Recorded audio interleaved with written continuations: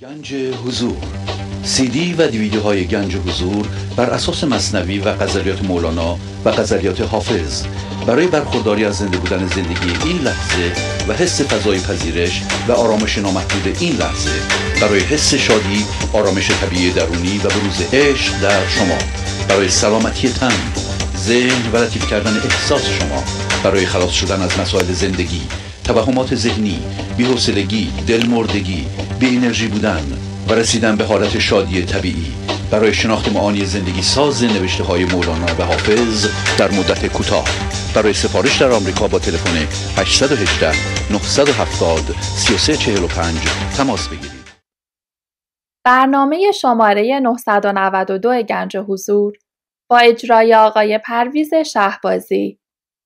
تاریخ اجرا نهم ژانویه 2024 مصادف با بیستم دی ماه 1402 با سپاس و قدردانی از اعضای گنج حضور که با های مالی خود امکان تداوم این برنامه را فراهم می‌آورند. بینندگان گرامی آغاز حمایت مالی شما علاوه بر رعایت قانون جبران نقطه شروع پیشرفت معنوی و مادی شما خواهد بود. Thank you.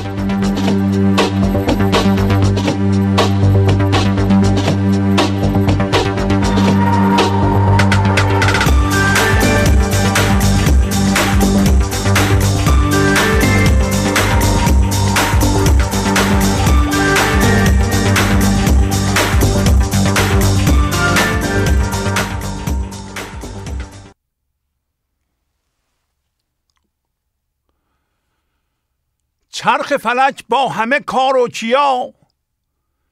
گرد خدا گردد چون آسیا. گرد چونین کعبه کنه جان تواف گرد چونین مایل گرده گدا. بر مسئله گوی به میدانش گرد. چون که شدی سرخوش بی دست و پا. اسب و رخت راست بر این شه تواف گرچه بر این نت روی جا به جا. خاتم شاهی در انگشت کرد. تا که شوی حاکم و فرمان روا. هر که به گرد دل آرد تواف جان جهانی شود و دلربا. همراه پروانه شود دل شده گردد بر گرد سر شمها زان که تنش خاکی و دل آتشی است میل سوی جنس بود جنس را. گرد فلک گردد هر اختری زان که بود جنس صفا با صفا. گرد فنا گردد جان فقیر. بر مسئله آهن و آهن ربا زان که وجود است فنا پیش او. شسته نظر از حول و از خطا. مست همی کرد وضوع از کمیز. که از حدثم باز رهان ربنا. گفت نخستین تو حدث را بدان. چشمج و مغلوب نباید دعا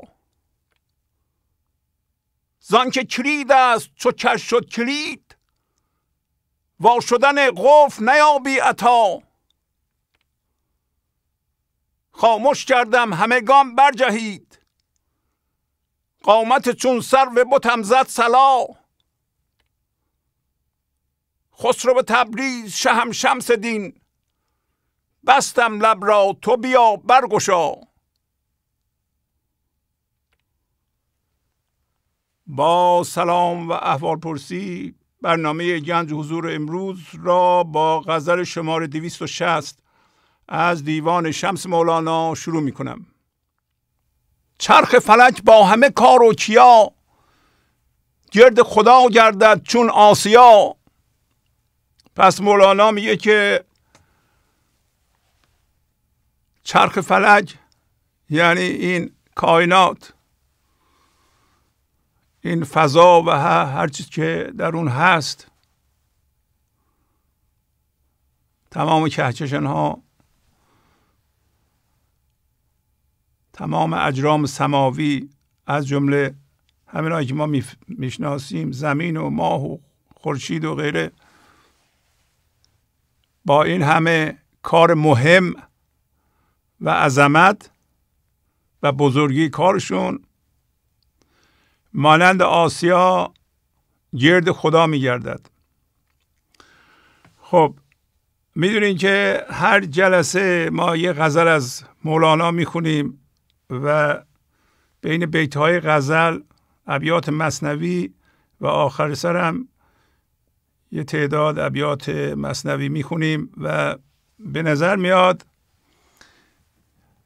این خوندن غزل در ابتدای برنامه حال همه ما رو خوب می‌کنه و ما رو به اوج می‌بره. و بعدش هم که مصنوی به زبان خرد نوشته شده به ما شناسایی میده که با چه چیزی همانیده هستیم چه عیبی داریم چه نقصی داریم و چون حالمون خوبه هوشیاریمون بالاست می‌تونیم عیب خودمون رو ببینیم و برطرف کنیم. اما خوندن غزل مستلزم تعمل و تمرکز روی ابیات غزل یک به یک. و امروز ما این کار رو می‌کنیم. یعنی در واقع بیت به بیت غزل رو می‌خونیم و تعمل می‌کنیم که این بیت راجع به چی داره صحبت می‌کنه و ارتباطش با من چیه؟ و تا زمانی که این موضوع برای من کشف نشده به بیت بعدی نمیرم. چون اگه برم فقط ذهنم به معنی سطحی می‌پردازه و یه چیزی می‌فهمه و عجله داره ببینیم بیت بعدی چیه بیت بعدی چیه بالاخره تمام کنه بذاری کنار. این کار فایده نداره.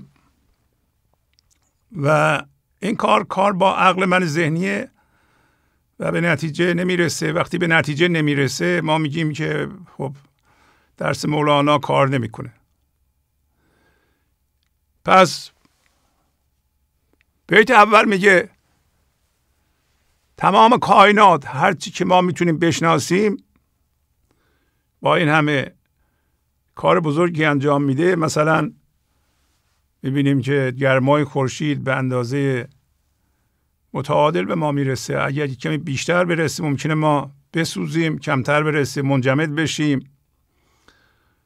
و اینا رو بهتر از من می‌دونین که شما دیگه چه عظمتی در کار هست و چقدر کارشون دقیقه. چه جوری ما به دور خورشید میگردیم ماه چی کار می‌کنه بقیه سیارات چی کار می‌کنند دیگه به اون نمی‌پردازیم. می‌دونید که کار بزرگی و دقیقی حتی کار بدن ما چقدر دقیقه به موقع هر جزئی کارش انجام میده تا بدنمون به کار خودش ادامه میده. میگه تمام اینها دور یک خرد.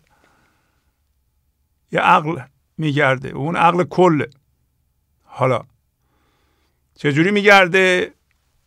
چون آسیا. و ما می‌دونیم که هرگز نداند آسیا منظور گردش های خود. آسیا وقتی میچرخه نمی‌دونه برای چی میچرخه. و آب اینا میچرخونه مثل آسیا های قدیم دیگه. آب میومد می‌زد می‌خورد به پره ها و سنگ میچرخید و گندم آرد می‌شد. حالا ممکنه که پس از یه مدتی تعمل و تکرار این بیت منظور از تعمل همین خوندن و تمرکز کردن روش این به چه چیزی مربوطه چی میگه و چجوری به من مربوط میشه. یادمون باشه مولانا راجع به انسان صحبت می‌کنه. بیشتر اوقات راجع به انسان صحبت می‌کنه. یعنی این بیت مربوط به شماست. شما باید پیدا کنید که ارتباطش چیه. پس از مدتی خوندن متوجه میشیم که خب اگر همه چی دور خدا میگرده نکنه من نمیگردم.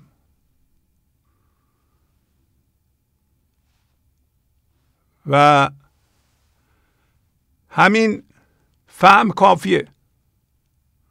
اگرم میگردم نکنه مثل آسیا نمیگردم. و منظور گردش های خودم رو با من ذهنی می‌دونم. پس نکنه من ذهنی من دور خودش میگرده. و همین بیت اگر ما توجه کنیم یه با شکل ها توجه کنیم به این می‌فهمیم که مولانا داره اشاره می‌کنه که ای انسان هرچی هستی تو هم مثل بقیه باید دور خدا بگردی دور زندگی بگردی. پس این چیزی که دورش میگردی تو خدا نیست. خب اشارهش مشخصه دیگه. من هم باید مثل بقیه دور خدا بگردم یا زندگی بگردم مثل آسیا. خب همینجا من ذهنی شما میگه که من می‌دونم چه جوری بگردم. همینجا شما باید یقش رو بگیرین تو نمی‌دونی. توجه می‌کنین؟ یکی از منظورهای غزل همینه. که شما اختیار رو به دست من ذهنیتون ندین. چون این نمی‌دونه چجوری دور خدا بگرده. اصلا خدا رو نمی‌شناسه پس یک کمی توضیح بدیم راجع به این شکل ها می‌دونین قبل از ورود به این جهان ما از جنس بی فرمی هستیم از جنس خدا هستیم از جنس الست هستیم از جنس زندگی هستیم. فرم نداریم. بنابراین گرد خدا میگردیم. و عقل و حس و هدایت و قدرت رو از او می‌گیریم. همین که وارد این جهان میشیم چیزهای این جهانی رو با ذهنمون تجسم می‌کنیم و پدر مادرمون به ما یاد میدن که چه چیزی مهمه. و با هر چیزی که اونا میگن مهمه ما همانیده میشیم. همانیدن یعنی شکل تصویری یا ذهنی اونها رو چیزی که از اونها در ذهنمون می‌سازیم اون مفهوم رو می‌گیریم بهش حس امنیت حس هویت تزریق می‌کنیم و وقتی حس وجود یا حس هویت تزریق کردیم اون میشه مرکز جدید ما مرکز قدیم فراموش میشه اون زیر پوشیده میشه که عدمه عدم یعنی هیچ و من, و من ذهنی هم هیچ نمی‌شناسه. شما نباید با من ذهنی یا هوشیاری جسمی هیچ رو بخوایم بشناسین یا خدا رو بخوایم بشناسین. پس قبلا ما مثل بقیه موجودات جهان حول او میگشتیم. همین که وارد ذهن شدیم همانیده شدیم مرکزمون جسم شد. و الان همون هوشیاری که قبلا داشتیم از جنس زندگی بر حسب چیزها می‌بینه. بر حسب چیزها دیدن یا با عینک این چیزها دیدن که باشون همانیده ایم یه هوشیاری دیگه ای به ما میده که هوشیاری جسمی هست. الان همون عقل و حس امنیت و هدایت و قدرت رو از چیزها می‌گیریم که جدیدن به مرکزمون آوردیم به جای عدم به جای عدم اینا رو آوردیم. مفهوم پول و مفهوم همسر رو مفهوم پدر و مادر رو هر چیزی که می‌تونیم تجسم کنیم اگر مهم باشه باش همانیده میشیم و میاد مرکز ما. میشه. بعد از این ما به جای اینکه دور خدا بگردیم دور این همانیدگی ها میگردیم.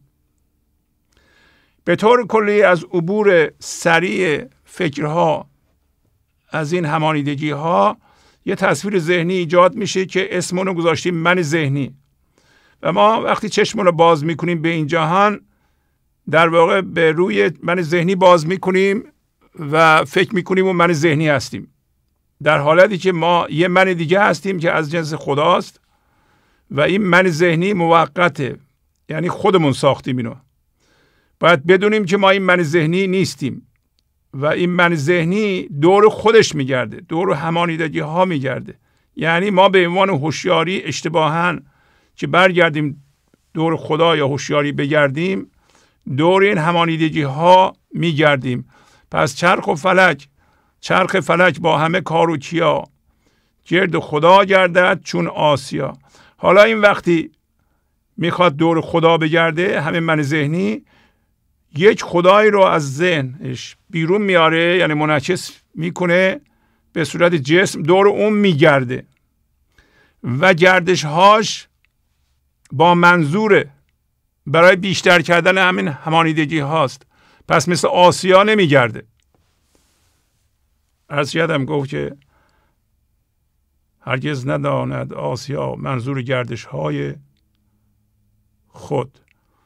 پس در این حالت ما گرد همانیدگی ها میگردیم یه من ذهنی هستیم. حالا مولانا میگه که شما می‌تونید از این حالت تبدیل بشید به این حالت. دوباره دست بزنید به کاری که اسمشو گذاشتیم تسلیم یا فضاگشایی و دوباره مرکزتون رو عدم کنید. دوباره به عنوان هوشیاری دور عدم بگردید. درسته؟ حالا این بیت رو تنها خوندیم؟ الان متوجه شدیم. چرا این بیت رو مولانا میگه و بعد از این چی خواهد گفت؟ چون خوب بررسی کردیم بررسیمون چی بود؟ دوباره تکرار می‌کنم. همه کائنات هر چی که ذهن من می‌تونه تجسم کنه دور خدا میگرده. نکنه من نمیگردم. وقتی درست نگاه کردیم دیدیم نه من دور خدا نمیگردم. دور همانیدگی ها و چیزها میگردم. درسته؟ یه دفعه این سوال پیش اومد که میگه من با بقیه فرق دارم. پس منم باید به دور خدا بگردم. و من یه دفعه متوجه میشم دوباره که تمام گردش های من منظوردار مادیه. یعنی هرچی بیشتر بهتر. هر کاری می‌کنم برای اینکه یکی از این چیزهایی که داخلی این هست من همانیده شدم زیادتر بشه. پس مثل آسیا نمیگردم که ندونم برای چی میگردم. اما وقتی فضا رو باز می‌کنم در اطراف چیزی که ذهنم نشون میده متوجه میشم که این فضاگشایی معنیش این است که اون چیزی که ذهنم نشون میده مهمتر از خدا نیست. این داره میگه دور خدا میگردیم. همه چی باید بگرده ما می‌خوایم بگردیم. پس بنابراین میگم که اون چیزی که ذهنم نشون میده من دور اون میگردم. حالا دیگه فهمیدم اون مهم نیست. باید فضا را در اطرافم باز کنم مقاومت نکنم و دور این فضای گشوده شده بگردم.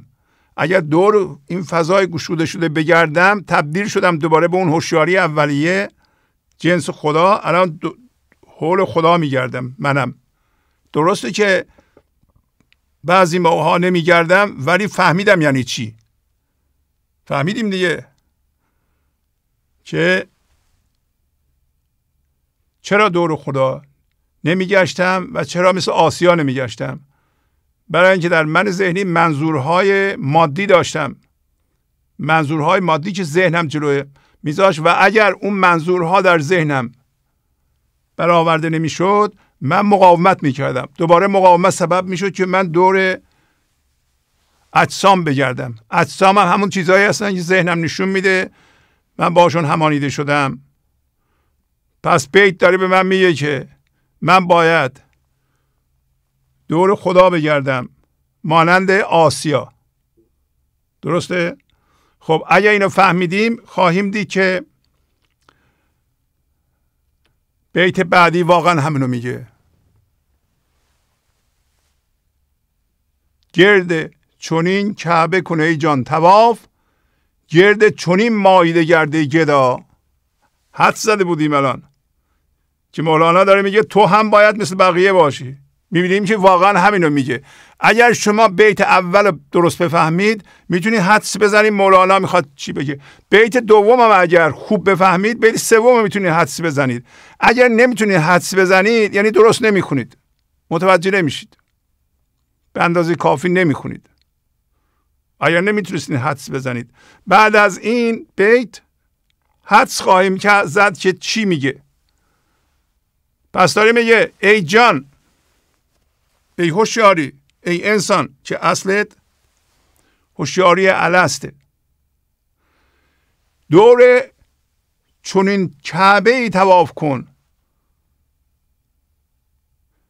حالا با همین عبارت داره میگه که اون چیزی که دورش میگشتی اون کعبه نبوده.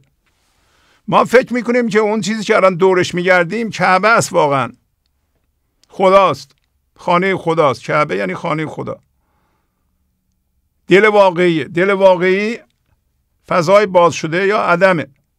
پس بیت دوم میگه گرد چونین کعبه یعنی این کعبه نبوده. اون کعبه این همانیدگی ها کعبه نیستن. به نظر ما کعبه بوده چون تا حالا دور اونا گشتیم دیگه. گرد چونین کعبه کن. یعنی این کعبه فضای باز شده با مرکز عدم. گرد چونین کعبه کن. ای جان تواف دور این بگرد گرد چونین مایده گرد. مایده یعنی سفره. غذا سفره. در اینجا منی سفره است. ای گدا خب شما میگین که من دور این سفره گشتم. می‌خواستم از پولم از همسرم از بچم غذا بگیرم. الان مولانا میگه که اگر این کار بکنی جدا هستی. حالا اول به خودم نگاه کنم ببینم جدا هستم. خوب نگاه کنم به خودم. شما از خودتون بپرسین آیا من جدا هستم؟ جواب بدین. اگر از چیزهای این جهانی که ذهنتون تجسم می‌کنه باشون همانیده هستین غذا می‌خواهین. بر حسب اونها من درست کردین بر حسب اونها بزرگ میشین. پوز میدین. میگیم من این هستم وقتی من این هستم همانیدگی ها به نظرتون میاد.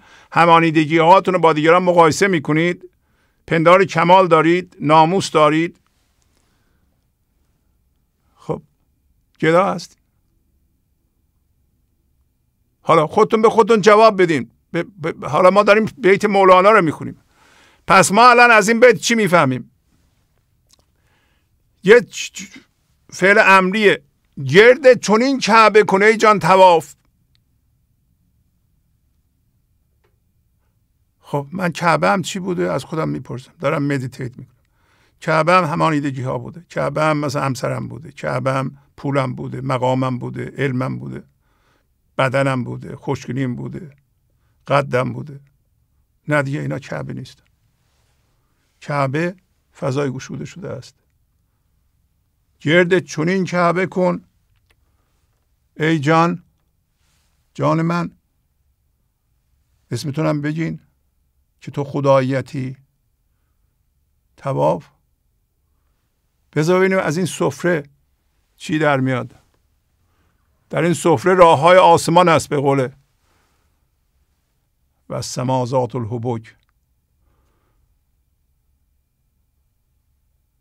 روی زرد و پای سست و دل سبک. کو, غذای و سمازات الحبک. روش مریض زرده. پاش روی چیزی گذاشته که دائما فرو میره میریزه. دلش میترسه. غذای این آسمان باز شده راه های مختلف داره غذاهای مختلف داره روش های مختلف داره. کو؟ پس حالا فهمیدیم که میگه گرد چنین کعبه بگرد. درست حد زده بودیم. ای جان ولی اگر گرد چون این سفره بگردی یعنی سفره دنیا جدا هستی. خودمون رو بررسی کردیم. گفتیم که من جدا نیستم. درسته؟ من می‌خوام فضا رو باز کنم. حالا پس فهمیدیم اگه فضا رو باز کنیم اطراف سفره خدا نشستیم. غذاهای آسمانی می‌خوریم. یه شیره نمی‌دونم چیزهای بیرون رو نمی‌کشم. یادم بیاد پولم زیاد شده خوشحال بشم. یادم بیاد من از لحاظ علمی از فلانی برترم. از نظر جسمی خوشگلترم خوشحال بشم. اینا غذاهای این جهانی هن.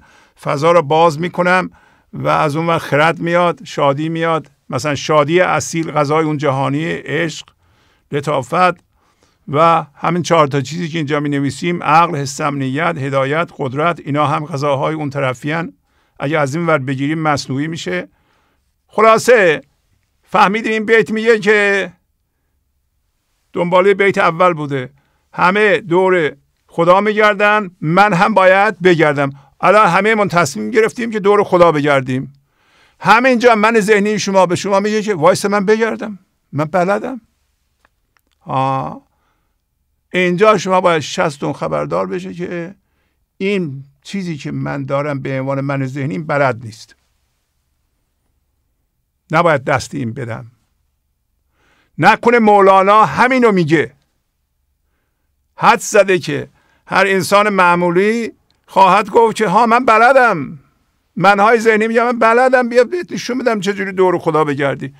این کارو بکنی اون کارو بکنی اینو بخونی این یعنی دور خدا میگردی دیگه. نه اینطوری نیست. یعنی خودش میگه. بس حدس می‌زنی مولانا به ما خواهد گفت که چجوری بگرد. و مخصوصا خواهد گفت که با من ذهنیت نگرد. درسته؟ ببینیم چی میگه. بله. همینو میگه.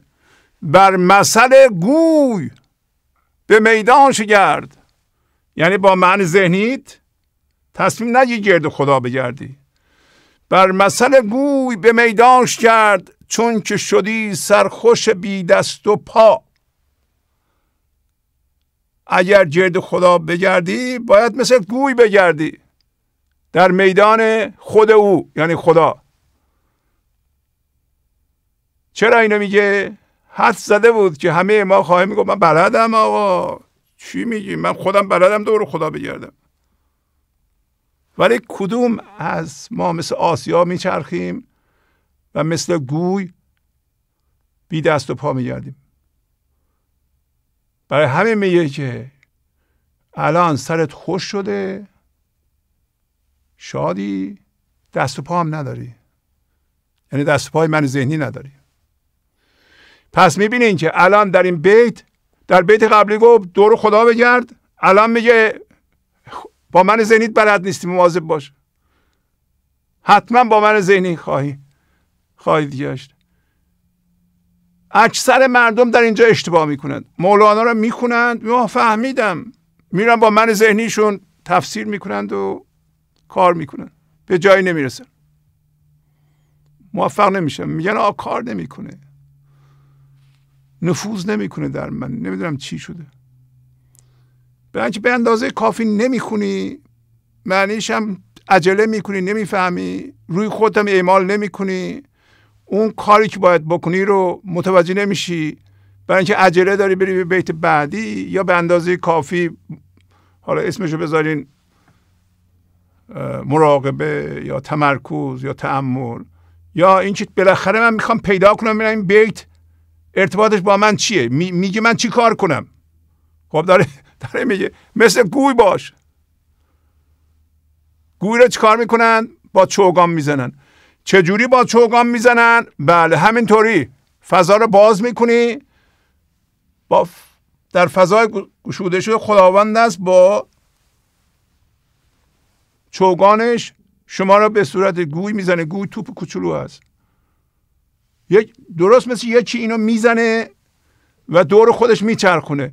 پس شما اگر با من ذهنی بچرخیم می‌دونین که این زنه یعنی این فکر و دور یه منفعتی میچرخه.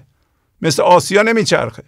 حالا شما می‌خواین مثل آسیا منظور گردش های خودتون رو ندونید و مثل گوی بچرخید. در همین جاست که شما میگیم من دیگه نمی‌خوام اشتباه کنم. اگر اشتباه کنم و خودم با دست و پای من ذهنی خودم بچرخم این قبول نیست. موفق نشدم. حالا من ذهنی میگه من بهت میگم کی؟ با من میچرخی؟ کی با خدا؟ یعنی این من ذهنی رو از در بیرون می‌کنی از پنجره میاد تو. شما میگین نه. من باید فضا باز کنم. فضا باز می‌کنم. و این فضای گشوده شده. حالا من ذهنی میگه خیلی خوب فهمیدم. من اصلا خودم فضا باز می‌کنم. شما می‌دونید این من ذهنی فضا باز نمی‌کنه.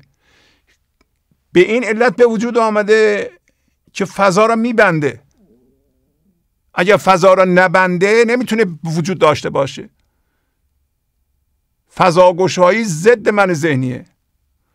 من ذهنی مقاومت می‌کنه. با مقاومت مقاومت مقاومت. و راه رو بلده. ما مرتب گفتیم امروز هم دوباره میگیم من هر دفعه خطرناکترین سلاح های من ذهنی را به شما نشون میدم. مرتب هم هی پیغام می‌گیریم که بله من این اشتباهی کردم. گفتم دو تا از خطرناکترین سلاح های من ذهنی یکی قرینه یکی تمرکز رو دیگران. اصلا ما حالی که تو این دوتا شما رو به تله اندازه روزی چند بار. قرین و تمرکز روی دیگران. این دوتا فن نیست که خوب بلده من ذهنی. فنهای بعدی قابل کشفترن مثل پندار کمال مثل ناموس.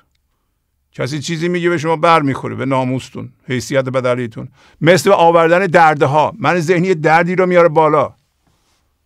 آوردن درد توسط به ناموس و پندار کمال شما. شما می‌دونید می‌دانم. از آن هر من ذهنی استاد می‌دانم. اینجاها هم به شما حمله می‌کنه به تله میاندازه. یعنی شما مثل کشتگیری هستین که هر کاری که می‌کنی این دوتا فن اولیه که قرینه یعنی یه قرین بد رو با شما همراه می‌کنه. می‌خواد اخبار تلویزیونی باشه به دوست زنگ می‌زنی خبر بد میده خواهر برادرتون یه چیزی میگن پدر مادرتون چیزی میگن اصلا اینا با هم صحبت می‌کنن شما میشنوید؟ اینا قرینن دیگه. خودتون عاشق اخبار هستیم باز می‌کنیم میگین حالا ببینم چی میگه؟ ها این سوشل میدیا ببینم می‌بینیم اونجا اومد دوباره. یعنی اصلا محاله که من ذهنی شما رو با قرین با فن قرین زمین نزنه. نمی‌تونید. باید خیلی آدم پرهیز داشته باشه. مثل کشتگیر شما می‌دونین که این حریف شما دو تا فن داره بالاخره یه چیشو اجرا خواهد کرد. ولی باید همیشه مواظب باشین که این آخر زمین اجرا شد. فن روی شما اجرا حواستون پرد شد. یه دفعه تمرکزتون رفت روی یه کسی. حالا می‌خواین یا نصیحتش کنید یا انتقادش کنید یا عیبش رو بگین. چرا اینطوری می‌کنه؟ چرا این درست نمیشه؟ ولی مولانا میگه تو باید شم خود روشن نگه داری. تو یکی نه ای هزاری. تو چرا خود برافروز با چراغ دیگران چی کار داری؟ ولی ما نمی‌تونیم گوش بدیم. حالا امروز هم تکرار خواهم بیاد حالا نذاریم من ذهنی اختیار رو به دست بگیره بیت اینو میگه بر مسئله گوی به میدان شید به میدان یعنی به میدان خداوند بگرد. میدان خداوند این فضای گشوده شده است. چون که شدی یعنی به این درجه رسیدی. سرخوش بشی سرت خوش بشه مست بشی. بی دست و پا. یعنی دست پای من ذهنی رو جمع کنی. توجه می‌کنین؟ هر موقع من ذهنی شما گفت من دست و پا دارم من بلدم من من می‌تونم انجام بدم. شما بذار من گرد خدا بگردم. بذار من فضا گشایی کنم. بذار من تو رو از قرین حفظ کنم. همین داره شما رو گول می‌زنه. من ذهنی میگه بذار من شما رو حفظ می‌کنم از تمرکز رو دیگران. اصلا زندگیش بر اساس تمرکز رو دیگرانه. تمرکز رو غیره من ذهنی. چطور می‌تونه شما رو به عنوان امتداد خدا از تمرکز روی دیگران حفظ کنه شما به عنوان الست چراغ عشق خودتون رو روشن کنید. نمی‌ذاره. و شما اجازه میدین. این بیت همینو میگه. بیت مهمیه. بر مسئله گوی به میدانش کرد چون که شدی سرخوشه فقط سرخوش خالی؟ نه بی دست و پا. این دست و پای من ذهنی به درد نمی‌خوره. درسته؟ خب. اجازه بدین چند بیت برای گرم شدن من بخونیم از مصنوی بعدا میریم دوباره دنبال غزل. بعدش هم مصنوی خواهیم خوند.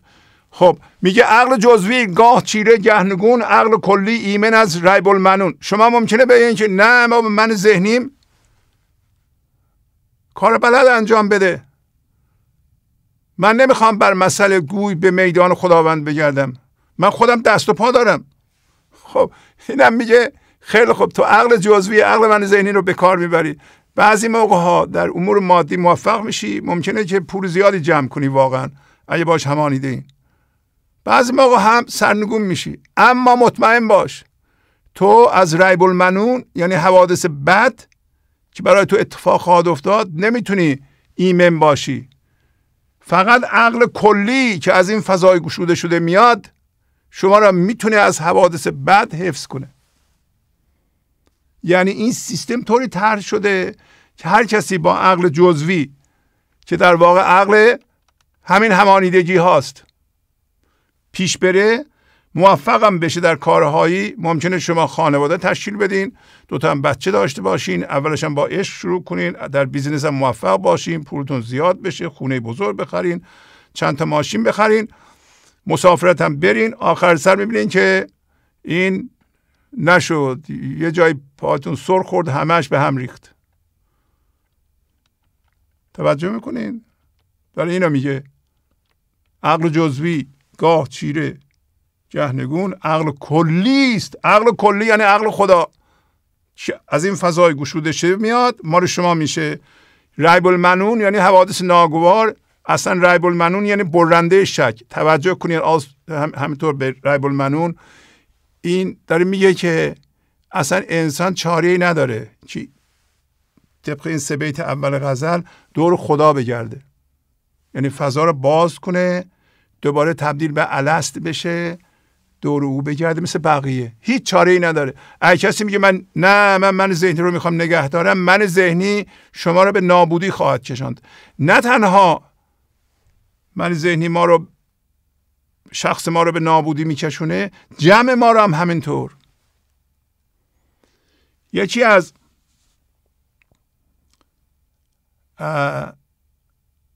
قوانینی که زیر پا گذاشته میشه در همون بیت اول که گفت چرخ و فلک با همه کاروکیا گرد خدا گردد. چون آسیا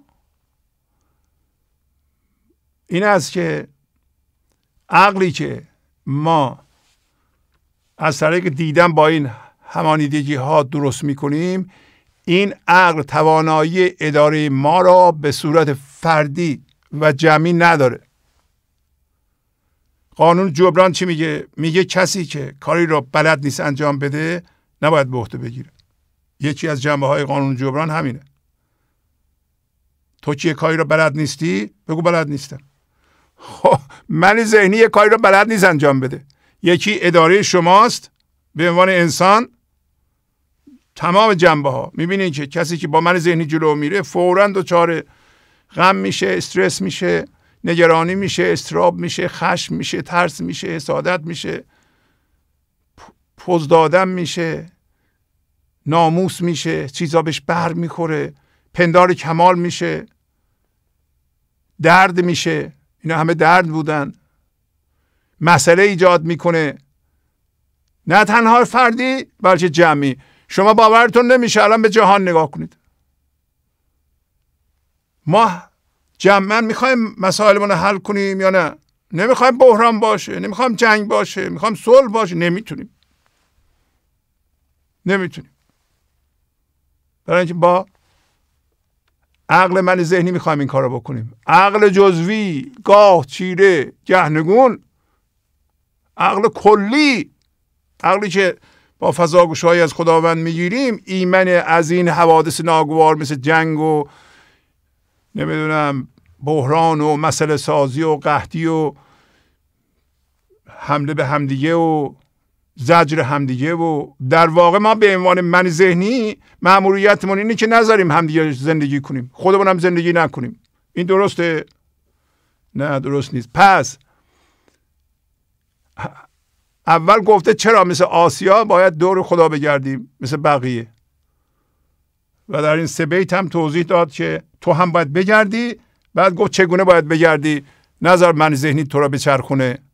و همینطور این بیت پیش چوگان های حکم کنفکان میدوی من در مکان و لامکان اینا رو فقط میگم یادآوری بشه. مثل گوی در میدان او در درون و بیرون میدویم حکم غذا و کنفکان. وقتی شما فضا رو باز می‌کنید در واقع خداوند قضاوت می‌کنه تصمیم می‌گیره برای شما و خرد او به فکر و عملتون میریزه حتی فکر شما رو هم اون می‌کنه. این چیزها ممکنه برای بعضی ها بعید باشه. چون با ذهنشون می‌خوان استدلال کنن. یعنی چی؟ چه جوری میشه؟ چه جوری شو داریم میگیم؟ شما نمی‌دونید فعلا. شما گوش بدید. پیش چوگان های حکم کنفکان میدوی من در مکان بیرون تو کارمون جسممون با مکان. این فضای گشوده شده. بله. خوندم الان. روی زرد و پای سست و دل سبک کو غذای و سما ذات الحبک. آن غذای خاصگان دولت هست خوردن آن بیگلو و آلت هست. شد غذای آفتاب از نور عرش مرحسود و دیو را از دود فرش. بله منظور این آیه سوگند به آسمان که دارای راه هاست. پس آسمان چیه؟ آسمان این فضای گشوده شده است که دارای راههایی است که از غذا و کنفکان میاد. راه حل از اونجا میاد.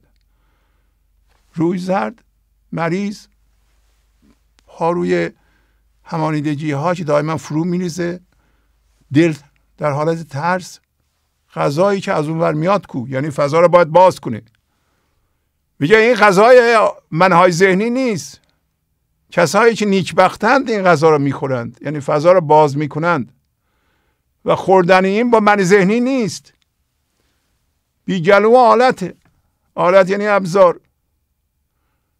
و مثال می‌زنه آفتاب شد غذای آفتاب. آفتاب انسانی است که به خدا زنده شده به بینهایت و ابدیت خدا زنده شده.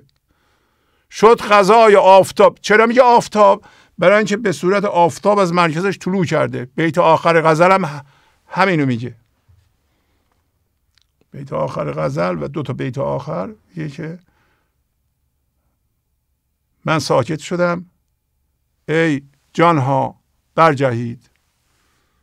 یعنی آخرین غزل باید همه شما از قبر ذهن از خواب ذهن بلند شین. چرا؟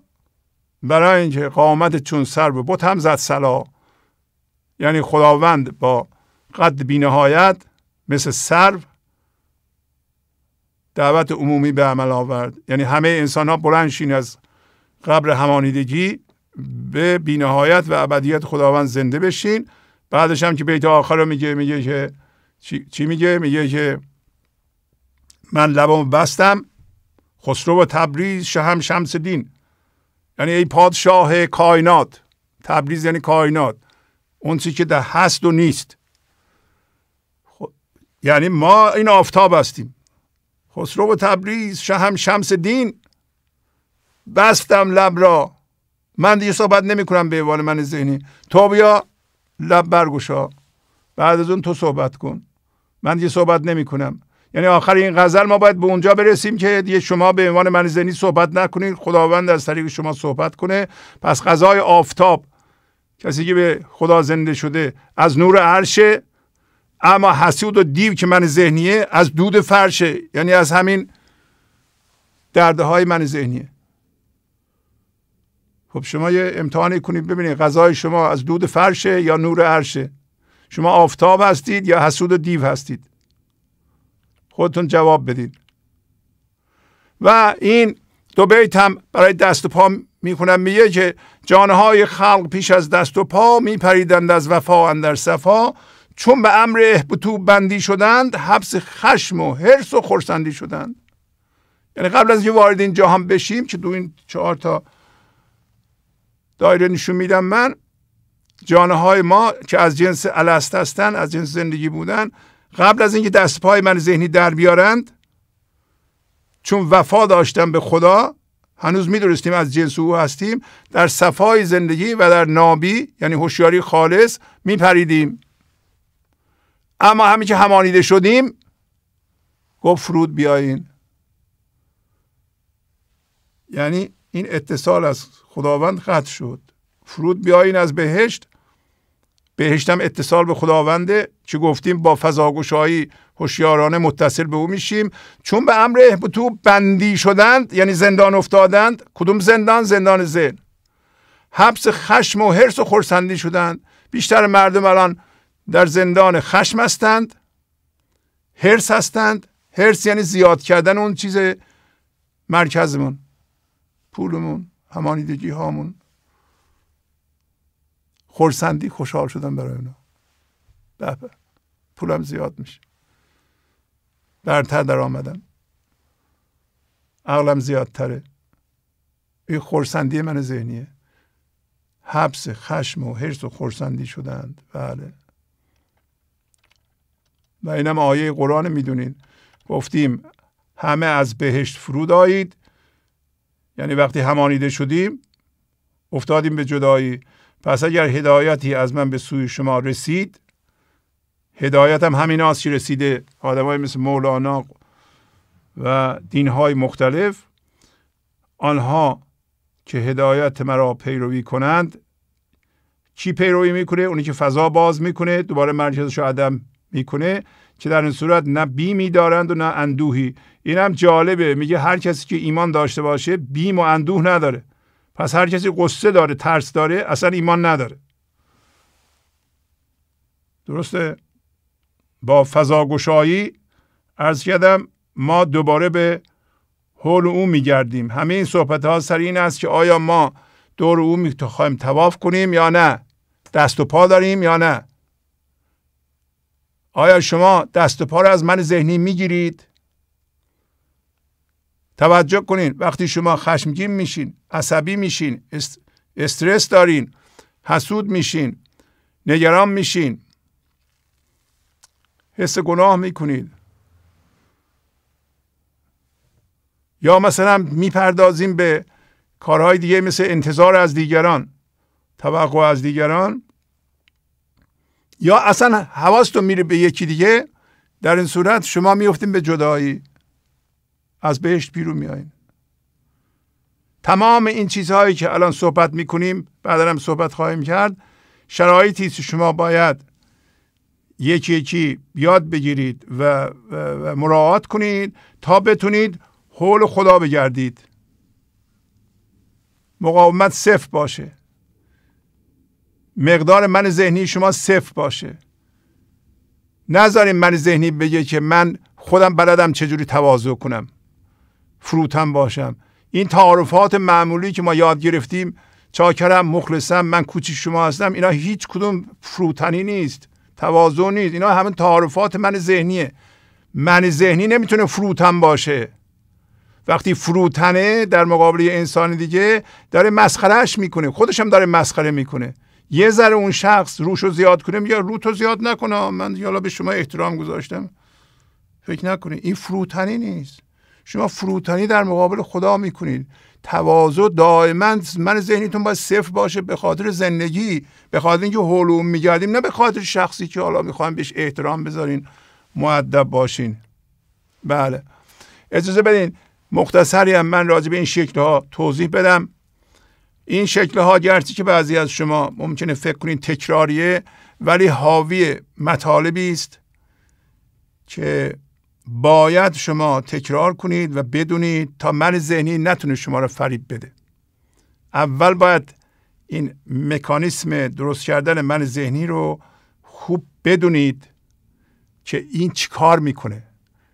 مثلا شما باید آگاه باشیم به عنوان هوشیاری ناظر که شما در این قضاوت می‌کنید. شما داریم مقاومت می‌کنید. مثلا وقتی بحث و جدل می‌کنید داریم مقاومت می‌کنید. توجه کنید. از نظر خداوند ما فقط می‌تونیم گسترده بشیم. هیچ موقع شما حق نداریم مقاومت کنید. از نظر زندگی میگم از نظر خدا نه از نظر من نمیگم چیکار کنید. یعنی شما حکم حق گسترد بهر ما بساد که بگویید از طریق انبساط. از طریق انقباز نه. در حالی که این شکل شما می‌بینید انقبازه وقتی شما چیزها رو جمع می‌کنید مرکزتون و از این چیز میپرین به اون و فکرش میشه عقل شما این انقباز وقتی شما مواظبین چه کسی چی میگه به شما بر نخوره و ممکنه به شما بر بخوره خب دائما در حالت انقباض هستین. شما دور خدا نمیگردین. کسی که دور خدا میگرده تمام حواسش اینه که دور او بگرده. کاری نداره که بیرون چه اتفاق میفته خفته از احوال دنیا روز و شب. چون قدم در پنجه تقلیب رب. کسی که از دنیا نخفته یعنی اون شخص همه حواسش این است که من الان فضا باز می‌کنم. حکم حق گسترد بهر ما بساد خداوند گفته فقط شما می‌تونید فضا باز کنید. هیچ کار دیگه نمی‌تونید بکنید. آیا من حق دارم منقبضم بشم؟ نه. برای همین گفته دیگه اون شعرهای انقباز رو هر هفته می‌کنیم که قبض دیدی چاره آن قبض کن. زانچه سرها جمله می‌روید زبون. بست دیدی بست خود را آب ده چون برایت میوه با اصحاب ده. قبض دیدی باید چارهشو بکنی. نظری قبض ریشه میوه تو بشه. این بدیه. این واکنش. هیچ واکنشی هیچ خشمی هیچ حسادتی نباید ریشه میوه تو بشه و اینو به همه بدی. باید منبسط بشی. منبسط کردن به اعتبار یعنی شم عشق رو روشن کردن. این شکل نشون میده که ما میاییم با چیزها همانیده میشیم. و در اثر گذاشتن از این نقطه چین ها که همانیدگی هستند یک تصویر ذهنی پویا درست می‌کنیم که اسمش من ذهنی هست. هوشیاری که داریم هوشیاری جسمیه و اون تصویر درست شده که پویا هم از تغییر می‌کنه و بزرگ کوچیک میشه اسمش من ذهنیه. من ذهنی مقاومت می‌کنه. برای اینکه از اتفاقات می‌خواد زندگی بگیره. هر چیزی که اتفاق میفته براش مهمه. پس بنابراین میاد به مرکزش. شما میگین هر چیزی که اتفاق میفته برای من مهم نیست برای من فضا گشایی و حول خدا گشتن مهمه. بیت اول همینو میگه دیگه. چرخ فلک با همه کار و چیا گرد خدا گردد چون آسیا. پس من هم باید گرد خدا بگردم مانند آسیا. ولی این موجود گرد خدا نمیگرده گرد همانیدگی ها میگرده. یک جسم مجازی در زمان مجازی زمان اصلی این لحظه است. این در گذشته و آینده هست. مقاومت می‌کنه و هر لحظه قضاوت می‌کنه که اتفاق این لحظه به نفعم هست یا نیست. اتفاق این لحظه خوب است یا خوب نیست. خب این دیگه از احوال دنیا نخفته که روز و شب. مانند قلم هم در پنجه برگردان خداوند نیست. درسته؟ این شکل همانشه. پس همانیده شدیم من ذهنی درست کردیم من ذهنی قضاوت می‌کنه مقاومت می‌کنه. اما اگر اینا ادامه بدیم می‌رسیم به افسانه من ذهنی. افسانه من ذهنی میگه که اگر این شکل ما ادامه بدیم زندگی رو تبدیل به مانع می‌کنیم مسئله می‌کنیم و دشمن می‌کنیم. پس چرخ فلک با همه کار و کیا گرد خدا گردد. چون آسیا منم باید گرد خدا گردم مانند آسیا. اگر نگردم میرم. افسانه من ذهنی درست می‌کنم. افسانه من ذهنی الان خواهیم دید که هپروتی است که انسان در اونجا پندار کمال درست می‌کنه. ما هم خوندیم که علتی بدتر از پندار کمال در جهان وجود نداره. مرضی بدتر از پندار کماله. علتی بدتر از پندار کمال نیست در جان تو ای زو دلال یه مثلثی است که قاعدهش پندار کماله یه زلش ناموس یه زلش درده و همانیدگی هم در مرکزه. پس اگر کسی همانیده بشه من ذهنی درست کنه می‌رسه پندار کمال. پندار کمال توجه کنی یعنی چی؟ پندار کمال یعنی من. تصور می‌کنم من کامل هستم. شما ممکنه بگیم من می‌تونم من ذهنی داشته باشم تصورم نکنم کامل هستم. اصلا امکان ندارین. پندار کمال در ذات من ذهنیه. هر کسی میگه من کامل هستم.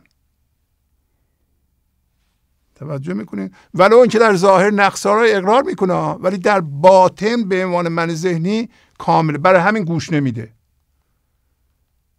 به ما این صلاح توست گوش نمیده. میگه من می‌دونم. می‌دونم جزو همین پندار کماله. ناموس یعنی حیثیت بدلی من ذهنی. کرده حق ناموس را صد من حدید ای بسی بسته به بند ناپدید. خداوند میگه ناموس را یعنی حیثیت بدلی من ذهنی رو صد من آهنگ کرده یعنی اینقدر سنگینین. آدم ها سنگین می‌کنه. کسی که به حیثیت بدلی من ذهنیه که جسم مجازیه در زمان مجازی کار می‌کنه. اصلا ما اون نیستیم. دوچار شده باشه. مثلا قبول نمی‌کنه که نمی‌دونه. نمی‌تونی نقص رو بپذیری اگر بگن نقص داری عصبانی میشه. ناراحت میشه. سنگین میشه نمی‌تونه یه کلاس بره. الان مثلا میگن آقا این برنامه رو گوش کن مولانا رو بگو. مولانا چیه ما این چیزا رو می‌دونیم. در ظاهرم بگه باطنا نمی‌کنه این کار رو. برای اینکه به ناموسش بر می‌خوره. شما باید این ناموس رو صفر کنید. این چیز جالبی نیست که شما بگید هر کسی بهش چیزا بر بخوره این غیرت داره بونه غیرتش زیاده اون غیرت به درد نمی‌خوره. اتفاقا غیرت می‌دونید چیه. غیرت اونه که همش دور خدا بگردی و غیرت داشته باشه غیر از این کار دیگه نکنی. این غیرت توجه می‌کنین؟ غیرتون نیست که چیزها به شما بر بخوره عصبانی بشی مشت بزنید سر یکی. اون غیرت نیست. اون بی غیرتیه. بله. خلاصه این می‌بینین یه زلش ناموسه زر دیگش درده در تک جو هست سرگین ای فتا گرچه جو صافی نماید مرتو را. پس بنابراین زیر ظاهر آرام من ذهنی که نشسته میگه من همه چی رو می‌دونم حیثیت هم دارم آبرو هم دارم خیلی بزرگ هستم مقامم خیلی بالاست. زیرش چیه؟ درد آرام نشسته. ولی یه کسی صرفه بکنه میگه آی صرفه کردی که به من توهین کنه. بله. اینم همینه دیگه. در تک جو هست سرگینه فتا گرچه جو صافی نمایت مرد تو را. این سه تا تله در شما هست. خوب دقت کنید که ببینید دوچار پندار کمال هستید دوچار درد هستید دوچار ناموس هستید. مواظب باشید. این سه تا فن نیست که من ذهنی اجرا می‌کنه. شما رو به عنوان الست یا امتداد خدا زمین می‌زنه. ما گول می‌خوریم. ما هیچ کدوم کامل نیستیم. اصلا هیچی نیستیم. شما هر کسی رو هم بگی هیچی نیست. فرق نمی‌کنید چقدر سواد داشته باشه هیچ کس هم استاد نیست. اگر دردها رو ما بتونیم کم کنیم اگر شما بتونید که واقعا رنجش چینه حسادت اینجور چیزها که از من ذهنی میاد بالا اینا رو کوچیک کنید کوچیک کنید. همه رو اینا میگم پاک باز. امروز در بارش صحبت می‌کنیم. پاک ببازید نترسید ناموس رو هم صفر کنید. دیگه از طریق این سه تا فن زمین نمی‌خورید. ولی مطمئنم که خیلی از ما به یکی از این فنا ضعف نشون خواهیم داشت یا به هر سه تو من. همراه با چی؟ الان میام دوباره که بگم. قرین و تمرکز رو دیگران. شما سی روز خودتون رو زیر نورافکن خودتون قرار بدید. بگین قرین قرین قرین. ببینم قرینم کیه و چه اثری رو من می‌ذاره. یکی هم آیا تمرکز من روی یکی دیگه میره یا نمیره؟ اگه حکم حق گسترد بهر ما بساد اگه قرار باشه شما منبسط بشید منقبض نشید. و اگر قرار باشه که منقبض شدید در اون شعرهای انقباز خوندیم میگو چون که قبضی آیدد ای راه رو آن صلاح توست آتش دل مشو. اگر قبضی بیاد قبض کی میاد؟ وقتی شما بیمراد میشین. شما قبض میاد چارهش رو اینطوری می‌کنید که میگین خیلی خب من بیمراد شدم. چرا بیمراد شدم؟ اولا من می‌دونم که بیمرادی شد قلاووز بهشت بهشت حجت حفت الجنه شنو ای خوشترش این بیمرادی باید منو بهشت هدایت کنه یعنی به فضای گشوده شده. پس من الان ببینم چه چیزی منو بیمراد کرد. ها از یکی یه چیزی می‌خواستم توقع داشتم. اون شعر یادم میاد میگه که گفت پیغمبر که جنت از خدا یا همی خواهی ز کس چیزی مخواه. گفت پیغمبر که جنت از اله یا همی خواهی ز کس چیزی نخواه. اینا رو پشت سر هم شما می‌خونید؟ باید راهتون رو پیدا کنید. که انقباز یعنی بیمرادی. بیمرادی یعنی یه چیزی در دل من هست منو گرفته می‌خواد یه آدم باشه یه, یه پول باشه یه جسم باشه یا مقام باشه یا هر چی باشه. بیمراد شدم باید فضا باز کنم ببینم اون چیه. این یه چیزی من از کسی می‌خوام. برای همین رنجیدم. یه دفعه میرین تمام رنجش های شما بر باد فنا میره. و خب من اشتباه کردم از دیگران توقع داشتم که رنجیدم. پس بنابراین اگر قرار باشه که شما واقعا گرد خدا بگردید باید حواستون به خودتون باشه. شم عشق خودتون روشن باشه. هر لحظه فضاگشایی کنید گسترده بشین هر لحظه منقبض نشین. آقا میشه شما منقبض بشین؟ اصلا نفهمید نفهمید که منقبض شدین. خیلی. من حواستون به خودتون نیست حواستون به دیگرانه. شما خشم دیگران رو می‌بینید خشم خودتون رو نمی‌بینید؟ نه نمی‌بینید. برای اینکه حواستون به خودتون نیست. یه موقع هست شما میگین که من تو این تو تله نمی‌خوام بیفتم. گفتم یک ماه خودتون رو زیر نورافکن قرار بدید. به لحاظ قرین به لحاظ حواسم رو خودم باشه. و نظری هم پنداری کمال درد ناموس می‌دانم. داشته باشید. و اینکه این لحظه همین مثلث. عرض می‌کنم که این اینا خیلی مهمن. آیا من فضاگشایی می‌کنم؟ فضاگشایی نمی‌دانم و قضا و کنفکان سزل یه مثلث هستن. شما لحظه به لحظه باید فضاگشایی کنید. برای این کار باید حواستون رو خودتون باشه. حکم حق گسترد بهر ما بساد که بگویید از طریق انبساد و همینطور چون ملائک گوی لا علم لنا تا بگیرد دست تو علمتنا. بله مانند فرشتگان بگو ما را دانشی نیست تا جز آنچه به ما آموختی دست تو را بگیرد. یعنی لحظه به لحظه حواسم به خودم فضا گشایی می‌کنم به خداوند میگم که من به لحاظ ذهنی چی نمی‌دونم. این مفرق فضا را گشودم از اون ور چیزی به من بگو به گوش من بگو. این بیت هم خیلی زیاد خوندیم هم تو گویی. نی تو گویی هم به گوش خیشتن نی منو نی غیر من ای هم تو من.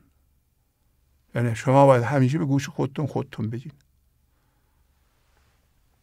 چیزی دیگر ماند اما گفتنش بله یه چیزی مونده گفتنش اونو روح القدس یا جبرئیل به گوشت میگه. میگه نه جبرئیل نمیگه خودت به گوش خودت میگی. با تو روح القدس گوید بی منش نی تو گویی هم به گوش خیشتن نی منو نی غیر من ای هم تو من. در حالی که تو و من یه هوشیاری هستیم ولی هر کدوم به گوش خودمون خودمون میگیم. به هر حال اینا موقعی است که غذا و کنفکان کار می‌کنه. درسته؟ وقتی غذا و کنفکان کار می‌کنه شما به گوش خودتون خودتون میگین. پس این مثلث میگه. مثلث میگه که فضاگوشهایی می‌کنم لحظه به لحظه من نمی‌دانم و غذا و کنفکان به من میگه چی کار کن. دم او جان دهدد روز نفخت و بپذیر. کار او کنفیکون است نه موقوع فعلا. فضا رو باز می‌کنم دم او میاد. و کار او میگه بشو و می‌شود. موقوف علل ذهنی و سبب سازی من نیست. در زمین بگم وقتی به عنوان من ذهنی من میگم من می‌دونم در واقع در سبب سازی هستم. شما باید از سبب سازی بپریم بیرون. اگر من ذهنی شما با سبب سازی دور خدا میگرده یعنی شما در ذهن زندانی هستین. شما با من ذهنی و فکر کردن با ذهن از ذهن نمی‌تونید خارج بشین من نمیگم ما استدلال نکنیم عقلمون رو بندازیم دور ولی شما اینا رو بدونید. اول بدونید که چه اشتباهی ممکنه به عنوان من ذهنی بکنید. هیچی از نمیگه شما نمی‌تونید استدلال کنید. ولی استدلال ها بر اساس اون چیزهایی که یاد گرفتیم و در ذهن چیده این انجام میشه. یعنی دوچار سبب سازی میشین. علت معلول ذهنی. علت معلول ذهنی با فضاگشایی و با استفاده عقل زندگی این که میگیم و سما ذات الحبوج کو اون راه های آسمان کو غذاهای آسمان. کو غذای خورشید از نور عرش غذای دی و من ذهنی از دود فرشه توجه می‌کنین؟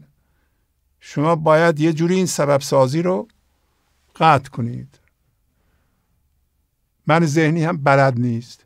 پس بنابراین یک جایی باید برسیم به اینکه نمی‌دانم.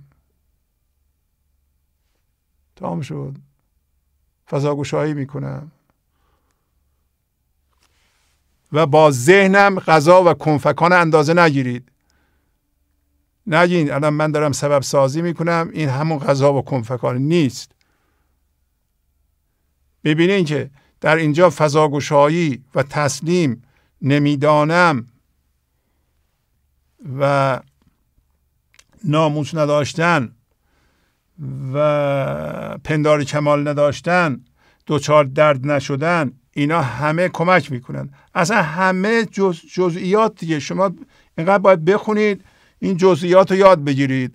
اما در مقابل این مثلث همانش و پندار کمال و هپروت ذهن و اینا گفتیم که مثلث همانش است. چرخ فلک با همه کاروکیا گرد خدا گردد. چون آسیا ما متوجه شدیم که اگر فضا را در اطراف اتفاق این لحظه یا اون چیزی که ذهنمون نشون میده باز کنیم مرکزمون دوباره عدم میشه. دوباره حول خدا میگردیم. و اون این شکل. متوجه میشیم که وقتی فضا گشوده میشه با این همه صحبتی کردیم شنیدین در واقع فضا چجوری گشوده میشه که شما دائما سعی نمی, کنین که فضا رو ببندید. هی منقبض بشین هی واکنش نشون بدین هی خشمگین بشین هی چیزی که از کسی بخواهین هی بگین چیزی کمه. خب اینا رو اگر شما نکنید یعنی مرتب منقبض نشین حالت طبیعی ما انبساط. یه دفعه ببینین که اه درون شما داره باز میشه.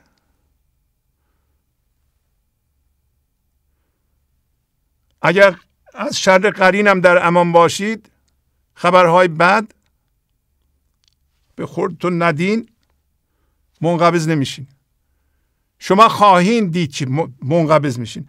هر دفعه منقبض میشین به این جسم هم صدمه می‌زنید. تا ما متوجه نیستیم. منقبض نشین. قبض دیدی چاره آن قبض کن. قبض دیدی بیمرادی رو ببین. عاشقان از بیمرادی های خیش با خبر گشتند از مولای خیش. وقتی بیمراد میشیم منقبض نشین. بگیم منو چی بیمراد کرده؟ همسرم. چرا از همسرم اینو می‌خوام؟ که چی بشه؟ چیم زیادتر میشه؟ خوشبخت میشم؟ خوشبختی از همسرم می‌خوام؟ از بچه می‌خوام؟ هویت می‌خوام؟ چیزی از کسی می‌خوام؟ چون نخواهی من کفیلم مرتو را جنت المعوا و دیدار خدا. دنبال اون بیته اگر نخواهی از کسی چیزی من قول میدم خدا رو ببینی. خدا رو اینطوری ببینید دیگه. اگر نخواهی از کسی چیزی منقبضم نمیشی. اگر شما میرنجید یعنی اونجا نیستید. به هر دلیلی. رنجش انقباضه. رنجش یعنی چیزی از کسی می‌خواین شما. به هر حال این مثلث مثلث انبساط مثلث واهمانشه که ما هوشیارانه از اون چیزهایی که باشون همانیده هستیم هویتمون رو می‌کشیم بیرون. میگیم دیگه من با تو همانیده نیستم. تو در مرکز من نباش. تو رو من حل میدم به حاشیه. می‌خوام مرکزم خالی باشه این چشم عدم من باز بشه. جلوم خالیه. درست مثل رانندی. باید جلوش خالی باشه. کنار چیزها رو می‌بینه. پولم من می‌بینم. پولم زیاد میشه کم میشه اونم میفهم. ولی مرکزم نیست. رانندگی می‌کنی درختها رو ساختمان رو می‌بینی. ولی نه بر نمیگرد اینطوری نگاه کنی که. اگه نگاه کنی تصادف می‌کنی. اینم همینطوره. لحظه به لحظه انبساط انبساط انبساط انبساط انبساط انبساط. انقباز نداریم ما. پس چرخ فلک با همه کار و چیا گرد خدا گردد چون آسیا. منم الان گرد خدا دارم میگردم منبسط شدم. انقباز رو می‌شناسم. یه دفعه متوجه میشم که در این آدم جدید که بر اساس این فضای باز شده درست شد که بود البته از اول خودش رو به من نشون داد چون ذات خدایی ما که از بین نمیره. این چیز حادث جدیدن درست شده به عنوان من ذهنی جای اونو گرفته بود. یه دفعه می‌بینم که قبلا چه طلبکار بودم. از همه ناراحت بودم. الان شکر دارم می‌کنم. یک رضایت درونی در ذات این فضای گشوده شده است. شکر می‌کنم. و یواش یواش متوجه میشم نه اصلا شکر منم به خاطر این چیزهایی نیست که من دارم. شکر من به خاطر این است که دارم وصل میشم به خدا دوباره. به خاطر اینکه دور او میگردم. و شکر می‌کنم مثل آسیا میگردم. من در این گشتن منظوری ندارم منظور مادی. و یه دفعه متوجه میشم که اون عجله من که می‌خواستم تون تون تون تون برم اون رفت. صبر دارم می‌کنم. و این صبر زمان خداست. همینطور که یک گل باید بشکفه ما عجله داریم زود باش الان هی یه ساعت می‌گذاره میره میره این گل باز نشده. تو حیاتتون گل بوده. بعضی موقع آدم عجله داریم باز بشه. دو ساعت بعد میایم یه ذره باز شده. اون با با زمان غذا و کنفکان کار می‌کنه. ما عجله داریم زودی این گل رو ببینیم. نه. می‌بینین که داریم به زمان اصلی به زمان خدا که کارها بر حسب غذا و کنفکان انجام میشه تم میدین. اصلا عجله ندارین. بعد مطمئن میشین که پرهیز دارین. می‌بینین در خودتون میل نداریم مثلا چیز اضافی رو بخریم برای اینکه بگیم من دارم. چیزهای لازم رو می‌خرین. چیزی نمی‌خوایم بخرین که به دیگران نشون بدین. چون حواستون به خودتونه. من این گردنبند رو بخرم مردم ببینن. یا اتومبیل رو بخرم یا آه خونه بزرگ می‌خوام خیلی خوب می‌خرم. ولی این خونه رو نمی‌خرم مردم میگن موجب خونه ایه این آدم. آدم حسابی پول داره. برای این نمی‌خرم. توجه می‌کنین؟ پرهیز اینا. در حال بعد از این می‌رسیم به این شکل که همینطور که می‌بینید اگر این مثلث رو ما تمرین کنیم یه دفعه متوجه میشیم که این لحظه رو من با پذیرش شروع می‌کنم و یواش یواش با پذیرش شروع می‌کنم. پس از مدتی شادی بی سبب از مرکز من میجوشه میاد بالا. پس از یه مدتی آفریننده میشم. بله. و همینطوری این حقیقت وجودی انسانه با این شکل جلو میرم لحظه به لحظه با پذیرش شروع می‌کنم و یواش یواش همانیدگی ها رو می‌شناسم همین که می‌شناسم میاندازم. این شادی بی سبب که میاد کمک می‌کنه به به اصلاح گفت سرخوش بی دست و پا. این همون سرخوش بی دست و پاست. فضا رو باز می‌کنه غذا و کنفکان کار رو انجام میده. خرد زندگی به فکر عملتون میریزه. پس از یه مدتی می‌بینی که واقعا زندگی از طریق شما فکرهای جدید می‌سازه. فکرهاتون داره خلاق میشه. هرچه فضا گشوده تر میشه آسمان درون بزرگتر میشه فکرهای شما از کهنگی بیرون میاد و به فکرهای کهنه میخندید. میگه نه این مسئله راه حلش اینه. و اینکه مردم می‌خوان با فکرهای کهنه مسائل کهنه رو حل کنند بهشون میخندید این نخواهد شدین مسائل کهنه فکرهای جدید می‌خواد. فکرهای جدید از بود دیگه ای میاد از از ذهن همانیده نمیاد. شما دیدین که تا حالا من ذهنی بتونه فکر جدید خلق کنه همش فکرهای کهنه و پوسیده رو تکرار می‌کنه. پس به این ترتیب ما خلاق میشیم. بله. همینطور اجازه بدین این مثلث جذبه را هم من به شما بگم. چرخ فلک با همه کاروکیا گرد خدا گردد چون آسیا. وقتی مرکزتون عدم گرد خدا میگردی متوجه میشین که عنایت او و رحمت او واقعا لحظه به لحظه میاد. یعنی خداوند لحظه به لحظه حواسش به تک تک ماست. که خودش و امتداد خودش رو بکشه و ما رو از این مخمسه و گرفتاری مجازی و بی پایه بی اساس رها بکنه. توهم مردم تو توهم گرفتار.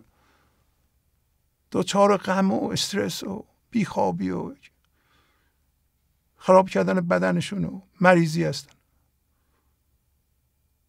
روی زرد و پای سست و دل سبک کو غذای و ذات الحبوک. ستایش شما عدم می‌کنید.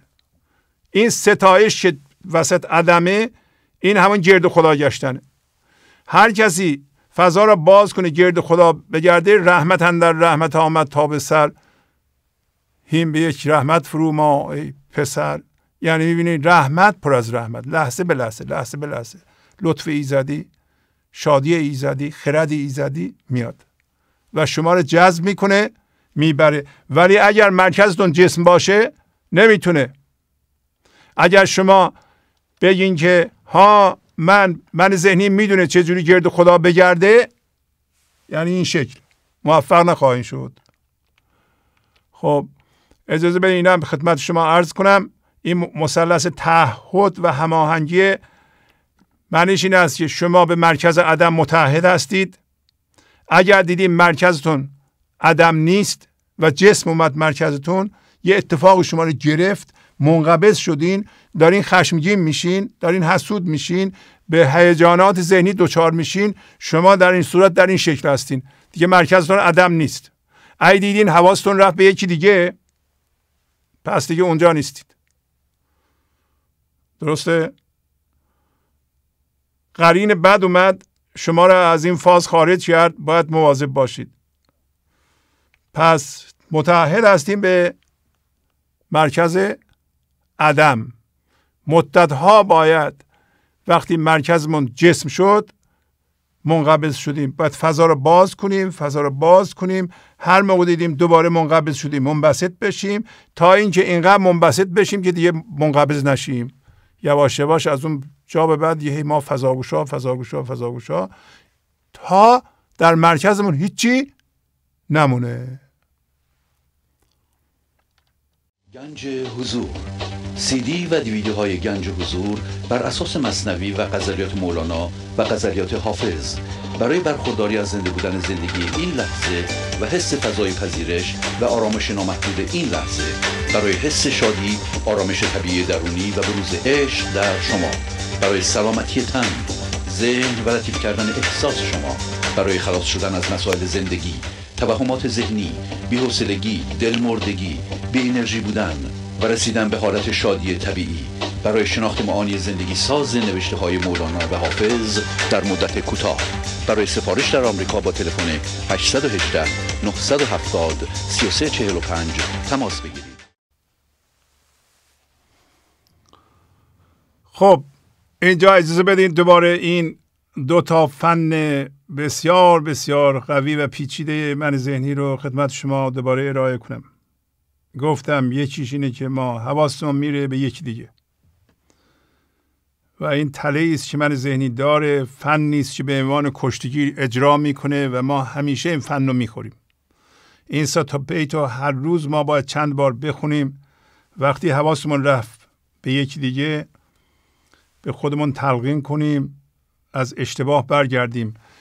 تا کنی مرغه را حبر و سنی خیش را بدخو و خالی می کنی مرده خود را رها کرده است او مرده بیگانه را جوید رفو دیده آبر دیگران نوه گری مدتی بنشین و بر خود میگری شما بگید من کسی رو دانشمند و بلند مرتبه بیت اول نمی‌خوام بکنم. من حواسم به خودمه که منبسط بشم و شم عشق و خرد خودم رو روشن نگه دارم. می‌خوان همسر شما باشه بچه شما باشه شما اون تغییر باشین که می‌خواین در اطرافتون بدین. حواستون باید به خودتون باشه. اگر حواستون رفت به یکی دیگه اشتباه کردید. حتما دچار درد خواهید شد و کار خراب خواهد شد. شما مرده یعنی من ذهنی خودتون رها نکنید. برین مرده یکی دیگه من ذهنی دیگه یکی دیگه رو هی رفو بزنید. بیا من تو را درست کنم. اون باید خودش خودش رو درست کنه. شما نمی‌تونید من ذهنی یکی دیگه رو با زور با نصیحت درست کنید. بعد به خودتون تلقین کنید بیت سوم که ای دیده من ای چشم من تا حالا برای دیگران گریه کردی. یه مدتی بشین به حال خودت گریه کن. حال خودت که از همه گریه آورتره اصف انگیزتره هر کسی به خودش بگه به خودش نگاه کنه. شما از این تخت پندار کمال بیاین پایین. اگر خ... میگیم من می‌دونم من بلدم من دست و پا دارم بدونین که دارین اشتباه می‌کنید نیست اینطور. من اصلا شما رو نمی‌شناسم که من دارم مولانا رو به شما دارم میگم. این شخص می‌دونه. گوش بدید. شما اگر فکر می‌کنید می‌دونید واقعا نمی‌دونید. هر چقدر شدید فکر می‌کنید می‌دونید نمی‌دونید. منم نمی‌دونم. هیچ کس نمی‌دونه. بنابراین نگیم من واجد شرایط هم دیگران رو درست کنم. ما نمی‌تونیم دیگران رو درست کنیم. اما می‌تونیم خودمون رو درست کنیم. به شرط اینکه این چیزها رو گوش بدیم. تازه خودمان هم نمی‌تونیم درست کنیم. با من ذهنیمون. داریم میگیم مبادا همچه اشتباهی بکنید شما. ممکنه تا به حال همین اشتباه کردین. اگر شما ده سال به گنج حضور گوش می‌کنید احتمالا اگر تغییر نکردین. احتمالا به گنج حضور به مولانا گوش می‌کنید و مطابق اصول من ذهنیتون دارین تغییر می‌کنید. من ذهنی موجود خائنیه. خیانت می‌کنه به شما. دروغ میگه. اصلا بر اساس دروغ درست شده. یه جسم مجازیه وجود نداره اصلا. یه جسم مجازی رو به عنوان یه جسم عینی جا می‌زنه. دروغهاشو راست حساب می‌کنه. همش دروغ میگه. به شما دروغ میگه. تنها جسم واقعی فضای گشوده شده و جنس الست ماست.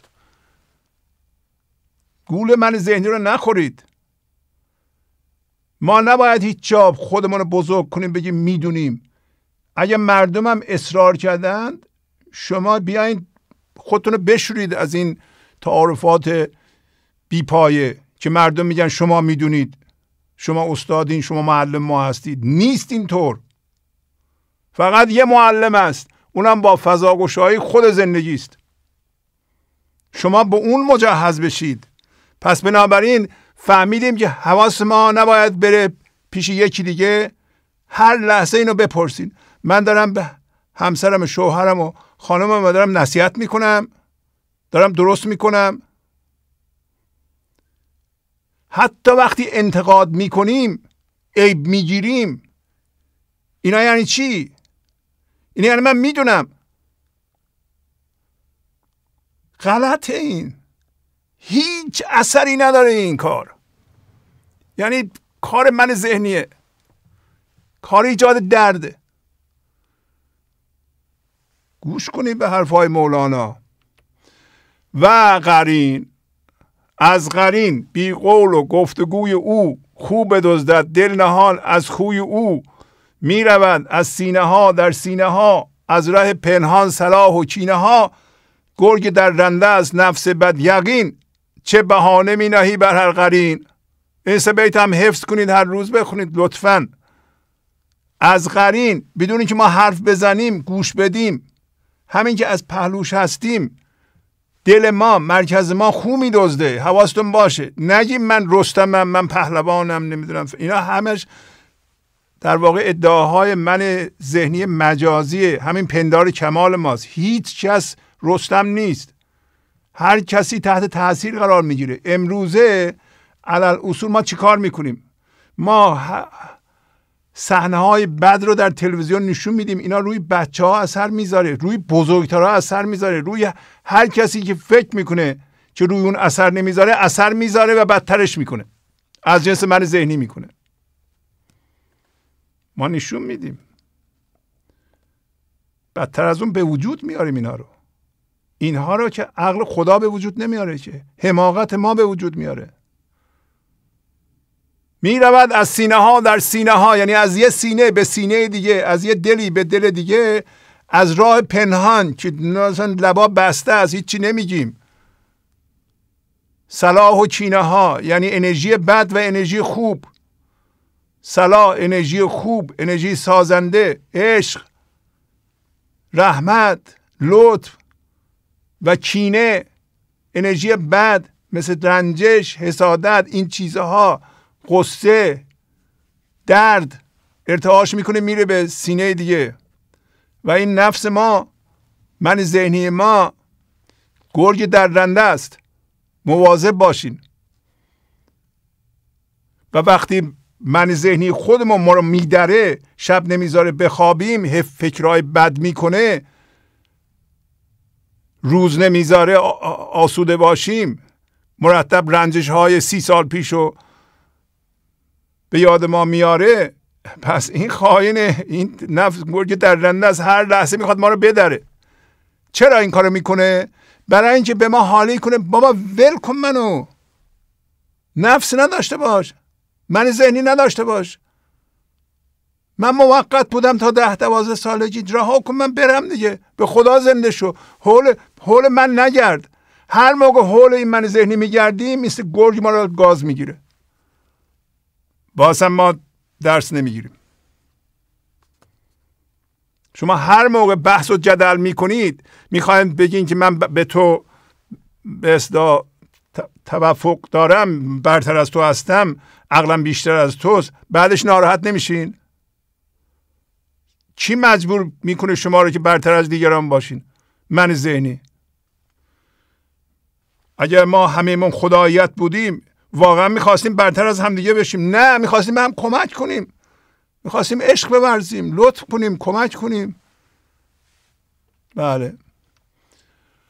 و پس بنابراین دو تا چیز گفتم. دو تا فن من ذهنی رو. قرین و تمرکز رو خود.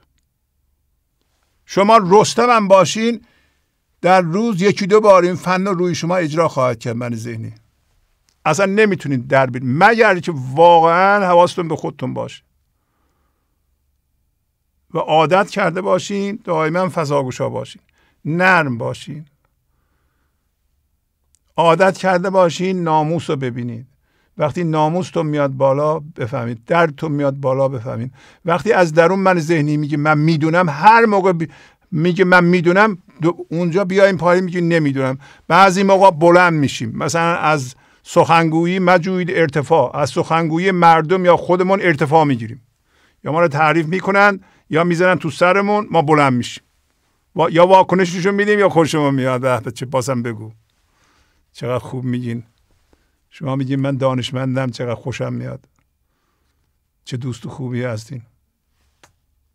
داری بلند میشی. ارتفاع داری می‌گیری. ارتفاع گرفتن تو باید ببینی. برای این کار باید حاضر باشی. حاضر باشی. اگه حواست به گفتار اون باشه حاضر نمیشی. و در ضمن بگم هر کسی از شما تعریف می‌کنه قرین بده و اینکه من ذهنیش داره من ذهنی شما رو تحریک می‌کنه. نمیگم ما باید تشویق کنیم. من همیشه تشویق می‌کنم. ولی این تشویق اصیله. تشویق اصیل واقعا تحسین اصیل. یعنی چی؟ یعنی تو هم بلدی. تو هم می‌تونی رشد کنی. ما بچه رو می‌تونیم تحسین کنیم تشویق کنیم. مردم دیگه هم می‌تونیم تحسین کنیم. ولی این تحسین با اون تحسین من ذهنی فرق داره. تحسین اگه اصیل باشه از جانتون بر بیاد از عشقتون برمیاد اثرم می‌ذاره. بله. همینطور که گفتم برقرین خیش مفزا در صفت کام فراغ آرد یقین در عاقبت. اینم به اون بگیرین که من پیشی نمی‌گیرم به خداوند در صحبت کردن. من الان من ذهنی دارم هی تون حرف می‌زنم در سبب سازی. خاموش می‌کنم آرام می‌گیرم تا او صحبت کنه. قرین اصلی من چیه؟ قرین اصلی من که من از جنس خدا هستم خود خداست. پس من اگر به صورت من ذهنی تون صحبت کنم یعنی نمی‌ذارم قرینم صحبت کنه. پس من آهسته صحبت می‌کنم ساکت میشم اون صحبت کنه. مسابقه نمیدم با خدا. این بیت نشون میده که در من ذهنی ما با خداوند مسابقه گذاشتیم و رفتیم جلو. من خودم حرف می‌زنم و با بیت اول غزنم می‌خونه. میگیم که من دور تو لازم نیست بگردم من حرف بلدم بزنم. حالا حرفهای من چیه؟ فعال کردن باورهای پوسیده قدیمی. که از کار افتاده اصلا کاربرد نداره. ما چقدر باورهای پوسیده رو به خورد مردم میدیم و مجبورشون می‌کنیم اینا رو شما باید اجرا کنید. برای چه؟ که چی بشه؟ انسان خلاقه فکر این لحظه رو باید این لحظه خلق کنه. خب بله این ایدئال راست میگین. ولی باید حداقل ما باورهای پوسیده رو الان فعال نکنیم که هیچ کاربرد نداره. بله رسیدیم دوباره به غزل. این سه بیت رو دوباره تکرار می‌کنم. چرخ فلک با همه کار و کیا گرد خدا گردد چون آسیا. گرد چونین کعبه کنه جان تواف گرد چونین مایده گرده گدا. بر مسئله گوی به میدانش گرد چون که شدی سرخوش بی دست و پا. من فکر کنم همه معانی رو شما دیگه می‌دونید. یعنی هر چی در کائنات هست. با همه بزرگی و عظمت و دقت گرد یک محوری میگرده که اسمش رو می‌ذاریم خدایا زندگی مانند آسیا که گفتیم آسیا گردش می‌کنه و منظورش رو نمی‌فهمه. شما هم با منظورهای من ذهنی نمیچرخین. منظور اینه که شما از ذهنتون منظور بیرون نیارین. به این علت من دور خدا میچرخم. علت نداره. هیچ علتی نداره که ما دور خدا میچه نگی من دور خدا میگردم برای اینکه خوشبخت بشم بله پول بده به من. نه. شما باید دور اون بگردین هیچ چاره ای ندارین. این حالت طبیعی ماست. بعد گفت که حالا که همه میگردن مثل آسیا تو هم به عنوان امتداد خدا دور چونین کعبه بگرد. پس اون همانیدگی ها کعبه نیستن تا حالا اونا رو پرستش کردی دور اونها گشتی. و اگر این کار می‌کنی جدا هستی. فضا رو باز کن. گرد چنین سفره ای بگرد. سفره آسمانی. من ذهنی گفت من بلدم. شما گفتی نه تو بلد نیستی. من باید مثل گوی در میدان زندگی با چوگان او بگردم. چرا؟ برای اینکه با فضاگشایی سرم خوش شده شادم مستم و دست پای زندگی رو انداختم دور. دست پای زندگی رو گرفتم. دست پای من ذهنی رو انداختم دور. ها ببینید اگر درست خوندیم بیت بعدی دوباره تکمیل کننده یعنی انتظار دارید بیت بعدی این باشه. یه ذره فکر کنید بیت بعدی چی باید باشه. بیت بعدی ممکنه این باشه ما فکر می‌کنیم. آقا ما اسب و رخ داریم ما خودمون شطرنج بازیم. من با سبب سازی می‌تونم کارامو حل کنم. لازم نیست دور خدا بگردم. یه دی اینو میگن دیگه. یعنی یه صفحه شطرنج هست. من اسب دارم رخ دارم من شطرنج باز هستم به عنوان من ذهنی. لازم نیست دور خدا بگردم. ببینید اینو داره میگه. اسب رخت راست بر این شه تواف گرچه بر این نت روی جا به جا. دیدی که صفحه شطرنج ما از این مکان به اون مکان میریم. در ذهنم از این مکان به اون مکان میریم. ولی شما به عنوان من ذهنی میگی که من سوار اسبم میشم با رخم می‌زنم. من بلدم. من لازم نیست دور خدا بگردم. ولو اینکه تو به عنوان من ذهنی اسب داری رخ داری در این صفحه شطرنج زندگی جا به جا میری باز هم دور اون میگردی. اسب رخت راست یعنی اسب رخت را است بر این شه مثل, صفحه شطرنج. هر کسی شطرنج بازی می‌کنه حواسش به شاهه. نباید به شاهش آسیب بخوره. بر حسب شاه داره بازی می‌کنه. میگه ولو اینکه تو میگی من شطرنج بازم. اسبمو می‌تونم حرکت بدم. رخم حرکت بدم. بازم حول شاه یعنی خداوند میگردی. گرچه در صفحه شطرنج زندگی تو ذهن از این مکان ذهنی به اون مکان ذهنی میگه میگه من میام اینجا بعد هم میرم اینجا بعد کوشش می‌کنم با فکرم میرم اینجا. میگه همش باید دور او بگردی. در اینجا جابجا جا میری. وضعیت ها رو عوض می‌کنی. ولی بدون که همیشه دور اون میگردی. اسب رو خط راست بر این شه تواف گرچه بر این نت روی جابجا. جا. اینا رو با این شکل آوردیم ما. این شخص میگه من اسب و رخ دارم. و به شاه خداوند نمیگردم.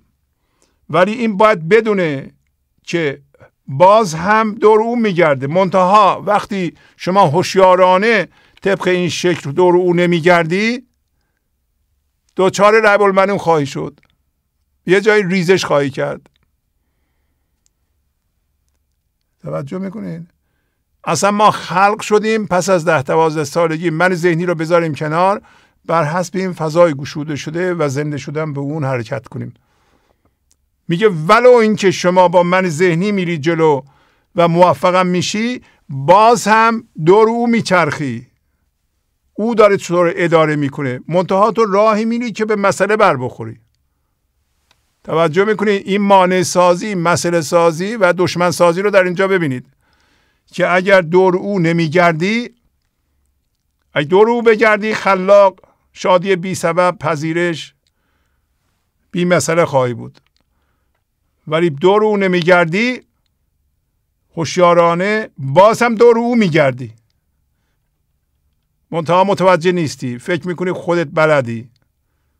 ایجاد مانع مسئله و دشمن و کارافزایی خواهی کرد. درسته؟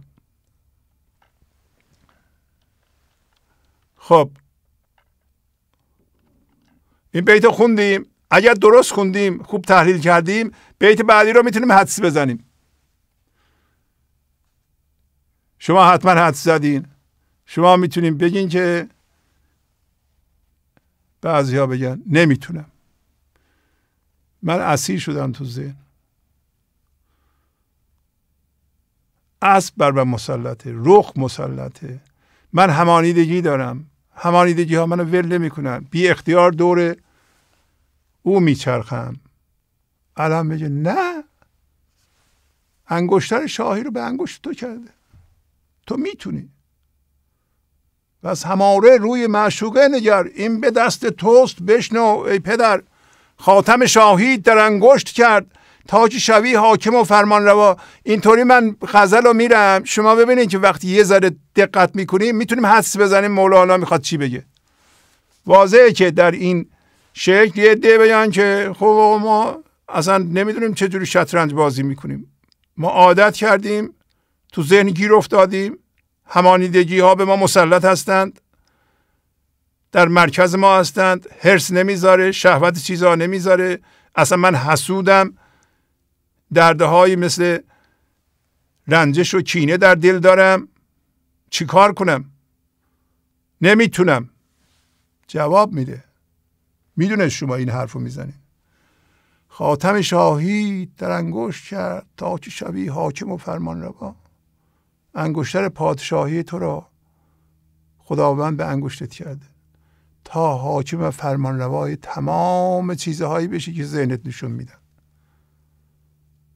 هر چی در جهان هست تو از اون بالاتری. که ذهنت نشون میده. پس شما نمی‌تونی بگی که این حالت رو تجسم کنی بگی که من که اختیار ندارم. این نقطه چینا اختیار منو به دست گرفتن. نه. تو فضا رو باز کن و او رو بیار به مرکزت. خواهی دید که حاکم و فرمانروا هستی. اگر پول تو رو اسیر کرده بود یه دفعه می‌بینید که اصلا ضرورتی نداره. اون شعر رو می‌خونی بی, بی ضرورت گرخوری بله. مجرم شوی. مفتی ضرورت تو هستی. گفت مفتی ضرورت هم توی شما شاه همه چیزهایی هستین که ذهنتون به شما نشون میده و ممکنه فعلا در مرکز شما باشه نباید بگی که بابا اینا که من اسیر کردم من اسیر پولم هستم. اسیر همسرم هستم اسیر بچه هم هستم اسیر هیکلم هستم اسیر غذا هستم. من حرس غذا می‌زنم. نه. خاتم پادشاهی تو رو بر تمام این چیزهایی که ذهن میده خداوند به انگشتت کرده. تو حاکم و فرمانروا میشی منتها باید مرکز تو عدم کنی. باید فضا رو باز کنی. من ذهنی حاکم و فرمانروا نیست. من ذهنی از طریق همانیدگی ها شما رو می‌خواد به نابودی بچشه خب این هم خوندیم. حالا روش ما یه دارم بزرگ کنم. شما فکر کردین که بعدش مولانا چی می‌خواد بگه؟ خاتم شاهید در انگشت کرد تا شوی حاکم و فرمان روا ممکنه این سوال پیش برای چی من گرد خدا بگردم؟ برای چی به گرد دل بگردم؟ حالا خاتم شاهی هم در انگشتم باشه. حاکم فرمان روا هستم. من چرا حول چیزها نگردم حول خدا بگردم؟ جواب میده به شما. البته این مربوط به اون آیه است که مربوط به اون بیته و چون پروردگارت به فرشتگان گفت من در زمین خلیفه می آفرینم خلیفه همین انسان است که مرکزش عدم شده و به بینهایت و ابدیت تو زنده شده گفتند آیا کسی را می آفرینی که در آنجا فساد کند و خونها بریزد؟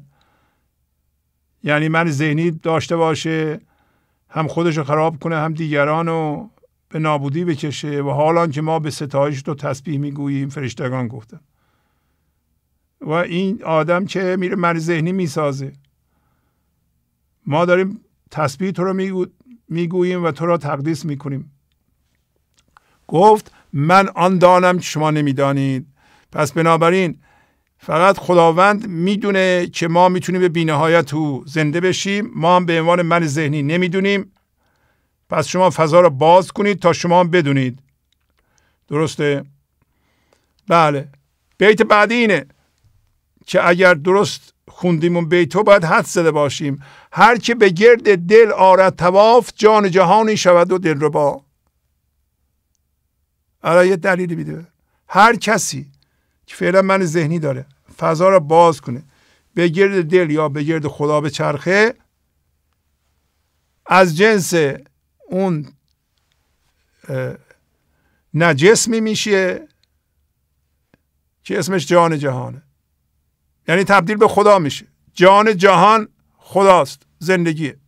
تبدیل به زندگی میشه و دل ربا میشه. یعنی دلها رو جذب میشه و خودش هم جذب دلها میشه.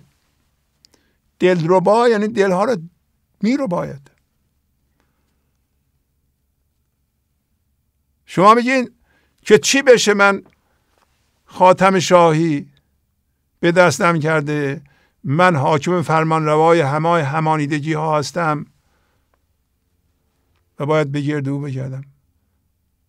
میگه اگه به گرد او بگردی تبدیل به زندگی میشی تبدیل به خدا میشی و دلربا میشی. دلربا میشی یعنی چی؟ دلهای آدم ها رو و همه چیز رو جذب می‌کنی. در ضمن به عنوان دل جذب دلهای بیدار میشی. پس اینم امتداد بیت قبلی بود. خاتم شاهید در انگشت کرد تا شوی حاکم فرمان روا. حاکم فرمان روا بشم که چی بشه؟ برای اینکه از جنس او بشی دلربا بشی زیبا بشی. الان زشتی به صورت من ذهنی. اینطوری نمونی. این دلها رو دفع می‌کنه. این زشتی میآفرینه. پس هر کسی که به گرد دل یعنی این فضای گشوده شده تواف بکنه میشه جانی که همه جهان رو زنده نگه داشته. جان جهان جان همه چیز از اینه. یعنی خدا. و یک چنین باشنده ای دل رو باست شما میگردین دل مردم رو جذب می‌کنید چرا؟ از جنس اون زندگی هستین که در همه هست. نه از جنس من ذهنی. پس یه کسی می‌تونه از این حالت با فضاگوشایی فورا دلربا بشه. خب دلربا بشه چی میشه؟ حدس بزنید. اگر از جنس خدا بشه از جنس عشق بشه با او یکی بشه از جنس زندگی بشه که در همه هست و دل مردم رو جذب کنه خودش هم جذب بشه چجوری میشه؟ بیت بعدی میگه که الان ببینیم خواهیم دید همراه پروانه شود دل شده گردد بر گرد سر شمه ها شبیه پروانه میشه. که عاشق شده. دل دلش شده دلش رفته. چطور پروانه دنبال دور شم میگرده؟ ما هم همراه پروانه میشیم. اول پروبال من ذهنی رو میسوزونیم بعد تبدیل میشیم به عشق. عاشق میشیم. بعد گرد سر شمه های مثل مولانا حافظ فردوسی اینا میگردیم. پس اگر شما دوربر اینجور شمه ها میگردید شمه های عشق حتما جان جهانی شده اید و دل ربا شده اید. شما اگر دلتون جذب مولانا میشه و دلتون انسانها را جذب می‌کنه برای اینکه به گرد شمع بزرگان میگردی یا گرد شمع خود زندگی میگردی؟ مطمئن باشین که بیت قبلی انجام شده. هر کی به گرد دل آرد تواف جان جهانی شود و دل ربا حالا که دل ربا شدید مثل پروانه میشید. دل شده یعنی دیگه دست خودتون نیست. عاشق شدین. زندگی اومد دلتون. از جنس مولانا شدید. مجبورین دور مولانا بگردید دور اون جنس بگردید. این حالت رفت دیگه. همراه پروانه شود دل شده گردد بر گرد سر شمه ها این نیست این من ذهنیه. اینه. دلتون عاشق میشه میره از اون جنس میشه و بر گرد سر شمه های عشق میگردید. خب اگر این بیت هم درست فهمیدیم بیت بعد بعد هم باید حدس بزنیم که اگر انسانی نور بندازه حتما دور خلا میگرده دور فلک میگرده دور خدا میگرده. که بعدی همینه. بعدی میگه یه ستاره اختری اگر نور میده که شما هستید حتما گرد فلکی میگرده. نه اون بیت بعدیه. این بیت میگه زان که تنش خاکی و دل آتشی است. این بیت دلیل بر بیت قبل همراه پروانه شود دل شده گرد گردد بر گرد سر شمه ها برای اینکه تنش یا حتی من ذهنیش خاکیه اما مرکزش از عشق آتشیه. و چون مرکزش از جنس عشق از جنس خداست پس جنس به سوی جنس میره. جنس رود سوی جنس چند کنم امتحان؟ این قانون جذبه. مرکز ما از جنس زندگی شد عدم شد. تن ما هم اگه من ذهنی ما ذوب شد که رفت حالا فقط این تن ما مونده جسم ما مونده. یا اگر حتی من ذهنی داریم باز من ذهنی هم داریم. ولی می‌تونیم فضا باز کنیم مرکزمون. عدم بشه و الان می‌دونیم که اگر من ذهنی باقی مانده اون خاکیه ولی فضای باز شده از جنس عشق و اون فضای باز شده در مرکزم جنس منو تعیین می‌کنه و جنس سوی جنس میره. این جنس از جنس مولاناست پس عشق خوندن اشعار مولانا و عمل کردن به اونو داره. بله. خب دیگه این تن خاکیه ولی دل از جنس آتشه. فضا رو باز کردیم. ما می‌دونیم هنوز من ذهنی داریم تنمان خاکیه ولی دلمان از جنس آتش عشق و مرکز ما هرچی باشه از اون جنس هستیم. میل سوی جنس میره. ها اینه که گرد فلک گردد هر اختری زان که بود جنس صفا با صفا پس بنابراین میگه هر ستاره هر اختری دور فلکی میگرده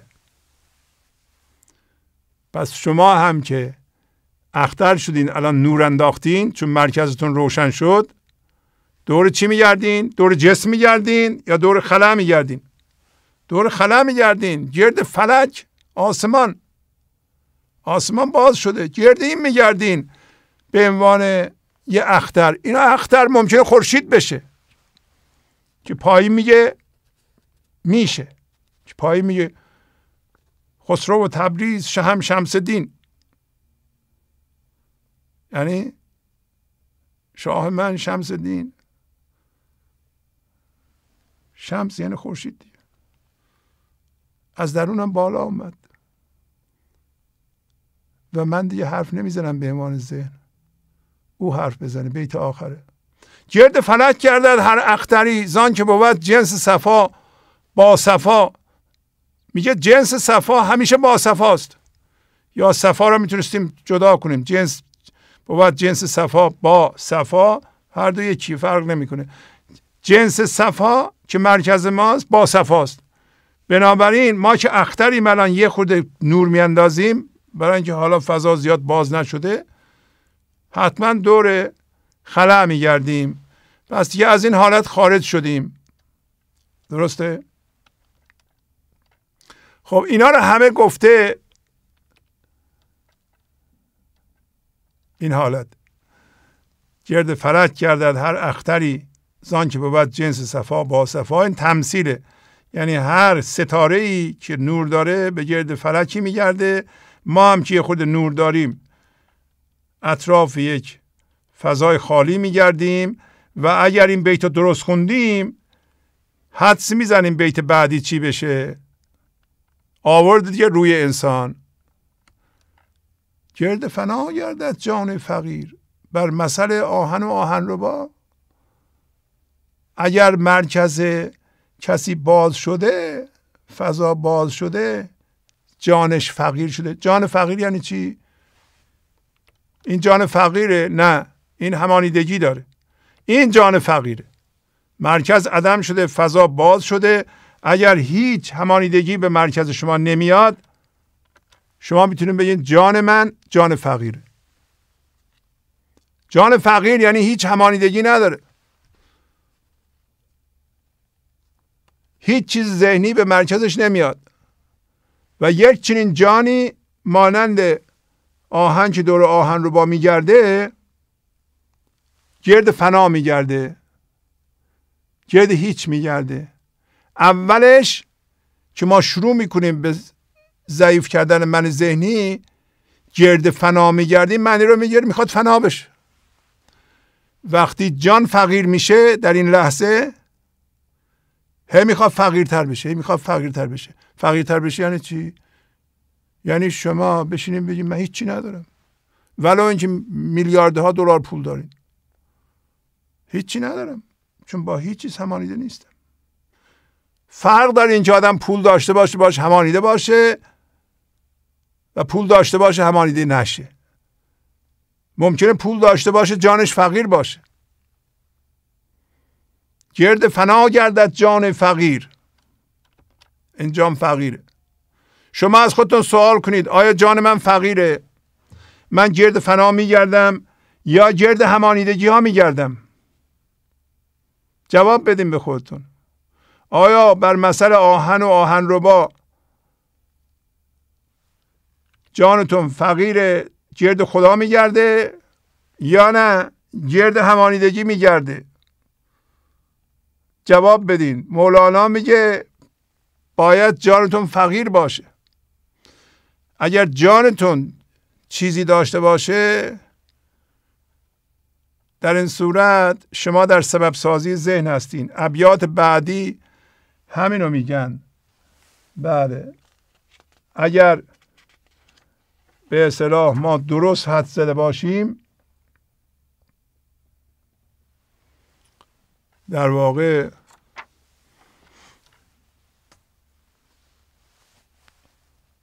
شما چی فکر می‌کنید بعد از این چه بیتی می‌خواد باشه؟ گرد فنا گردد جان فقیر بر مسئله آهن و آهن رو با. مولانا دلیل میاره که که وجود است فنا پیش او. شسته نظر از حول و از خطا.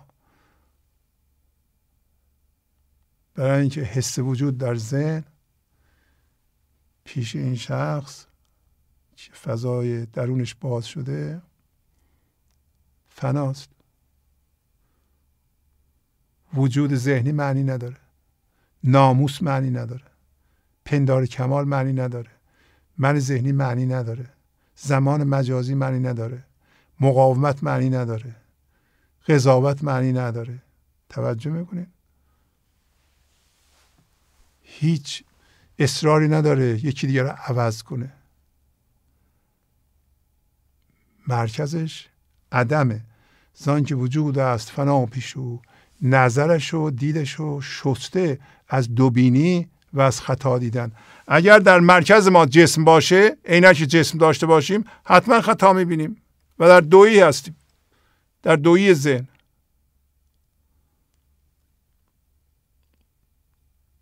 اون موقع ما یه من ذهنی درست می‌کنیم یه خدا هم منعکس می‌کنیم که اون خدا هم ذهنیه. من مجازی و خدای مجازی. انسان به عنوان من ذهنی برای خودش خدا خلق کرده. در واقع مخلوق خودمون ما میپرستیم. خدای واقعی رو نمیپرستیم. تو این غزل میگه تو باید واقعا دور خدا بگردی. و این موقعی است که وجود مجازی تو فنا بشه. زان که وجود است فنا پیش او یعنی پیش اون شخص حس وجود در ذهن بی ارزشه. و دید شسته شده. چجوری شسته شده؟ در اینجا می‌بینین هر لحظه یه نقطه چین میومد عینکش می‌شد. در اینجا دائما عینکش عدمه. پس بنابراین اینجا که دوبین بود اینجا دیگه نیست. بله. حالا باز هم می‌تونیم حدس بزنیم چی میگه. می‌خواد بگه که اگر تو هوشیاری جسمی را ادامه بدی به هیچ جا نخواهی رسید. تمثیلش هم خیلی ساده است. میگه مست همی کرد وضوع از کمیز. که از حدثم باز رهان ربنا. یه کسی ادرار می‌کرد به کاسه از اون وضوع می‌گرفت. در این حال که وضوع می‌گرفت و دعا می‌کرد میگه خدایا ما را از از این کسافت نجات بده. خب میشه. مست همی کرد وضوع از کمیز که از حدثم باز رهان ربنا. یعنی چی؟ یعنی انسان من ذهنی درست کرده. تو سبب سازی هر لحظه یا این لحظه خودشو میشوره یا وضوع می‌گیره از هوشیاری جسمی با هوشیاری جسمی با سبب سازی به خداوند میگه که خدایا منو از این حدث یعنی هوشیاری جسمی از دردهام باز رهان. خب خداوند چجوری باز برهانه تو لحظه به لحظه خودتو به حدث یعنی همون ادرار آلوده می‌کنی. لحظه به لحظه وضوع می‌کنی از ادرار نجس می‌کنی و خدای من رو برهان در عین حال که دوباره چیکار می‌کنی؟ آلوده می‌کنی. دوباره خدا برهان. کدوم خدا برهانه؟ به کدوم خدا میگی منو از این کمیز؟ کمیز یعنی ادرار می‌دونی که؟ حدث یعنی ادرار بازم سرگین. یعنی آلودگی همانیدگی ها و درده ها پس در این حالت که ما مشغول سبب سازی در ذهن هستیم و هر لحظه ذهنمون رو میاریم عینک می‌کنیم هوشیاری جسمی داریم درد ایجاد می‌کنیم. با با هوشیاری درد و همانیدگی ها در حالی که از همانیدگی ها برکت می‌گیریم انرژی می‌گیریم شیره می‌گیریم وضوع می‌گیریم. با هوشیاری جسمی خودمون رو میشوریم پاک می‌کنیم. به نظر خودمون بعضی باورها رو عمل می‌کنیم. بعضی الگوهای عملی رو با ذهنمون به اجرا میرسونیم. فکر می‌کنیم داریم خودمون رو تمیز می‌کنیم. خداوند میگه اگر میخوایی با آبی که من میفرستم دل و جان با آب حکمت ز غبارها بشویید هر تا دو چشم حسرت سوی خاکدان نماند. دل و جان به آب حکمت ز غبارها بشویید. هل تا هل تا دو چشم حسرت سوی خاکدان نماند. خب این بیت خوب روش توجه کردیم. حدس می‌زنید. بیت بعدی بیت بعدی جواب خداست دیگه. گفت نخستین تو حدث با حدث را بدان چجمج و مغلوب نباید دا یعنی خداوند بهش گفت اول تو حدث و آلودگی رو بشناس چیه؟ چجمج یعنی خیلی کج کج و ناراست. مج تاکید بر کج مج معنی خاصی نداره. اینجور ترکیبات در فارسی هست. کجمج کجمج یعنی خیلی کج. مغلوب یعنی برعکس. نباید دعا دعا نباید مغلوب باشه. نمیشه شما مثلا نفرین کنی در این حال از خدا بخواهی که شما رو سلامت بداره. ما چیکار می‌کنیم؟ ما در من ذهنیم نفرین می‌کنیم خدایا فلانی رو ذلیل کن. فلان مرکز ما نفرینه. آلوده به نفرینه. اولین نفرین چی رو می‌گیره ما خودمونو ما نقشه می‌کشیم برای دیگران. خب مرکز ما آلوده است. کمیزه. بعد میگیم ما رو از آلودگی نجات بده. خدایا. میگه اول تو بدون حدث چیه؟ آلودگی چیه؟ ادرار چیه؟ باش وضوع نگیری. تو فرق بین ادرار و آبی که از طرف زندگی میاد باید وضوع بگیری با اون. وضوع بگیری بشوری دیگه. بشوری یعنی چی؟ دل و جان با آب حکمت ز غبارها بشوید در این لحظه از همانیدگی مرکز تو میشوری. این وضوست در مرکز همانیدگی نیست. چیه خداست. دعا کن. دعا یعنی خواستن. مغلوب یعنی برعکس وارونه. اگر مرکز ما آلوده هست مرکز ما ما رو به سوی نابودی می‌بره لحظه به لحظه اگر با زبان ما میگیم خدایا ما رو نجات بده در حالی که مرکز ما داره تخریب می‌کنه خدا می‌کنه این کارو. نه برای همین میگه نخستین تو اینجا رو درست کن. مرکز رو درست کن. تو حدث را بدان. بدان یعنی بشناس. دعای انسان نباید برعکس باشه. شما میگیم خدای من سلامت کن. اینجا هم باید سلامتی رو بطلبه. نمیشه انسان در اینجا به اصطلاح مرض رو بخواد. به زبان سلامتی بخواد. اینو میگم منافق. ما همه من همینطور هستیم تقریبا. همه من من ذهنی داریم. دوچار قریم میشیم حواسمون به دیگران ایراد می‌گیریم انتقاد می‌کنیم هر دردی رو ایجاد می‌کنیم. همین خدای ما رو سلامت بدار. خدای جامعه ما رو سلامت بدار. دعا کجمجه و برعکسه برعکسه برعکس می‌دونی یعنی چی دیگه؟ یعنی به زبان میگیم سلامت بکن از خدا می‌خوایم ما رو مریض بکن. چون مرکز ماست که اصله. درسته؟ امیدوارم این دو بیت که تقریبا پایان غزله مشخص شده باشه. که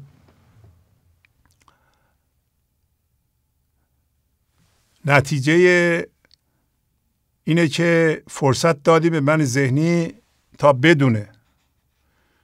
من ذهنی نمی‌تونه دور خدا بگرده. اگر گفت بزن من تو رو دور خدا بگردونم بگو تو بلد نیستی.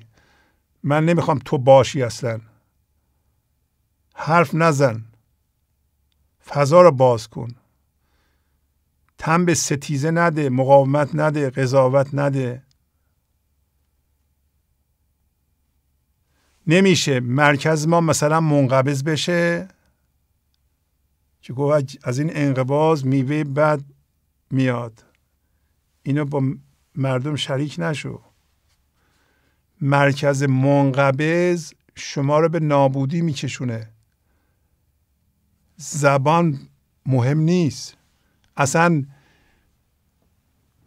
در واقع از نظر عرفانی بدترین راه ارتباط همین زبانه. زبان خیلی ضعیفه در ارتباطات. ارتعاش مرکز ماست که مهمه. نمیشه دعای ما مغلوب باشه یعنی مرکز ما منقبض باشه. شما نگاه کنید مرکز شما نگرانه. مضطربه کینه داره. انتقام جوست. آرزو داره دیگران خوب زندگی نکنند بدبخت بشند کن بشن. این آرزوها رو ما در باره دیگران داریم. برای همین نمی‌ذاریم زندگی کنند. در عین حال که همچون مرکزی داریم به زبان دعا کنیم. در اینو میگه. که خدایا کار ما رو درست کن ما رو خوشبخت کن. نمیشه شما زن و شوهر مرکز آلوده داشته باشین منقبض داشته باشین. دشمن پرورید کنید در اینجا. دشمن کام باشین. در عین حال بگیم می‌خوایم اینجا مثلا عشق به وجود بیاد. همسرم منو دوست داشته باشه منو دوست داشته باشه هم محیط محیط عشق باشه. نمیشه. نمیشه دوتا من ذهنی عشق به وجود بیارند. و باید دور در غزل گفت دور شم بگردین. زن و شوهر می‌تونن دور شم روشن خودشون بگردن شم خدا بگردن اون موقع عشق به وجود میاد. وقتی زن و شوهر هر دو با ادرار وضوع می‌کنند و دعا می‌کنند و هر لحظه این کار می‌کنن آلوده می‌کنند خداوند میگه اول تو ببین اصلا حدث چیه؟ با دل آلوده داری دعا می‌کنی. اینو من تاکید می‌کنم که شما بدونید مولانا چی میگه. خب از حال حالا دیگه این هم که خوندیم درسته؟ ما فهمیدیم که این مرکز انباشته پر از همانیدگی با ادرار وضوع می‌کنه و دعا می‌کنه نماز می‌کنه و دعاش مستجاب نمیشه.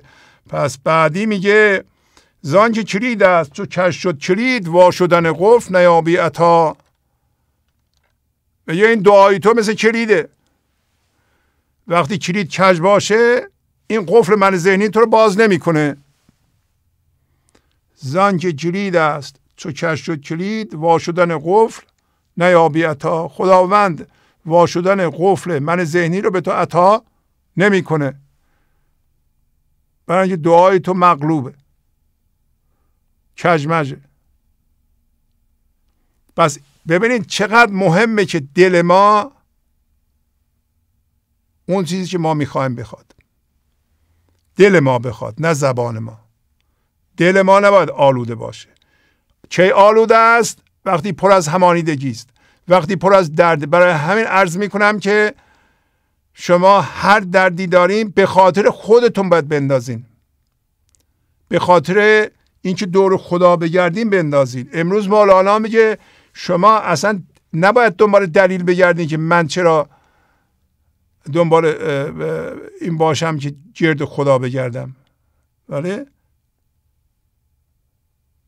اونجا که می‌گفت من اسب دارم رخ دارم گفت اسب رخت هم بی اطلاع با این شکل. اگر فکر می‌کنید دور خودت میگردی هنوز دور او میگردی.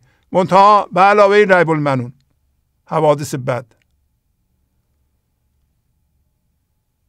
چون زنده مرده بیرون می‌کند نفس زنده سوی مرگی میتند. میگه زندگی خداوند از خودش که زندگیه و از ما که خودشیم مردگی رو بیرون می‌کنه. دائما این من ذهنی می‌خواد خودکشی کنه. همه چیز رو خراب کنه. شما به عنوان من ذهنی اسب و رخ رو بازی نکنید. دارین خراب می‌کنید. هر موقع با من ذهنی ما می‌خوایم درست کنیم داریم خراب می‌کنیم. اینطوری من یاد می‌گیرم از مولانا. به نظر ما میاد که داریم درست می‌کنیم داریم خراب می‌کنیم. شما ممکنه آرزو داشته باشین خودتون رو بکشین کار کنید با همسرتون رابطه خوبی به وجود بیارین. نمی‌تونید. برای اینکه اسب و خودتون رو در این صفحه شطرنج حول شاه نمیگردونید. حول من ذهنی میچرخونید. ما نمی‌تونیم اوضاع رو تنظیم کنیم با من ذهنی. شما نمی‌تونید بگید من این, این با کتاب خوندن اینقدر تنظیم می‌کنم که هیچ اشتباهی نکنم با همسرم رابطه عالی برقرار کنم. نمی‌تونید. نمیشه. مگر اینکه این غزل رو بخونید؟ گفت هر کسی دور دل بگرده جان جهانی میشه. دل ربا و در اون صورت گرد سر شمه ها میگرده. گرد عشق میگرده. هر اختری دور فلک میگرده. دور خدا میگرده جان فقیر. شما باید جان فقیر بشین. با جان غیر فقیر نمی‌تونید رابطه برقرار کنید. هر کاری بکنید نمیشه. برای اینکه این من ذهنی درسته که عقل داره ولی حول نابودی میچرخه. می‌خواد خودشو و همه چیشو خراب کنه. کما اینکه می‌بینید دست جمعی همه ما انسان ها در جهان هم خیلی قوانین داریم خیلی عقل داریم. ولی دائما ستیزه می‌کنیم جنگ می‌کنیم. هرچی هم تکنولوژی جلوتر میره ما اینو بیشتر در جهت تخریب به کار می‌بریم. بم می‌سازیم نمی‌دونم هواپیما می‌سازیم برای بمباران کردن برای تهدید کردن برای بیشتر کردن هرس طمع از چیزها برای بزرگ کردن من ذهنی تخریب می‌کنیم. ما از تکنولوژی هم که زندگی به ما داده استفاده کنیم در راه عشق در راه تخریب استفاده می‌کنیم. برای اینکه با من ذهنی عمل می‌کنیم. یادتون باشه این بیت همیشه بخونیم. چون زنده مرده بیرون می‌کند نفس زنده و فعال حول مرگی میتند. حول تخریب میتند. بله بس کلید اگر چج باشه قفل من ذهنی رو باز نمی‌کنه فهمیدیم.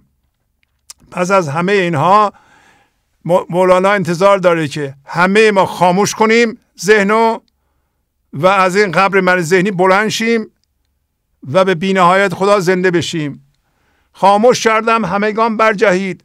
قامت چون سر به بوتم زد سلا بوتم یعنی خداوند. همینی که دورش میگشتم. پس از این غزل که اینقدر واقعا عالی بود این غزل و شما هم انشالله خوب تحمل کردین. الان سرو عالی خداوند بوت ما اونی که ما میپرستیم خداوند که قد بینهایت داره از جنس ابدیت همه انسان ها رو دعوت کرد به اینکه شما من ذهنی رو بندازین دور. و من در شما زنده بشم. به شما و به خودم. قامتم بی نهایت. شبیه سر. خاموش کردم. یعنی همه خاموش کنیم ذهن ها رو. و همه مرده بودیم در ذهن. بر جهیم زنده بشیم. و به قد سرو بینهایت خداوند برای اینکه او از همه انسان ها فارغ از دین و نمی‌دونم مذهب و نژاد و مکان جغرافیایی دعوت کرد که بلنشین به من زنده بشین. آیا این من ذهنی شنید؟ بعید می‌دونم من ذهنی بشنوه. ولی کسی که فضا رو گشاده می کرد شنید. شنیدین شما؟ همهتون شنیدین که خداوند در این لحظه پس از این تحمل و به اصطلاح این توضیحات می‌خواد شما از من ذهنی بلند شین و تمام دست و پا و دانش من ذهنی رو بندازین دور و به او زنده بشین. درسته؟ و بیت بعدی هم دنبالش میاد. خسرو و تبریز شهم شمس دین بستم لب را تو بیا برگشا. خسرو یعنی پادشاه تبریز یعنی کائنات. کائنات هم یعنی اون چیزی که هست و اون چیزی نیست. یعنی به طور کل خدا. پادشاه تبریز. توجه می‌کنین که در درون ما یه آفتابی بالا میاد که تا حالا ما جلوشو گرفته بودیم. الان گفت برجهید. شما اون من ذهنی نیستید. اونو بندازید دور به یه من دیگه ای که یک آفتابه که از درون شما داره میاد بالا به اون زنده بشین. که مخاطب قرار میده. میگه خسرو تبریز پادشاه تبریز پادشاه کائنات شه من. که شمس دین من تو هستی که از درون من می‌خوای صحبت کنی. من لب من ذهنی رو بستم. بستم لب رو. حالا تو صحبت کن. خب شما بستین لب رو که او صحبت کنه. انشالله که بستید. پس بنابراین این من ذهنی عوض شد. وقتی فضا باز شد باز شد باز شد باز شد. جان فقیر جان فقیر. فهمیدیم که این من ذهنی ادرار می‌کرد وضوع می‌گرفت دعا می‌کرد. دعاش پسندیده نبود مقبول نبود. گفت اول حدث رو باز شناخت باز بدان باز بشناس. ما فهمیدیم که هوشیاری جسمی هوشیاری دردها اینکه عینک هم همین همانیدگیمه این هوشیاری در واقع وقتی با این خودم رو میشورم وضوع می‌گیرم این همون کمیزه.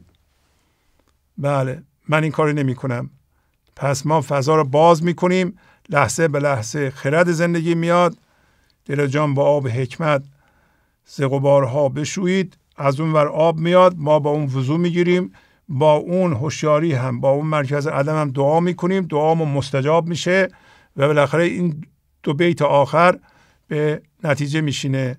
خسرو به تبریز ای آفتابی که از درون من قرار طلوع بکنه. ای خدا که به صورت آفتاب از درون من طلوع می‌کنی و من ذهنی نابود میشه. تو به سخن در میایی و تو شمس دین من هستی آفتاب دین من هستی و من هم الان فهمیدم لب من ذهنی رو باید ببندم و تو دیگه بعد از این حرف بزنی. بله. اجازه بدین پس از این غزل شروع کنم به مصنوی هایی رو خوندم برایتون که در این خصوص که بگیم عقل من ذهنی نمی‌تونه ما رو اداره کنه. غزل راجع به این بود. و این ابیاد از دفتر ششمه و بعد از این هم یه قصه خواهم خوند که دنباله این بیت هاست. ای بسا علم و زکاوات و فتن. گشته رهرو را چو غول و راهزن بیشتر اصحاب جنت ابلهند. تاز شر فیلسوفی میرهند. خیش را اوریان کن از فضل و فضول. تا کند رحمت به تو هر دم نزول. میگه ای بسا این علم کتابی. همین که از مدرسه یاد می‌گیریم از جامعه یاد می‌گیریم علم ذهنی و سبب سازی ذهن. و زکاوات زکاوات جمع زکاوت یعنی تیزهوشی ها تیزهوشی ذهنی و زیرکی های من ذهنی. پس تیزهوشی تیز جوابی که ذهن داره و زیرکی فتن رهرو که شما هستید که دارین از ذهن میریم به سوی فضای یکتایی مثل غول که در بیابان ها به ما آدرس غلط میده به کاروان ها آدرس غلط میده می‌برند و متا و چیزهای کاروانیان رو غارت می‌کنند. یعنی چی؟ یعنی قافله بشری به وسیله این قول من ذهنی که آدرس غلط میده از طریق دیدن بر حسب همانیدگی ها رفته و اموالش داره غارت میشه. زندگی همه ما به صورت یک کاروان داره غارت میشه. چی باعثشه علم و یا می‌دانم و تیزهوشی تیز جوابی و زیرکی من ذهنی. درسته؟ پس می‌خوام بگیم که اون چیزی که ما در ذهن داریم به عنوان من ذهنی و افتخار می‌کنیم چیز بدیه. زیرکی ما و علم دبستانی ما و تیز ذهنی ما که من می‌دونم در هر جا چیکار بکنم منافعم بیشتر بشه. این به درد رهروی راه حقیقت نمی‌کنه. کمک نمی‌کنه. بیشتر اصحاب جنت ابلهند. در بعضی جاها بیشتر یعنی همه همه اهل بهشت ابلهند. یعنی من ذهنی به اینا میگه ابلهند. وقتی کسی فضا رو باز کنه بر حسب خرد زندگی زندگی کنه من ذهنی میگه این زرنگ نیست. میشه از پول از دستش قاپید میشه سرش کلاه گذاشت. ولی اینا نسبت به قضاوت من ذهنی ابلهند. تازه شر فیلسوفی میرهند. شر فیلسوفی یعنی فلسفه بافی سبب سازی ذهن. پس بیشتر یا حالا بگین یا بیشتر یا همه اصحاب بهشت بهشت همین فضای گشوده شده است. ابلهند اینا. یعنی گوش به زرنگی من ذهنی نمیدن. شما از خودتون سوال کنید که آیا من زرنگم؟ هر جا میشینم از زرنگی های خودم میگم. یه تجدید نظری رو خودم بکنم. میگه خیش را اوریان کن. یعنی بشور خود خالی کن. از فضل و فضول. فضل همون دانش ذهنیه. فضول فضولی در کار خداوند غذا و کنفکانه. که ما خداوند رو امتحان می‌کنیم. ما اگر فضا رو باز کنیم اطراف اتفاق این لحظه با گسترش عمل کنیم این فضولی نیست. ولی شما با سبب سازی خداوند رو محکوم می‌کنید تو باید این کار رو می‌کردی. من انتظار داشتم اینطوری بشه. این فضولیه. فضولی یعنی ترتیب من ذهنی من با سبب سازی مقدم بر غذا و کنفکانه. این فضولیه. فضولی در کار خداست. خیش را اوریان کن از فضل و فضول. این فضولی ما به خاطر دانش هم همانیده ماست. به خاطر پندار کمال ماست. من میدانمه. تا کند رحمت به تو. هر دم نزول. تا اینکه میگیم رحمت در رحمت در رحمت به تو نزول کنه لحظه به لحظه. آسونه دیگه. زیرکی ضد شکست است و نیاز. زیرکی بگذار و با گولی بساز. زیرکی دان دام برد و تم و کاز. تا چه خواهد زیرکی را پاک باز. زیرکان با صنعتی قانع شده ابلهان از سون در سانه شده. پس زیرکی من ذهنی ضد افتادگیه. افتادگی تواضع. من نمی‌دونم. نیاز یعنی فضاگشایی و حس نیاز. به خداوند. من ذهنی امروز دیدیم و من من سوار اسبم میشم با رخ می‌زنم در عرصه شطرنج زندگی جلو میرم.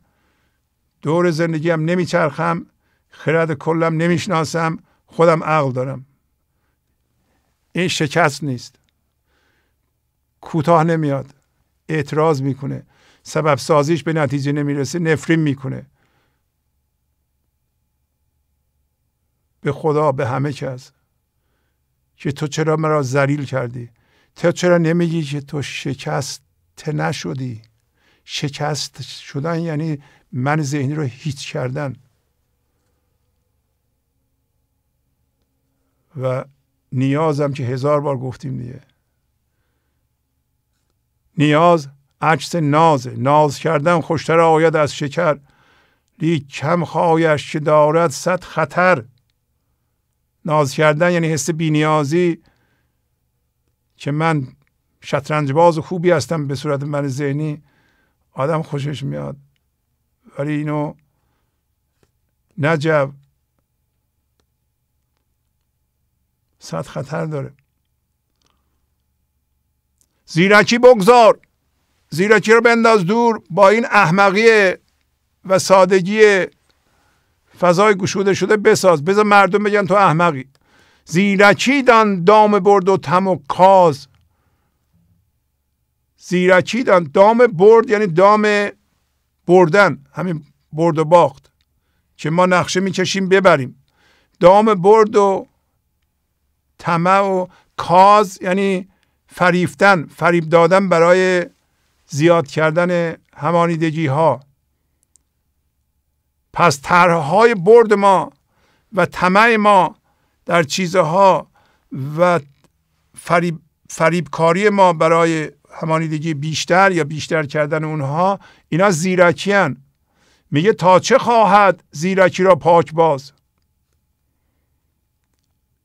کسی که پاک بازه همه رو می‌خواد ببازه زیرکی رو می‌خواد چیکار کنه؟ این مصرع دوم یه جوری دیگه میشه معنی کرد. تا چه خواهد اگر برگرده به خدا؟ در این صورت شما ببینید او چی می‌خواد. زیرکی را پاک باز رو می‌تونستیم جدا کنیم. پاک باز یعنی بباز. یعنی تو ببین اون چی می‌خواد. اینم قشنگه. پس دو جور میشه معنی کرد. یکی این که کسی که پاک بازه اگه پاک رو به باز بچسبونی زیرکی رو می‌خواد چیکار کنه؟ یا انسان می‌خواد ببینه او چی می‌خواد با فضا گشایی زیرکی رو ببازه. اما زیرکان با یه مصنوع قانع شدند. صنعت یه چی مثلا یه حرفه ای رو خوب بلده باش همانیده هست با اون قانع. بر اساس اون خودشون نشون میده بلند میشه. زیرکان با صنعتی قانع شده. اما ابلهان نایی که فضا باز می‌کنن از سن زندگی از آفریدگاری زندگی به سانه پی بردند. یعنی هرچی به وجود میاد زیباست و عالیه میگن او به وجود میاره. ما کاری نیستیم. و این درسته. ابلهان از سن در سانه شده. بله. پس گولی یعنی حماقت در اینجا بلاحت عارفانه جهل نسبت به منافع دنیایی کاز بعضی نسخه ها گاز یعنی فریبکاری برای زیاد کردن همانیدگی ها سون قدرت آفریدگاری سانه آفریدگار. بله. اینا با این بیت ها می‌خونه. ننگرم کس را و گر هم بنگرم او بهانه باشد و تو منظرم. عاشق سن تو هم در شکر و صبر. عاشق مصنوع کی باشم تو گبر عاشق سن خدا بافر بود. عاشق مصنوع او کافر بود. و شما این لحظه اون چیزی رو که ذهن نشون میده نگاه نمی کنید اگر هم نگاه کنید فقط برای فضا گشایی. فضای گشوده شده خداونده سانه. شما با سون کار می‌کنید. من عاشق آفریدگاری تو هستم در این لحظه بیافرینه.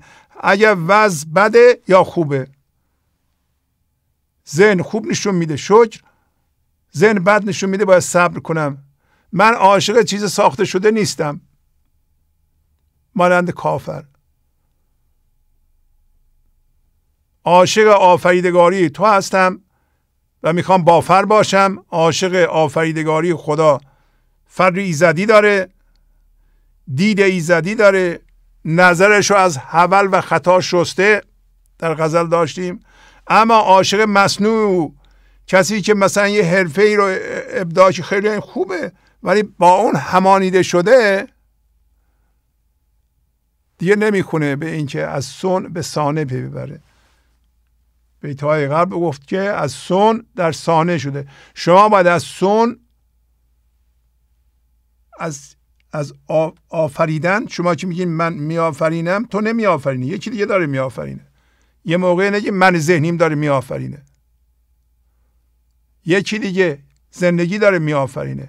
تا اونجا که مقدوری من ذهنی رو باید صفر کرد برای همین گفت که زیرکی بیت قبلی زیرکی ضد شکسته. توجه می‌کنیم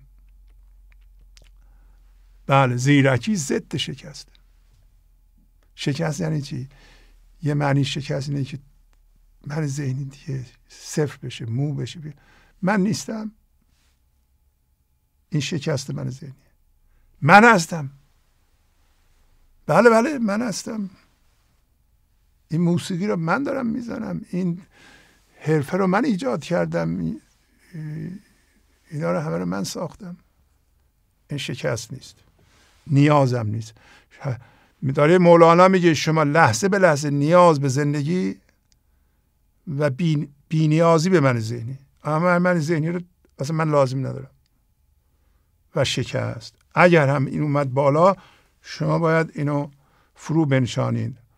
به حال این هم که فهمیدیم. اما اینم می‌خوره به این که ای مرغ آسمانی آمد گه پریدن وی آهوی مانی آمد گه چریدن. ای عاشق جریده بر عاشقان گزیده بگذر ز آفریده بنگر در آفریدن. و شما الان دیگه می‌دونید مرغ آسمانی هستید الان باید بپرید. در غزل بود خاموش کردیم همگان برجهید. بینهایت خداوند همه رو دعوت کرد بیاییم من در شما به خودم زنده بشم. من بینهایت هستم. من ابدیت هستم شما از جنس من هستین و ما آهوی معانی هستیم باید از اون ور بچریم. و ما عاشق تنها هستیم. این عاشق تنها مرغ خیشی سید خیشی دام خیشی مرغ خیشی عاشق جریده هستی. نمی‌تونی بگی که همسر من بیاد با هم عاشق بشیم. نه. هر کسی خودش به عنوان الست عاشق جریده است آفریدگار جریده است. همسرش هم غیره. همسرش وقتی از این جنس هست با او یکیه. جنس زندگی جنس یکتایی. ای, ای عاشق جدا که به تمام عاشقان گزیده هستی. برای اینکه همه چیز در جهان که وجود داره ما با ذهن ما می‌تونیم کشف کنیم اینا همه عاشق هستن عاشق زندگی هستن. اما ما برگزیده ترینیم به عنوان انسان. ما از آفریده باید بگذاریم چیزی که آفریده شده. لحظه به لحظه با آفریدن بپردازیم. بله. و این دو بیت هم بخونم که سید خیشی مرغ خیشی همیشه خودت به گوش خودت میگی. قبلا خوندم چیزی دیگر ماند اما گفتنش با, با تو روح القدس گوید بی منش نی تو گویی هم به گوش خیشتن نی منو نی غیر من. ای هم تو من. یه چیزی دیگه باید بگیم که اینو جبرئیل به شما میگه. میگه نه جبرئیل نمیگه. خودت به عنوان عاشق جریده هوشیاری به گوش خودت میدی. و ببینید چقدر شما مهمه که از من ذهنی بیرون بیاین از سبب سازی بیرون بیاین هر کسی به گوش خودش میگه به صورت هوشیاری. نه من میگم نه غیر من میگه. در حالی که به صورت هوشیاری تو و من یکی هستیم. به صورت امتداد خدا تو و من یه هوشیاری هستیم. هر کدوم از ما مرغ خیشیم جریده هستیم. خودمون به گوش خودمون میگیم. باید آرام باشیم ذهن رو تعطیل کنیم. او در ما به خودش زنده بشه. ما لب رو ببندیم. او از طریق ما حرف بزنه. گنج حضور. سی دی و دیویدیو های گنج حضور بر اساس مصنوی و قذریات مولانا و قذریات حافظ. برای برخورداری از زنده بودن زندگی این لحظه و حس فضای پذیرش و آرامش نامحدود این لحظه برای حس شادی آرامش طبیعی درونی و بروز عشق در شما. برای سلامتی تن ذهن و لطیف کردن احساس شما. برای خلاص شدن از مسائل زندگی توهمات ذهنی بی‌حوصلگی دلمردگی بی انرژی بودن و رسیدن به حالت شادی طبیعی برای شناخت معانی زندگی ساز نوشته های مولانا و حافظ در مدت کوتاه.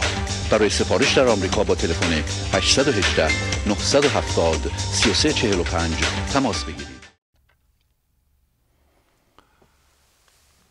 زان که طفل خرد را مادر نهار دست و پا باشد نهاده بر کنار. پس دنبال همین ابیات زیرکی ذهن هستیم و چقدر ضرر داره و این دانش ذهنی و سبب سازی ما را به خدا نمیرسونه و دست و پای ما باید با فضاگشایی زندگی باشه و الان خودش میگه که طفلی که شیرخواره است مثلا یه سالشه دو سالشه مادر نهار در اینجا به معنی روز هست. حتی روز روشن که حواس طفل خواب نیست و حواسش جمعه مادرش دست و پاشه. یعنی ما مثل طفل یه ساله هستیم که خداوند باید دست و پا باشه دست و پای ما باشه ولی ما دست و پا داریم در ذهن. گفت این دست و پا به درد نمی‌خوره در غزلم بود. گفت که دست و پا نداشته باش مواظب دست و پاد باش. اگه دست و پا داشته باشی در این صورت نمی‌ذاری که زندگی برات کار کنه. شما به خودتون یه نگاهی بکنید به این که من آیا مثل یه طفل کوچیکی هستم که زندگی به عنوان مادر من دست پای منه. هر لحظه با فضاگشایی یا نه ما به من به عنوان من ذهنی واقعا دست پا دارم و می‌دونم و به, به طور کاملم می‌دونم و به کسی احتیاج ندارم. مولانا میگه ما مثل طفل خوردی هستیم که شبانه روز دست پای ما لحظه به لحظه مادرمونه. درسته؟ و بیت دوباره در مورد دست و پا و اینکه زیرکی ذهن خوب نیست براتون سریع می‌کنم دست و پای ما می آن واحد است. دست ظاهر سایه است و کاسد است. دست و پای ما می است خردی است دانشی است راه است صنعی است که از اون واحد میاد یعنی از خدا میاد. دست ظاهر یعنی دست من ذهنی ما سایه است و رونق نداره فایده نداره. بیت ساده است و شما می‌تونید یاد بگیرید برای خودتون تکرار کنید تا دست و پای من ذهنیتون رو جمع کنید نذارین زندگیتون رو خراب کنه. دست ما و پای ما و مغز و پوست باد ای والی فدای حکم دوست. ای کسی که والی هستی پر از قدرت هستی قدرت این جهانی شما به درد نمی‌خوره. دست ما پای ما یعنی این مال من ذهنیه. اون چیزی که من ذهنی مغز می‌دونه. پوست ما. هرچی که داریم در این لحظه با فضاگشایی فدای حکم دوست باشه. دوست یعنی خدا. و هست باید اینطور باشه. ولی اگر حکم دوست برای شما مشخص نیست دست, دست داریم پا داریم مغز داریم پوست داریم خب دیگه تقصیر خودتونه. کارتون خراب خواهد شد. دست و پایش ماند از رفتن به راه. زلزله افکن در جانش اله. شما اگر مرتب فضا را باز کنید و زندگی خردش رو بفرسته این سکون و سکوتی که در شما هست باز بشه این فضا باز بشه. بارها گفتیم این سکون و سکوت در کاره. مثلا گفتیم شما الان حرفهای منو میشنوید. فاصله بین جملات یعنی همه الان خلای اونا چی میشنوه اونا میشنوین شما. این همون زندگی است. یا خداست که به صورت سکوت در اومده. در آسمان شما چلاق ها رو می‌بینید آسمان هم می‌بینید. چلاق ها رو این چشم می‌بینه به وسیله همون زندگی. چلاق ها رو می‌بینید و آسمان هم می‌بینید. آسمان رو همون سکون درونتون می‌بینه. خلای درونتون می‌بینه. خداوند خودش رو به صورت سکون سکوت و خلا در ما نفوذ داده. و 99 مجز 9 9 درصد ما خالیه. من ذهنی نمی‌ذاره. وقتی با فضاگوشهایی زلزله بیفته در این ذهن و پارکش در این صورت دست پای من ذهنی دیگه به کار نمیره. شما متوجه میشین که دیگه فایده نداره. فایده نداره من قهر کنم. فایده نداره من زور بیارم. فایده نداره دعوا کنم. فایده نداره نصیحت کنم. حبر و سنی کنم. نمی‌دونم خودم رو نشون بدم پولم رو نشون بدم خودم رو مقایسه کنم با دیگران برتر از آب در بیام. فایده نداره. زلزله افکن در جانش اله. اگه خداوند زلزله بیفکنی در جان شما با فضاگوشایی و اون سکون و سکوت درون اختیار رو به دست بگیره این دست و پای من ذهنی از رونق میفته و شما اونو دیگه به کار نمی‌برید. گر رهاند پای خود از دست گل گل بماند خشک و او شد مستقل. اگر به عنوان هوشیاری فضا را باز کنید و پای خود تو از این گل همانیدگی ها بیرون بکشید به عبارت دیگه لحظه به لحظه شما زندگیتون رو سرمایه گذاری نکنید در این دید و به وجود آوردن من ذهنی با مقاومت و قضاوت و فضا را باز کنید و خودتون رو به عنوان زندگی پاتون رو بچشین از همانیدگی ها بیرون. در این صورت شما مستقل میشین. این گل شما هم خوش میشه. همانیدگی های شما خوش میشه. گر رهاند پای خود از دست گل گل بماند خشک و او یعنی شما شد مستقل. مستقل شدیم به عنوان زندگی. دیگه به حرف من ذهنی گوش نمیدین. علم که میگو من اسب دارم نمی‌دونم رخ دارم و سوار میشم و میدوم و برای خودم شطرنج بازی می‌کنم شهم برای من مهم نیست نه. می‌فهمی که اونطوری نیست.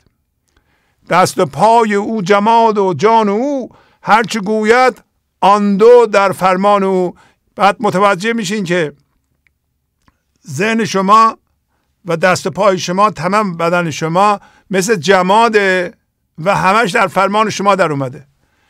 همون بیتی که می‌گفت که انگشتری رو در انگشتون کرده تا خاتم شاهید در انگشت کرد تا شوی حاکم و فرمان روا. یادتونه تو غزل؟ وقتی فضاگشایی می‌کنیم فضاگشایی می‌کنید به مقدار زیادی تبدیل میشین به فضای گشوده شده از جنس خدا میشین متوجه میشین که تمام بدنتون امکانات ذهنیتون فکرهاتون مثل جماد که مثلا این خودکار بر ندارم من این برداشته نمیشه. این در اختیار من در اومد. قبلا منو کنترل می‌کرد. همه میگن آقا همانیدگی ها نمی‌ذارن. من جبری شدم. کاری نمی‌تونم بکنم. خودم نمی‌تونم نجات بدم.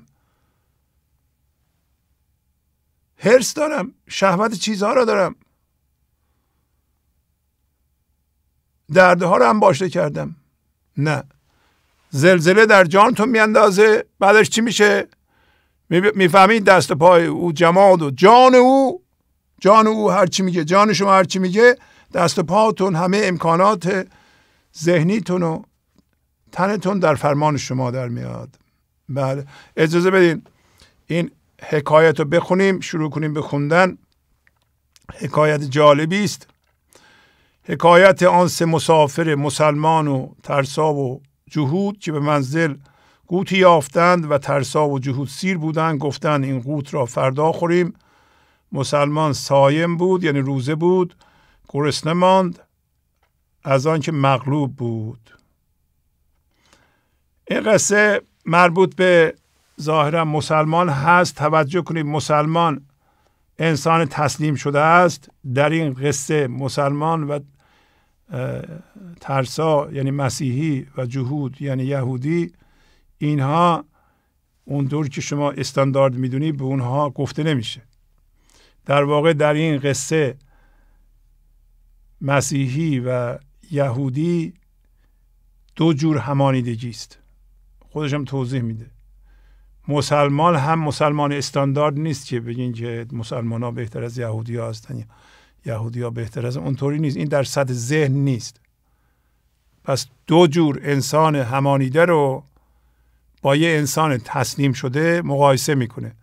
و منظورش این است که شما ببینید کسی روی خودش کار کنه و فضا رو باز کنه و باز کنه و تسلیم بشه سائم باشه یعنی روزه باشه پرهیز داشته باشه دیگرانی که من ذهنی دارند اینا چجوری عمل می‌کنند؟ کما که از این تیتر مشخصی که اون دوتا که در اینجا ترسا و جهود هستند. ترسا و جهود یعنی دو جور همانیدگی برای اینکه قصه نشون میده که مسیحی بر اساس آسمان هم هویت شدگی داره و یهودی بر اساس زمینی ولی هر دو وقتی یه حلوایی رو پیدا می‌کنند میگن که ما تخمه ایم ما سیر هستیم شکممون باد کرده این مسلمان روزه است. مسلمان هم گفتم آدم تسلیم شده نه مسلمان استاندارد. و نمی‌ذارن این حلوا رو بخوره. این معنیش این است که شما اگر روی خودتون کار کنید منهای ذهنی موقع خوردن حلوا که موقع حضوره اینا نخواهم گذاشت. اینا میگم تعویب بندازیم. داستان اینطوریه و البته داستان رو که با تا آخر می‌رسیم می‌بینیم که این مسلمان مسلمان آخرش حلوا رو می‌خوره انسان تسلیم شده آخر موفق میشه و این دوتا نمیشن. برای اینکه یک دیدی هم از قصه داشته باشیم که کوتاهتره در داخل این قصه مولانا یه قصه دیگه میاره. و اون قصه یک شطور هست با یه قوچ گوسفند نر و گاو. و میگه که این ستا داشتن می‌رفتن یک دسته گیاه سبز پیدا کردند. توجه می‌کنید که اینجا یه بشقاب حلوا هست در این داستان. در اونجا یک دسته علف سبز که هر دو نماد حضوره. یعنی تبدیل شما شما حلوا می‌خورید از دهنتون از زندگی شیرین میشه به حضور می‌رسین یعنی به حضور زنده میشین به خدا زنده میشین. در این قصه اینا در واقع بشخاب حلوا پیدا می‌کنند. در قصه شطور و گاو و قوچ اونا یه دسته. می‌بینیم در همه جا یکی است. یعنی به وحدت می‌رسند. پیدا می‌کنند. خلاصه میگن که هر کسی سنشو بگه هر کسی مسنتر بود با توجه به اینکه ما به پیران احترام می‌ذاریم او پیرتر این بند علف رو او بخوره. و قوچ میگه که موقعی که حضرت ابراهیم اسماعیل رو قربانی می‌کرد یه قوچی اونجا بود. من با اون قوچ در یه به چراگاه میچریدیم. چراگاه ما مشترک بود. یعنی من اینقدر سنم زیاده. یعنی حرف ذهنی می‌زنه. به تاریخ برگشته به گذشته برگشته. بعد نوبت می‌رسه به گاو میگه نه من از تو مسنترم برای اینکه حضرت آدم وقتی شخ می‌کرد یه گاو داشت. من جفت اون گاو بودم. ما دوتا زمین شخ می‌زدیم. پس سن من از تو بیشتر علف رو من باید بخورم. همون موقع این شطور قوی علف رو بر میداره و میگه که هر کسی که عقل داشته باشه به گردن من به هیکل من نگاه کنه می‌فهمه که من از شما مسنترم من حاجت تاریخ ندارم. و این شطور قوی هیکل همین انسانی است که به بینهایت خدا در این لحظه زنده میشه. تمثیل مولانا. با گردن دراز میگه من احتیاج به تاریخ ندارم. هر انسان خردمندی می‌فهمه که خود زندگی از همه قدیمی تره برای اینکه ابدی است ازلی است. اونها در تاریخ بودن در تاریخ ذهنی بودن. اون قصه شطور و گاو و گوچ داخل این و برای اینکه واضح تر بکنه در ضمن مولانا اشاره هم به احترام ما انسان ها به پیران می‌کنه و کمی هم انتقاد می‌کنه که در دوران پست یعنی دوران من ذهنی ما به بزرگان احترام نمی‌ذاریم مگر یه قصد مادی داشته باشیم و این به ما خیلی ضرر می‌زنه. اگر رسیدیم همه را امروز خواهیم خوند. بله اجازه بدین شروع کنیم به این قصه زیبا. میگه که یک حکایت بشنو اینجا ای پسر تا نگردی ممتحن اندر هنر. آن جهود و مؤمن و ترسا مگر همراهی کردند با هم در سفر.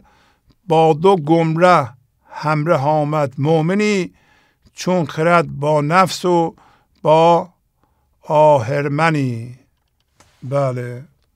ممتحن به رنج و مهنت افتاده آهرمن یعنی همین اهریمن دیو. خب میگه که یک حکایت بشنو اینجا. شما شنونده ای پسر تا در اثر هنر زیرکی من ذهنی به درد نیفتی. تا نگردی ممتحن اندر هنر. اینجا هنر هنر من ذهنی شامل همون زیرکی و اینا بود که الان توضیح دادم. و دانش من ذهنی. آن جهود یعنی اون یهودی و اون مؤمن انسان تسلیم شده مسلمان و ترسا مسیحی میگه اینا با هم همسفر شدن. کما اینکه کاروان زندگی متوجه این که انسانهایی مثل مولانا و یا شما که روی خودتون کار می‌کنین تسلیم میشین با منهای ذهنی همراه هستین. و در اینجا میگه با دو گمره یعنی با دو من ذهنی. که بر حسب ذهن و من ذهنی زندگی می‌کردند یک انسان تسلیم شده که دائما فضاگشا بود همراه شد. خودش مثال می‌زنه که این شبیه این است که در ما خرد یعنی عقل کل و من ذهنی نفس با دیو یعنی شیطان یه جا جمع شدند. بستگی دارین که کدوم رو انتخاب کنیم؟ چون خرد با نفس با آهرمنی خرد. شما که می‌دونین دیگه؟ نفس و شیطان هر دو یک تن بودند. ولی در دو صورت خیش را بنمودند. چون فرشت و عقل هر دو یک بودند. بله بهر مسلحت دو صورت شدن خلاصه خرد یعنی این فضای گشوده شده عقل اون. نفس من ذهنی آهرمن یعنی دیو شیطان. نیروی همانیدگی جهان. میگه که اینا همراهند. توجه بکنید که الان چیزهای جالبی ما خواهد گفت که میگه چیزهای ناهمجنس با همان به طور کلی کاروان بشری رو الان خواهید دید که میگه شبیه یعنی کل بشر رو تشبیه می‌کنه به این که یک کاروانی در اثر سرما و یخبندان و برف در یک کاروانسرا گیر کردند و میترسن بیرون برن برای اینکه یخبندان و سرد. کاروانسرا به این دلیل که ما هی وارد این کاروانسرا میشیم و از اون خارج میشیم. هی زاده میشیم و میمیریم. کاروان بشری. ولی در همهمون تو ذهن هستیم زندانی شدیم برای اینکه در اثر همانیدن با چیزها مقدار زیادی درد که در واقع نماد یخبندان و برفه که در این داستان به کار می‌بره گیر افتادیم. یعنی بشر در اثر دردهایی که ایجاد کرده شبیه این است که یک کاروانی در یک کاروانسرا در اثر برفی که در بیرون باریده و یخبندان گیر افتاده و نمی‌تونه بیرون بره. و ما همه من هم دردیم در حالی که در توی این کاروانسرا با همدیگه به جنگ پرداختیم و می‌دونید چیکار داریم می‌کنیم شما بهتر از من می‌دونید. بله اجازه بدیم بخونیم. مرغزی و رازی افتند از سفر همراه و هم سفره پیش همدیگر در قفس افتند زاغ و چغد و باز جفت شد در حفظ پاک و بینماز کرده منزل شب به یک کاروانسرا اهل شرق و اهل غرب و ماورا. مرغزی و رازی یعنی کسی که اهل مروی و مرو و رازیه منظور دوتا آدم مختلف ناهم جنس. وقتی سفر می‌کنن یه دفعه همراه میشن. سفر داریم می‌کنیم ما. ما از زاده شدیم از مادر از طرف زندگی اومدیم داریم سفر می‌کنیم. در این جهان آدم های ناهمجنس با هم هستند و هم سفره هستند.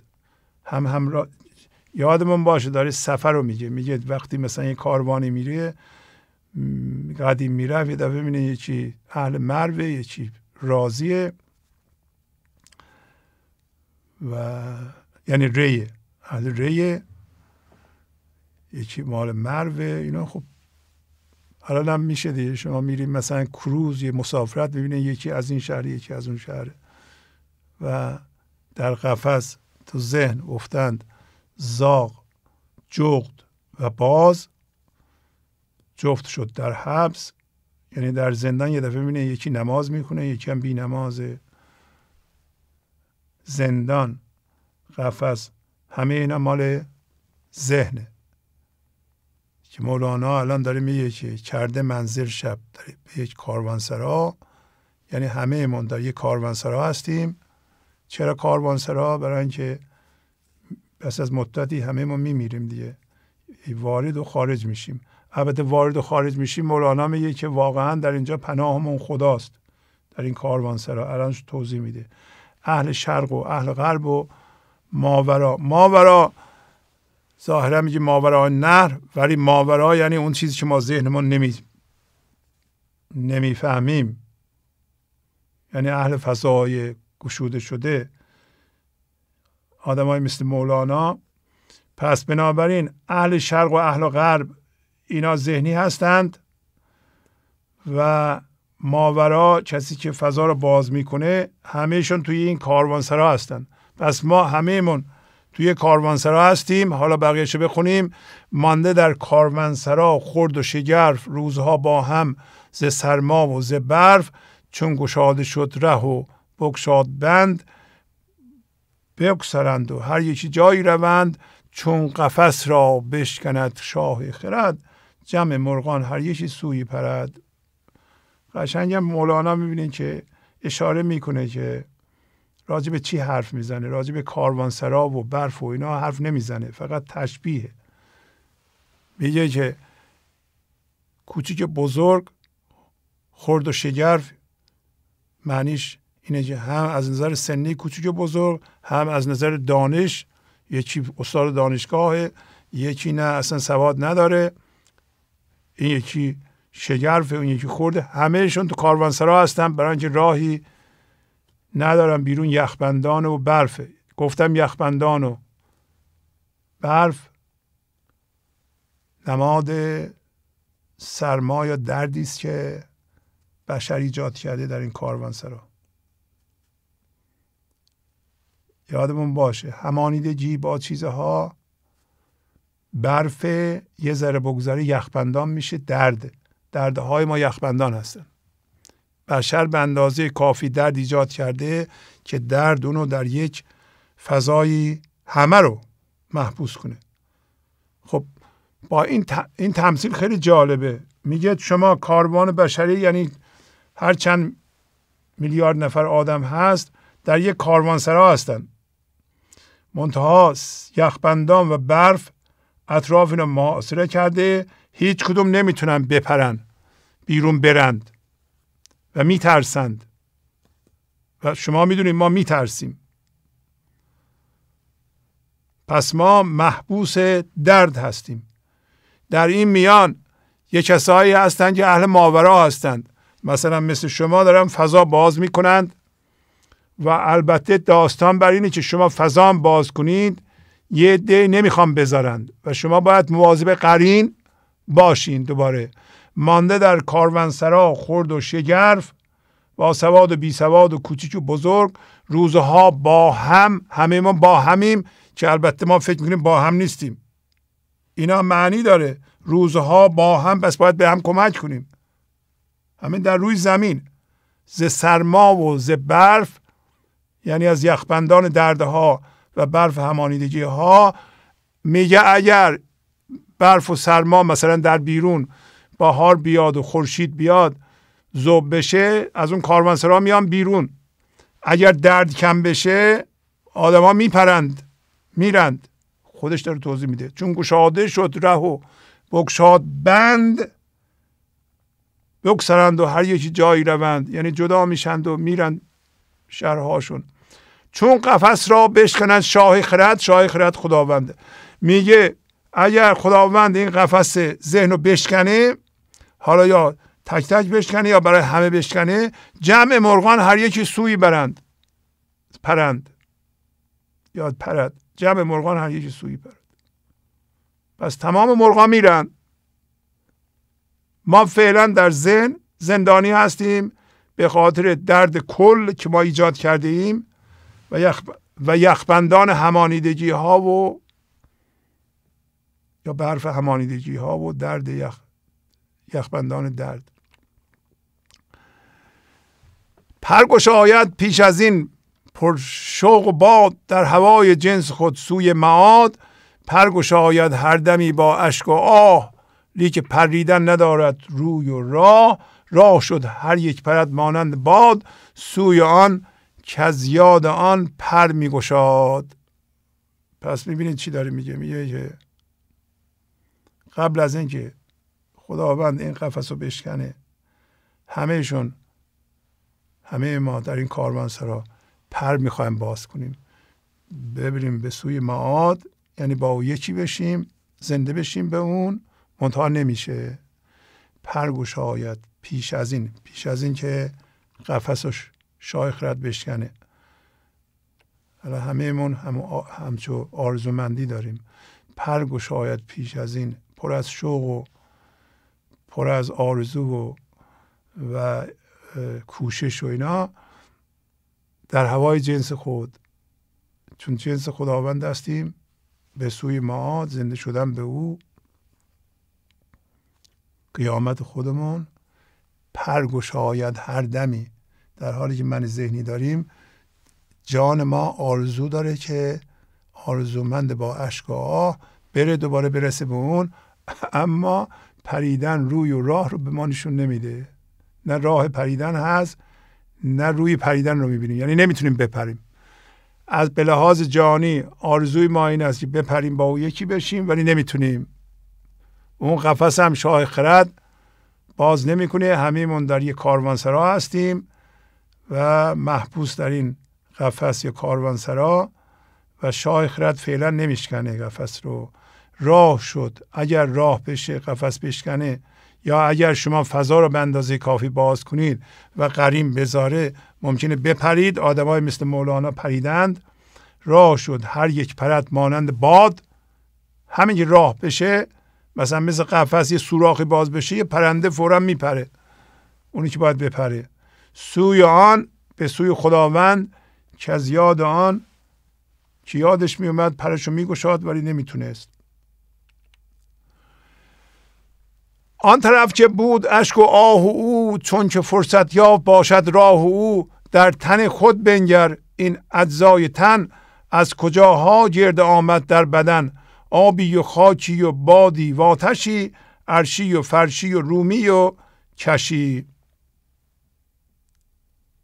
دیگه به اون طرف که آرزومند اون بود. اش میریخت و آه می‌کشید که به اون طرف بره. همین که فرصت پیدا بشه راه باز بشه میپره. البته شما توجه می‌کنید داره میگه در این کاروانسرا آدم های غیر همجنس و متفاوت زیادم با هم یه جا هستند. و بعد تمثیل می‌زنه میگه بدن تو هم همینطوره. نگاه کن که در تن خودت. این اجزای این تن از کجا در این جمع شدند؟ آب و خاک و باد و آتشه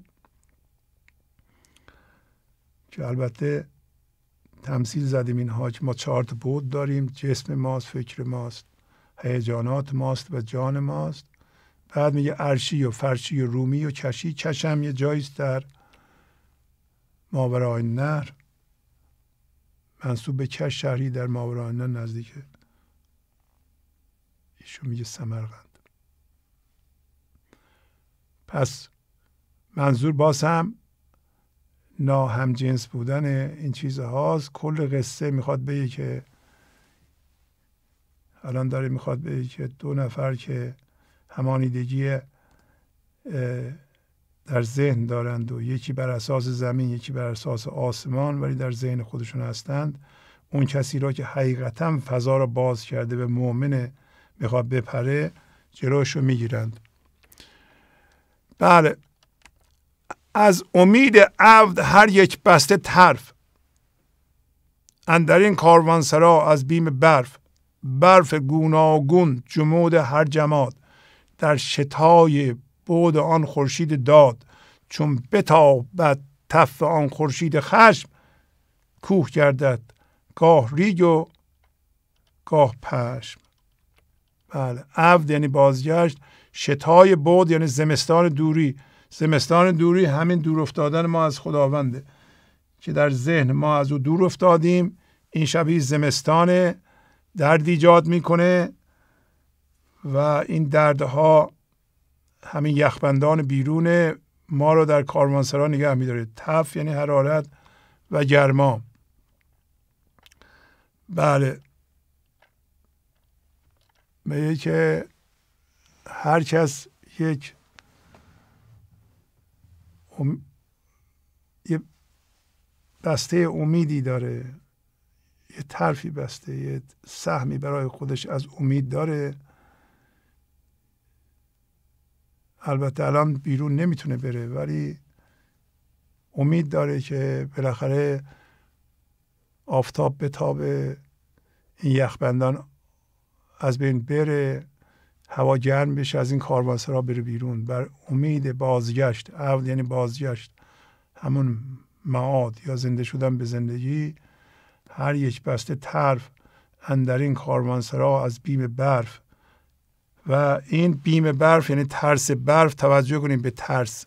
مولانا میگه که ترسی که این اشخاص در اینجا نگه داشته البته بیرون هم یخبندانه یخبندان نماد درد شدیده ولی مهمترینش ترسه. یعنی ما به عنوان من ذهنی ترس داریم. از امید عبد هر یک بسته طرف یک امیدی داریم که از این کاروانسرا بیرون بریم. ولی ترس هم داریم. میگه برف های گوناگون جمود انسان های جامده. برف گوناگون جمود هر جماد. در شتای بود آن خورشید داد. خورشید داد یعنی خداوند. خورشید عدل. شتای بود زمستان دوری. برف گوناگون یعنی همانیدگی با چیزهای مختلف. جمود یعنی جامد بودن هر جماد یعنی هر انسانی که مرکزش مثل سنگ همانیدگیه. برف گوناگون جمود هر جماد در شتای بود آن خورشید داد. پس هر کدوم از ما خودمون اصلا یخچال داریم. پر از درد کردیم. ما هم در یه زندانی هستیم به تنهایی که بیرون برف و سرماست و از اینجا از این قفس یا از این کاروانسرا نمی‌تونیم بیرون بریم. میگه همین که بتابه گرمای آن خورشید خشم خورشید خشم باز هم خداوند در اینجا خشم میگه یعنی بیمرادی ما به علتش دوری از او و حوصله خداوند بالاخره ما رو بیمراد می‌کنه. چون به تابت تف آن خورشید خشم به علت اصرار در دوری و ادامه زندگی با من ذهنی الان به صورت خشم به ما میتابه و این خشم ما همین بیمرادی های ماست. چون این بیمرادی ها باید واقعا قلابوز بهشت بشه. عاشقان از بیمرادی های خیش با خبر گشتند از مولای خیش. یعنی اگر شما به عنوان من ذهنی بیمراد شده این ناراحتین و حس می‌کنین بدبخت شده این خودتون کرده اید این به علت زمستان دوری از اونه. می‌بینید دوری از خداوند و به زمستان تشبیه می‌کنه. و انسانی که به این ترتیب به وجود میاد جماد میگه و حالتش رو جمود میگه. او را خورشید عدل میگه. به این علت که اگر شما فضا را باز می‌کردین به صورت من ذهنی خودتون اداره نمی‌کردین اینطوری نمی‌شد. حالا وقتی او بتابه به صورت خورشید خشم یعنی ما به دوچار بیمرادی بشیم خدا کنه که به صورت بیمرادی ما کوهمون به صورت ریج و پشم در نیاد. یعنی من ذهنی رو باز می‌کنه مثل پشم. خلاصه ما نمی‌خوایم از خورشید خشم خداوند مثل پشم نرم بشیم. ما با خوندن اینها می‌تونیم راه رو پیدا کنیم. کمتر تنبیه بشیم. خودمونو با من ذهنی اداره نکنیم دیگه. شتای بود و زمستان دوری از خدا را میگه ادامه ندید طولانی تر نکنید. خب. و اینم می‌دونه آیه قرآن و کوها چون پشم زده شده. درسته؟ یعنی روز قیامت اینطوری میشه. اگر شما دیدین من ذهنیتون داره نرم میشه جدا میشه مثل کوه مثل مثل پشم زده شده داره میشه بدون که قیامتتون داره میشه. ولی داره میگه که ما در یک کاروانسرا هستیم. همه سرما ایجاد می‌کنند و سرمایش یخبندانی است که کاروانسرای ما رو احاطه کرده یعنی یک نیروی دردی زمین رو میگه احاطه کرده شبیه اون یخبندانی که اون کاروانسرا رو محاصره کرده. در گداز آید جمادات گران چون گداز تن به وقت نقل جان چون رسیدند این سه همراه منزلی هدیهشان آورد حلوا مقبلی برد حلوا پیش آن هر سه غریب محسنی از مطبخ انی غریب. پس داره میگه که این جمادات گران یعنی انسان ها که مرکزشون جسم جامد مقدار زیادی درد ایجاد کردن و این دردها هم با هم جمع شده یخبندان اطراف کارمنسرا به وجود آورده و هیچ کس نمی‌تونه بپره بیرون بره و اینا متوجه نیستند. بیشتر سرما رو زیاد می‌کنند. میگه در اثر تابش خورشید خشم. دفعه. بیمرادی. در گداز آید جمادات گران چون گداز تن به وقت نقل جان همون موقعی که ما میمیریم و این تن ما پخش میشه پراکنده میشه. یه من ذهنی به گداز میاد در اثر فشارهایی که زندگی میاره. عرض کردم که ما نمی‌خوایم این راه را بریم. ولی شما الان می‌دونید اگه من ذهنی را ادامه بدین خورشید خشم خواهد تابید. چون به تاقبت تف آن خورشید خشم کوه گردد گاه ریگ و گاه پشم و این آیه قرآن و جمادات گران یعنی انسان هایی که خیلی خیلی همانیده هستند و پر از درد هستند اینا خورد میشن. مانند پراجنده شدن تن موقع نقل جان موقع مردن. بعد به قصه برمیگرده. چون رسیدند این سه همراه منزلی وقتی به یه منزلی رسیدند این منزل کجاست؟ این منزل جاییست که میشه حلوا خورد. میشه به حضور زنده شد. چون رسیدند این سمره منزلی هدیهشان آورد حلوا مقبلی مقبل یا آدم نیکوکار خوشبخت برد حلوا سه غریب مثل مولانا.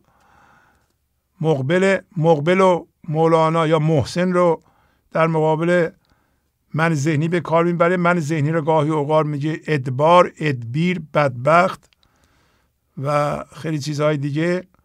پس وقتی میگه مقبل و محسن این انسانی است که به زندگی زنده است. حلوا هم ارتعاش به زندگی است. زنده شدن به خداست. برد حلوا پیشان هر سه غریب. محسنی نیکوکاری از مطبخ خدا مطبخ انی غریب. انی غریب هم آیه قرآن می‌دونید همانا من نزدیکم. چون بندگان من درباره من از تو بپرسند بگو که من نزدیکم. یعنی میگه به حضرت رسول میگه که اگر آدمای عادی از تو پرسیدن خدا کجاست و چیه بگو که من عین تو هستم. قسمت عمده تو من هستم. به تو نزدیکم. پس از این مطبخ از این مطبخ همین حضور حلوای شیرین زنده شدن به اونه پس اینطوری شد. برد حلوا پیش آن. هر سه غریب محسنی از آشپزخونه. انی غریب انی غریب من خیلی نزدیک به شما هستم. بله. نان گرم و سحن حلوای اصل برد آنچه در ثوابش بود عمل. یه نان گرم و سحن یعنی بشخاب بشخاب و حلوای اصل اونه که منظورش فقط ثواب بود. یعنی منظور مادی نداشت. پس این سه نفر اومدن در داستان ما. یه نیکوکاری در بشخاب با یه نون گرم برد پیش اینها. مولانا هم در در بشخاب این دانش گذاشته. میگه که شما تو این کاروانسرا هستید درد زیاد ایجاد کردید. فعلا این بشخاب حلوا و نان گرم خدمت شما که همین ابیات هستن که براتون می‌خونیم. دارم مثال می‌زنم. بله. در اینجا یه مقدار توضیحات میده مولانا. میگه که فرق بین آدم های مثل مولانا و همین شخصی که الان گفت که عمل می‌دونه یعنی آرزو. برد آنچه در ثوابش بود. عمل یعنی آرزوی ثواب داشت. منظور مادی نداشت. نمی‌خواست مثلا این سه نفر براش برن کار کنن یا دعا کنن یا من این بشخاب حلوا را آوردم برای شما. چیزی هم نمی‌خواست. بس آدم محسنی بود مقبلی بود. مثل مولانا. مولانا هم این بشقاب حلوا رو گذاشته جلوی ما از ما چیزی نمی‌خواد. شما هم شاید یه همچه آدمی باشید. اگه بشقاب حلوای حضور دارید شادی بی سبب از شما میجوشه میاد بالا. به زندگی ارتعاش می‌کنید. یک دید نفوذ پذیر دارین که در آدما زندگی رو می‌بینید به ارتعاش در میارید. وقتی زندگی رو به ارتعاش در میارید در مرکز یکی در این حلوا بهش می‌دید. چیزی نمی‌خواین درسته. حالا در اینجا مولانا یک توضیح میده. راجع به بیت قبلی که میگه که شهرنشین ها آدم های زیرکی هستند ولی معدبند ولی بادیه نشینان که نماد آدمای مثل مولاناست اینها غریب نواز هستند و مهمان دوست هستند. حالا الکیاسه و الادب لحل المدر از زیافه و القرا لحل الوبر. بله زیرکی و ادب مال منهای ذهنی است از ویژگی های شهرنشینان هستند. پس مدر چه به معنی جل هست؟ در اینجا یعنی شهر قرا مهمانی اهل الوبر یعنی بادی نشینان صحرا نشینان که در اینجا مثبت هست یعنی کسایی که با صحرا کار دارند. و در همینطور که می‌دونید در صحرا هم اگر یه انسانی بره به غیر از اون صحرا نشین و خدا هیچ پناهی نداره داره اونو میگه. به طور کلی داره میگه که چیاسه همین زیرکیه زیرکی ولی ادب. شهرنشینان اینطوری هم دیگه میگه. دیدی که ما به هم دیگه تعارف می‌کنیم. بفرمایید بابا بفرمایید ناهار حاضره تو رو خدا مرگ من. وقتی میان تو میگیم که عجب آدمی حالا ما یه تعارف کردیم دوباره اومد تو. ما تعارف زدیم دیگه. زیرکی ادب از ویژگی های شهرنشینان هست و مهمان دادن و زیافت برپا کردن. نیز از ویژگی های بادی نشینان است. بادی نشینان آدم های مثل مولانا هستند. شهرنشینان همین منهای ذهنی هستند که زیرک هستند. واقعا به زبان معدبند ولی دلشون معدب نیست. می‌خواد بگه که در این کاروانسرا مثل این نیکوکار کسایی هستن هستن کسایی. و البته همینطور که جلو خواهیم رفت. میگه که وجود اینجور آدم هاست که این جهان رو باقی نگه داشته. بعدم میگه البته. بله اینا رو بخونیم. پس در اینجا از این چند بیت می‌خواد همین رو بگه. میگه در ضمن می‌خواد بگه که هر کسی وارد این کاروانسرا میشه یا وارد این جهان میشه امیدش واقعا خداست و این سهرانشینان مثل مولانا. امیدش منهای ذهنی نیست. توجه می‌کنید چی می‌خواد بگه. بله. از زیافه للغریب و القرا الرحمن فی اهل القرا. میگه خداوند مهربان غریب نمازی و مهمان دوستی را در خوی روستاییان و بادی نشینان البته این اضافه کنم به ودیت نهاده است. یعنی در دل بادی نشینانی مثل مولانا غریب نوازی هست. غریب که غریب همه ما البته غریبیم. مخصوصا اون کسایی که تازه وارد میشن. اینا امیدشون منهای ذهنی پدر مادرهاشون نیستن. امیدشون آدمای مثل مولانا هستن. ما در این جهان غریبیم دیگه. ما از جنس زندگی هستیم افتادیم تو جهان ذهن. بله. پس پس بادیه نشینان آدمای مثل مهمان مثل مولانا مهمان دوست هستند غریب نواز هستند و در در جزء خویشونه. خاصیت دلشونه. برای اینکه دلشون از جنس خداست. بله. البته این خبر یا حدیث مهمان نوازی از خوی بادنشینان است نه از خوی شهرنشینان. وقتی میگه خبر یعنی امکان داره که حدیث حضرت رسول باشه از سخنان ایشان باشه. کل یوم فی القرا زیف حدیث ما له غیر الهی من مغیث. پس بنابراین در روستاها هر روز مهمانی تازه از راه می‌رسد که جز خداوند فریادرسی ندارد. یعنی هر روز انسانهایی وارد این کاروانسرا میشن که فریادرسی جز خدا نداره همینطور که کسی که در بیابان میره هیچ کس نیست اونجا. مگر یک بادیه نشین باشه موقعیست یعنی فریاد رز و هر شب در روستاها مهمانان تازه واردی به سر, به سر برند که در آنجا به جز خداوند پشت پناهی ندارند. یعنی ما هم به هر حال به این نتیجه می رسیم که ما هم پشت پناهی به جز خداوند نداریم. به غیر از بادی نشینانی مثل مولانا و فضاگوشایی خودمون اجازه بدین ادامه بدیم. راجع به قصه تخمه بودند و بیگانه زخر بود سایم روز آن مؤمن مگر چون نماز شام آن حلوا رسید بود مؤمن مانده در جوع شدید آن دو کس گفتند ما از خور پریم امشبش بنهیم و فردایش خوریم. پس تخمه بودند یعنی سیر بودند البته تخمه بودند بیشتر از سیر بودنه. یعنی واقعا اینقدر خورده بودن شکمشون باد کرده بوده. و مادر چیه؟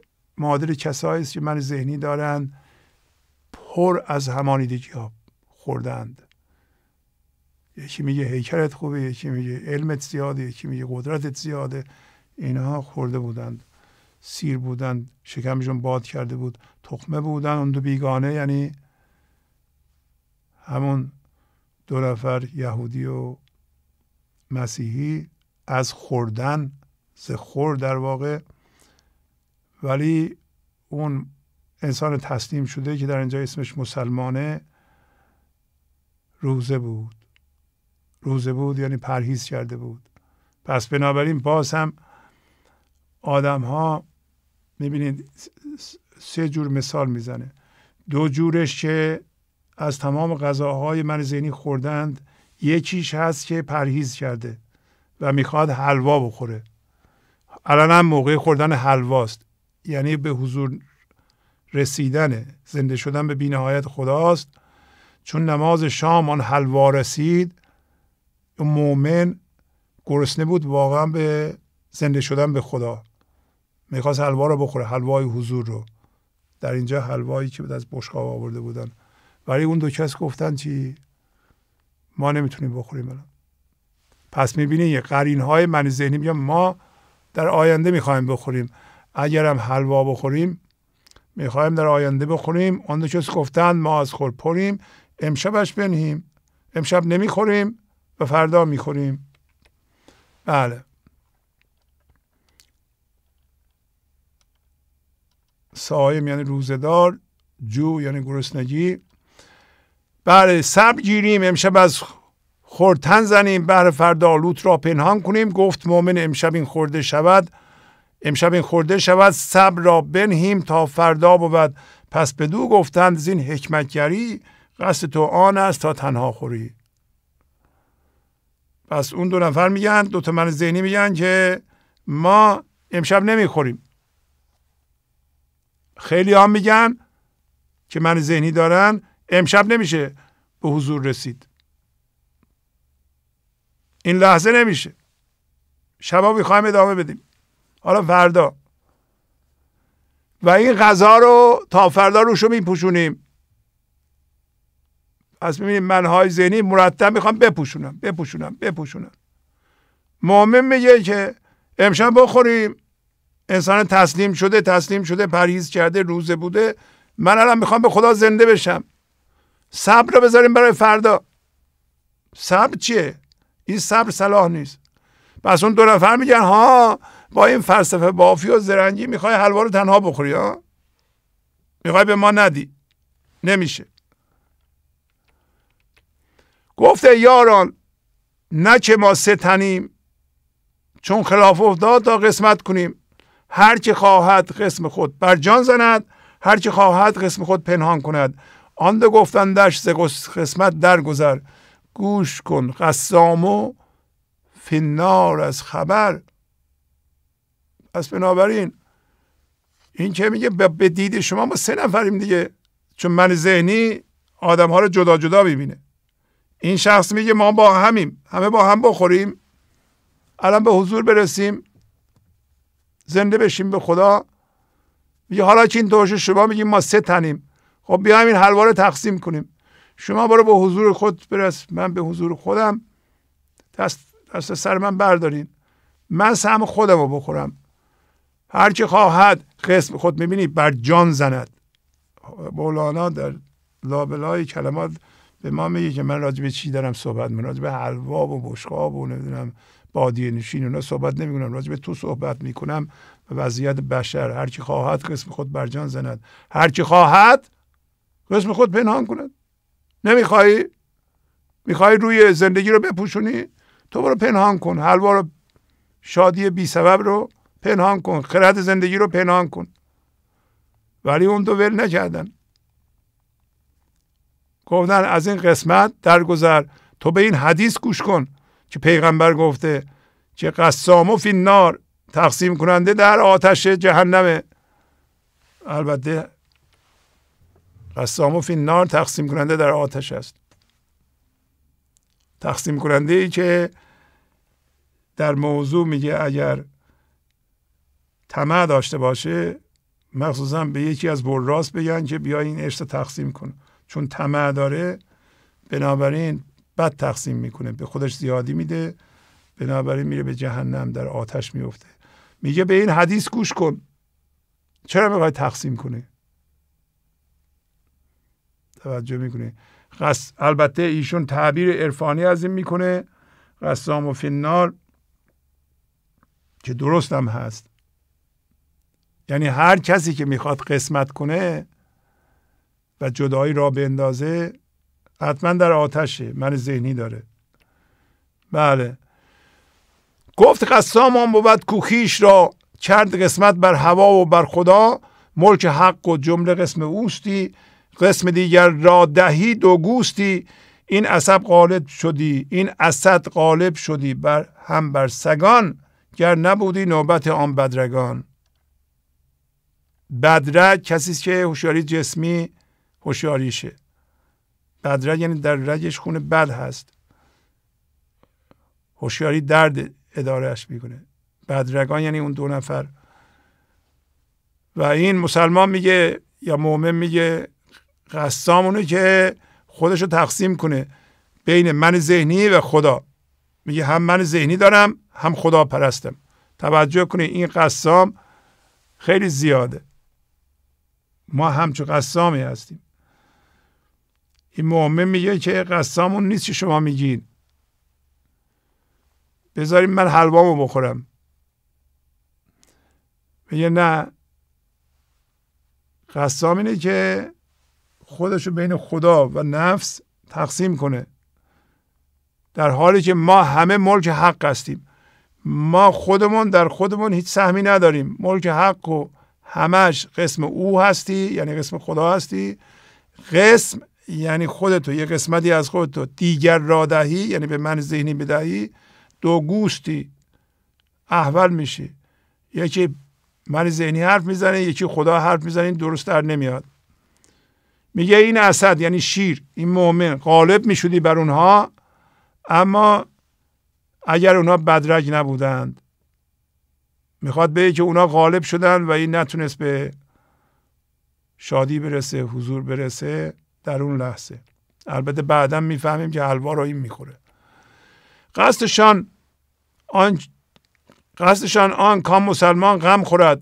شب بر او در بینوایی بگذارد بود مغلوب او به تسلیم و رضا گفت سم طاعتا اصحابنا. پس بخفتند آن شب و برخواستند بامدادان خیش را آراستند. پس قصد این دو نفر مثل قرین هایی که شما دارین و من ذهنی دارند و شما فضا باز می‌کنید اونا نمی‌ذارن. قصدشان اون بود که مسلمان غم بخوره قصه بخوره. و اتفاقا قصدشون بود که این حلوا رو نخوره اونا بخورن. کما اینکه بقیه قصه اینو میگه. پس بنابراین آدم هایی که نمی‌خوان به حضور برسن نمی‌خوان بذارن کسی به حضور زنده بشه به عنوان قرین و می‌خوان خودشون بخورن اینو. ولی خودشون هم هیچ موقع نمی‌خورند. شب بر او بر بینوایی بگذارد. نمی‌خواستن حلوا بخوره این مسلمان. و در شب این دنیا بینوا بشه. مولانا حرفهای خودش هم می‌زنه دیگه که اگه کسی این حلوا رو نخوره در شب ذهن در شب این دنیا در بینوایی می‌گذاره. اما چون مغلوب بود به تسلیم و رضا برای اینکه هر لحظه فضا رو باز می‌کرد و وضعیت رو مقاومت نمی‌کرد که حالا وضعیت اینه. الان این قرین ها اینو میگن. گفت شنیدم اطاعت می‌کنم. و سمعا طاعتن بله چشم اطاعت می‌کنم اصحاب یعنی یاران. خلاصه. بنابراین بخفتند و آن شب برخواستند بامدادان خودشونو آراستند یه مشخصه. رو شستند و دهان هر یکی دهان و هر یکی داشتند در ورد راه و مسلکی. یک زمانی هر کسی آورد رو سوی ورد خیش از حق فضل جو مؤمن و ترسا جهود و گبر و مغ جمله را رو سوی آن سلطان اولوغ. سلطان اولوغ یعنی خداوند باسم سلطان مقتدر سلطان بزرگ. مغ یعنی زرتشتی گبر یعنی کافر. خب میگه که اینا خوابیدن بیدار شدن دهنشون رو شستند. ظاهرا دهنشون رو پاک کردند از حرفهای بد فکرهای بد مثلا روشون رو از همانیدگی ها شستند. معلومه که این دو نفر یهودی و ترسا که همانیده هستند به روش خودشون دارن دهانشون رو میشورند. یعنی دوتا من ذهنی دوتا من ذهنی که الان به صورتهای مختلف میگه ظاهر میشه. چی به صورت مؤمن و ترسا و جهود و گبر و مغ همه سوی او هستند سوی خدا. پس منهای ذهنی هم به روش خودشون به سوی او دارن عبادت می‌کنند. بله؟ بلکه سنگ و خاک و کوه و آب را هست واگشت نهانی با خدا. میگه همه اینا به سوی او برمیگردند. چه می‌خواد مؤمن باشه چه می‌خواد مسیحی یهودی کافر زرتشتی همه سوی او دارند. پس اینا شروع کردن به دعا. پس هر کسی دعای خودش رو می‌کنه با توجه به دلی که داره. دلش از چی درست شده؟ میگه حتی سنگ و خاک و کوه و آب هم جمادات هم او را ستایش می‌کنند. واگشت نهانیشون با خداست. واگشت نهانی با خدا که می‌دونه آیه قرآن همه راجعون میشن به سوی او.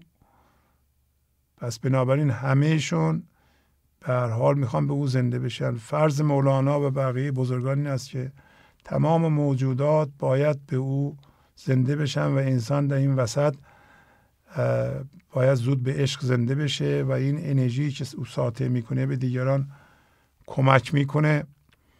باد و خاک و آب و آتش بندند با من و تو مرده با حق زنده اند. اینم مثالی از دفتر اول که مولانا میگه باد و خاک و آب و آتش همه چی. همه چی که ما می‌بینیم اینا زندند منتها چون با من ذهنیمون با اینا برخورد می‌کنیم با ما مردند و با خداوند زندند فقط بشنوید اینو. که هر چیزی که در این جهان هست زنده هست و جنس ایزدی در اینها ارتعاش می‌کنه. پس بنابراین اون جنس ایزدی ولو میگه کافر باشه من ذهنی باشه از هر نوع باشه باز هم جانش به سوی اونه. این سخن پایان ندارد. هر سه یار رو به هم کردند. آن دم یاروار آن یکی گفتا که هر یک خواب خیش آنچه دید و دوش گو آور به پیش. میگه این سخنهای عارفانه که من دارم میگم پایان نداره. بالاخره برگردیم به قصه. اون سه تا یار که با هم همسفر بودند نشستن یاروار. دوستانه با هم نشستن. همینطور که گفتم البته این دوتا من ذهنی نمی‌خوان اصلا حلوا بخوره. گفتن به حسابم نمیارند کما اینکه بقیه قصه رو که می‌خونیم متوجه میشیم که اینا اول خواب خودشون رو میگن و خواب مسلمان رو به حساب نمیارند آن یکی گفتا که هر یک خواب خیش آنچه دید و دوش کو آور به پیش هر که خوابش بهتر این را او خورد. قسم هر مفصول را افصل برد آن که اندر عقل بالاتر رود خوردن او خوردن جمله بود. فوق آمد جان پر انوار او باقیان را بست بود تیمار او. بله مفصول کسی که در فضیلت از دیگری کمتر باشد اسم مفعوله. پس اینا میگن که ما بیایم خوابمون رو بگیم دیشب خوابیدیم ببینیم چه خواب دیدیم. توجه می‌کنید که مسلمان دائما فضاگشایی می‌کنه اونها در خواب و خیالات خودشون در ذهن خودشون قوتورند و تجربه های عارفانه رو در ذهنشون می‌کنن که قابل قبول نیست. هر کی خوابش بهتر این را او بخوره. قسم هر مفضول یعنی قسمت هر کسی که از لحاظ فضیلت کمتره اونو که افضله بخوره.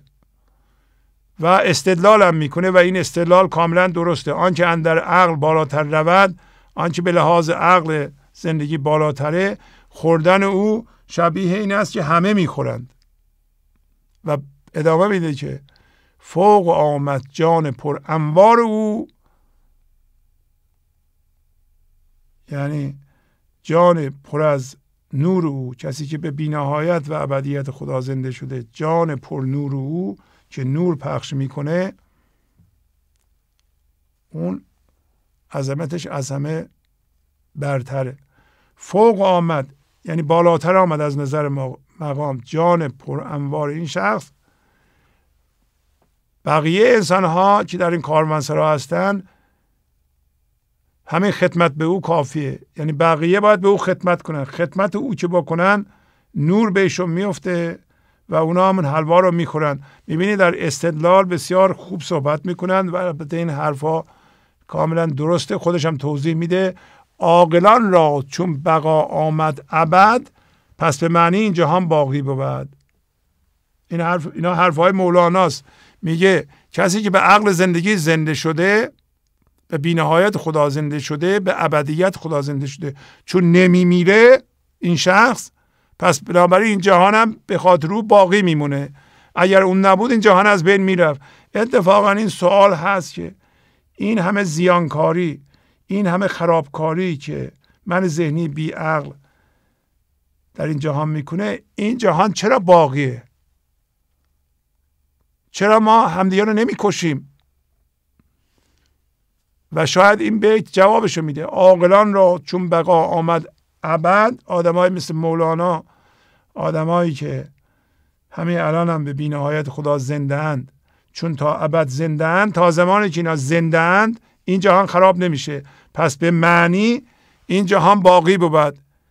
این معنا باید در این جهان حفظ بشه. این زندگی زنده در این جهان حفظ بشه. یعنی اگه این بمیره دیگه خداوند در فرم زنده نیست. ما اولین موجود زنده شده به خداوند هوشیارانه در این جهان هستیم. پس دارن اینا میگن استدلال می‌کنن. البته مولانا حرفاشو می‌زنه نه اینکه این منهای ذهنی میگن. مولانا از زبان اونا میگه. میگه مولانا الان هم از زبان این یهودی حرفهایی می‌زنه که همه درسته در واقع تجربیات خودش از زبان اینا میگه. و در داستانهای مصنوی می‌بینید که هیچ موقع نباید قافل بود. موقع حرف حسابی از دهن یه من ذهنی در میاد. حرف حسابی از دهن شیطان در میاد. از دهن مؤمن در میاد. همیشه باید حواست باشه که حرفی که زده میشه چیه. عاقلان را چون بقا آمد. ابد بس به معنی اینجا باقی بود. جهود آورد. بنابراین جهود میگه که آورد آنچه دیده بود. تا کجا شب روح او گردیده بود؟ گفت در ره موسی هم آمد به پیش. گربه بیند. دنبه اندر خواب خیش. پس بیت اول گفتیم عاقلان کسایی که به خرد زندگی عقل کل زنده شدند تا ابد باقیند پس این جهان به معنا به اون جور زندگی باقی خواهد بود. پس بنابراین حلوا رو باید میگه اون باید بخوره. کسی باید به زندگی زنده بشه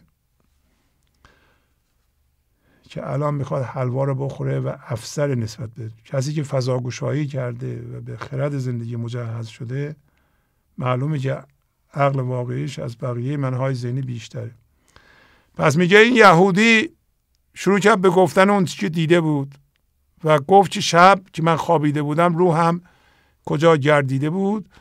گفت در راه موسی هم به پیش آمد یعنی در راه موسا را دیدم و خودش میگه که اینا رو در خواب توهمات الان توهمات خودشو می‌خواد بگه با این وصف از زبان این یهودی که رفته خواب دیده مولانا تجربیات خودشو میگه.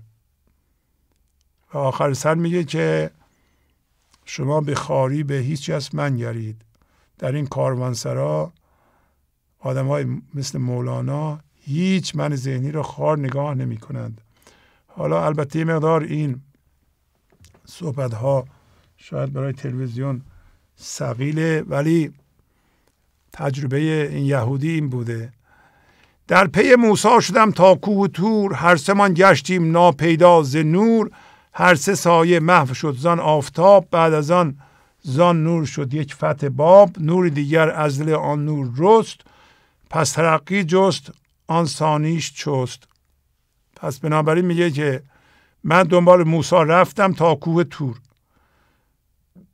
یک دفعه من و موسا و کوه تور از نوری که از حضرت حق تابید ناپیدا شدند.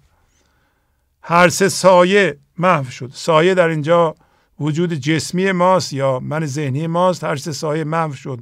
از اون آفتابی که طلوع کرد اینا را یهودی میگه. بعد از آن از اون نوری که تابیده بود یک دری باز شد. نور دیگر از اون دل رست بالا اومد. پس زیادتر شد ترقی جست. آن ثانی یعنی نوری که از دل اون نور بیرون اومد که البته نور ظاهرا به حضور رسیدن خودش بوده از اون نور زیاد شد. پس ترقی جست آن ثانیش چست خیلی سریع. هم من و هم موسی و هم کوه تور هر سه گم گشتیم زان اشراق نور. بعد از آن دیدم که کوه سه شاق شد چون که نور حق در او نفاق شد. وصف حیبت چون تجلی زد بر او می سکست از هم همی شد سو به سو. میگه هم من هم موسا هم کوه تور. یادمون باشه کوه نشان همین من ذهنی ماست ذهن ماست و موسا انسانی است که به زندگی زنده شده کاملا. این یهودی داره تجربه شو نشون میده که در خواب چی دیده. هم من و هم موسی و هم کوه تور هر سه من گم گشتیم در اون تابش نور. بعد بعد دیدم کوه سه شاخه شد. همین که نور حق به او تابید. نفاق یعنی بسیار دمنده. نور حق وقتی دمید به اون این کوه من سه شاخ شد. وصف حیبت چون تجلی زد در او. وصف حیبت یعنی خداوند وقتی تجلی کرد بر اون کوه می کست از هم. یعنی از هم جدا می شد. همین شد سو به سو. سو به سو می شد. الان میگه این سه شاخهش جای مختلف رفت. بله. آن یکی شاه کهامت سوی یم. گشت شیرین آب تلخ همچو سم. آن یکی شاخش فرو شد در زمین چشمه دارو برون آمد معین که شفای جمله رنجوران شد آب از همایونی وحی مستطاب. بله. یکی از این شاخها اومد به سوی دریا. شاید دریای ذهن رو میگه به طوری که آب آن فورا شیرین شد. آب سمه. مثل سم آن شیرین شد. آن یکی شاه کهامت سوی یم یعنی دریا گشت شیرین آب تلخ همچو یم. پس یکیش زد به هوشیاری جسمی من هوشیاری جسمی منو شیرین کرد. یکی رفت فرو شد در زمین یه چشمه شادی شد اومد بالا که نه تنها چشمه شادی بود همه شفاها هم از بیرون بود. داره وصف انسانی می‌کنه که به خداوند زنده شده. به طوری که اون آبی که از اونجا بیرون میومد از این چشمه چی شد؟ از مبارکی وحی عالی خداوند شفای همه مریض ها شد. از کوه سه شاخ شد یکی رفت دریا آب شیرین شد هوشیاری شیرین شد یکیش چشمه شد. از زمین چشمه شیرین شادی و درمان همه دواها اومد بالا. آن یکی شاق دیگر پرید زود تا جوار کعبه که عرفات بود. یکی دیگه رفت به سوی کعبه سریع رفت کنار کعبه که همین کوه عرفات هست. خب پس معلوم میشه حالا تجربه این یهودی است منتها خواب یهودی است منتها مولانا تجربه خودش رو میگه از زبان ایشون. عرض کردم رفت تا نزدیکی کعبه این هم همون در واقع کعبه جدیدی است که ما در درون پیدا می‌کنیم و از کعبه های بیرون میرهیم. بعد دوباره ادامه میده. باز از آن ساقه چو با خود آمدم تور بر جا بود نه افسون و نه کم. لیک زیر پای موسا همچو یخ میگدازید و نمانده شاخ و شخ. شاخ و شخ یعنی همون تیکه های کوه جوار همسایگی ساقه اصابت سایگه در اصطلاح فنا در حق به واسطه تجلی ذاتی او شاخ پاره قسمتی از هر چیز شخ کوه دامنه. به حال شاخ و شخ همین تیکه های کوه هست. پس می‌بینید اینا تجربیات حالا اگر همه رو هم ما متوجه نشیم هیچ اشکالی نداره. داریم داستان می‌خونیم. یهودی خوابش رو میگه. باز دوباره از اون بیهوشی چه به خود اومدم یعنی ذهنم فعال بود. دیدم تور اونجاست و موسی هم اونجاست و منم اونجا هستم و لیچ زیر پای موسی همچو یق زیر پای موسی مانند یق میگدازید و نماندش شاخ و شاخ. پس زیر پای موسا یا جنس موسا داشت میگدازید و این شاخ و شخ نمانده بود. می‌خواد به که این کوه داره هموار میشه زیر پای موسا یا انسانی که به حضور رسیده. با زمین هموار شد کوه. از نهیب گشت بالایش از آن هیبت نشیب باز با خود آمدم زن انتشار باز دیدم تور و موسا برقرار وان بیابان سر به سر در زیل کو پرخلایک شکل موسا در وجوه. پس بنابراین اون کوه از نهیب نهیب در اینجا باز هم نهیب خداوند یا ترس یا شکوه با, با زمین هموار شد. کوه از نصیب گشت بالایش از آن هیبت نشیب. کوه یعنی داره میگه کوه ما اصلا به طور از بین رفت. کوه ذهن از بین رفت. دوباره به خدا آمدم. دیدم که کوه تور و موسا برقراره و آن بیابان تماما در دامنه کوه پر از خلایق شده بود که همهشون در خیافه مثل موسا بودند. بله. چون اصاب و خرقه او خرقهشان جمله سوی تور خوش دامن کشان جمله کفها در دعا افراخته نغمه ارنی به هم در ساخته باز آن قشیان چو از من رفت زود صورت هر یک دیگرگونم نمود. اینا تغییراتی است که می‌بینید تغییرات عرفانی است که انسان در درون می‌کنه و تغییرات درون و دیگران هم می‌بینه چون اصاب و خرقه او خرقشان میگه تعداد زیادی آدم اومدن. پرخلایق شکل موسا در وجوه یعنی در صورت همهشون شکل موسا بودن. برای اینکه از جنس زندگی بودن زندگی رو می‌دیده مانند خرقهشون و اصاشون شبیه موسا بود. یعنی همون خاصیت رو داشتن. همهشون به سوی کوه تور دامن کشان. همهشون دست برداشته بودن به دعا و می‌گفتن خودتو به ما نشون بده. ارنی یمین ارنی خودتو به من نشون بده. که حرف موسا بود. گفت اگر کوه بر جای ماند منو خواهی دید. موسا با من ذهنی می‌خواست خدا را ببینه. می‌گفت خودتو به من نشون بده. که هنوز وقتش نرسیده بود. این کوه باید متلاشی بشه تا ما او رو ببینیم. باز آن قشیان قشیان یعنی بیهوشی یعنی همین خواب حضور. بله. باز آن قشیان چه از من رفت زود صورت هر یک دگرگونم بود اون بیهوشی که رفت به هوش اومدم دوباره صورت اونها رو یه جور دیگه دیدم. توجه می‌کنید این دیدن انسان ها به صورت زندگی است. دیدن انسان ها به صورت جسم است که یهودی میگه به من دست داد. پس ارنی همون ارنی هست به من نشان بده. خشیان بیهوشی. و این آیه رو قبلا خوندیم. چون موسی به میادگاه ما آمد که همش دوره برای این آیه میگرده این صحبت ها و پروردگارش با او سخن گفت گفت ای پروردگار من بن مای همین خودتو به من نشون بده تا در تو نظر کنم. گفت هرگز مرا نخواهیدید یعنی با من ذهنی نخواهیدید با آن کوه بنگر. به اون کوه نگاه کن اگر بر جای خود قرار یافت تو نیز مرا خواهیدید راجع به اون کوه داره الان صحبت می‌کنه هی مرتب. چون پروردگارش بر کوه تجلی کرد یعنی بر کوه من ذهنی ما تجلی کرد کوه را خورد کرد و موسا بیهوش افتاد. بیهوش افتاد که مرتب بیهوشی رو در اینجا به صورت غشیان اینا میگه.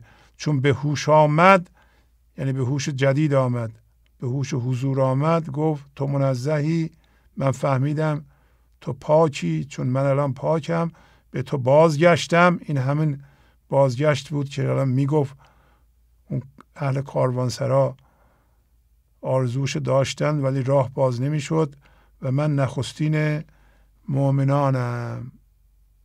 یعنی من واقعا فهمیدم باید به زندگی زنده بشم تا تو را ببینم. بله.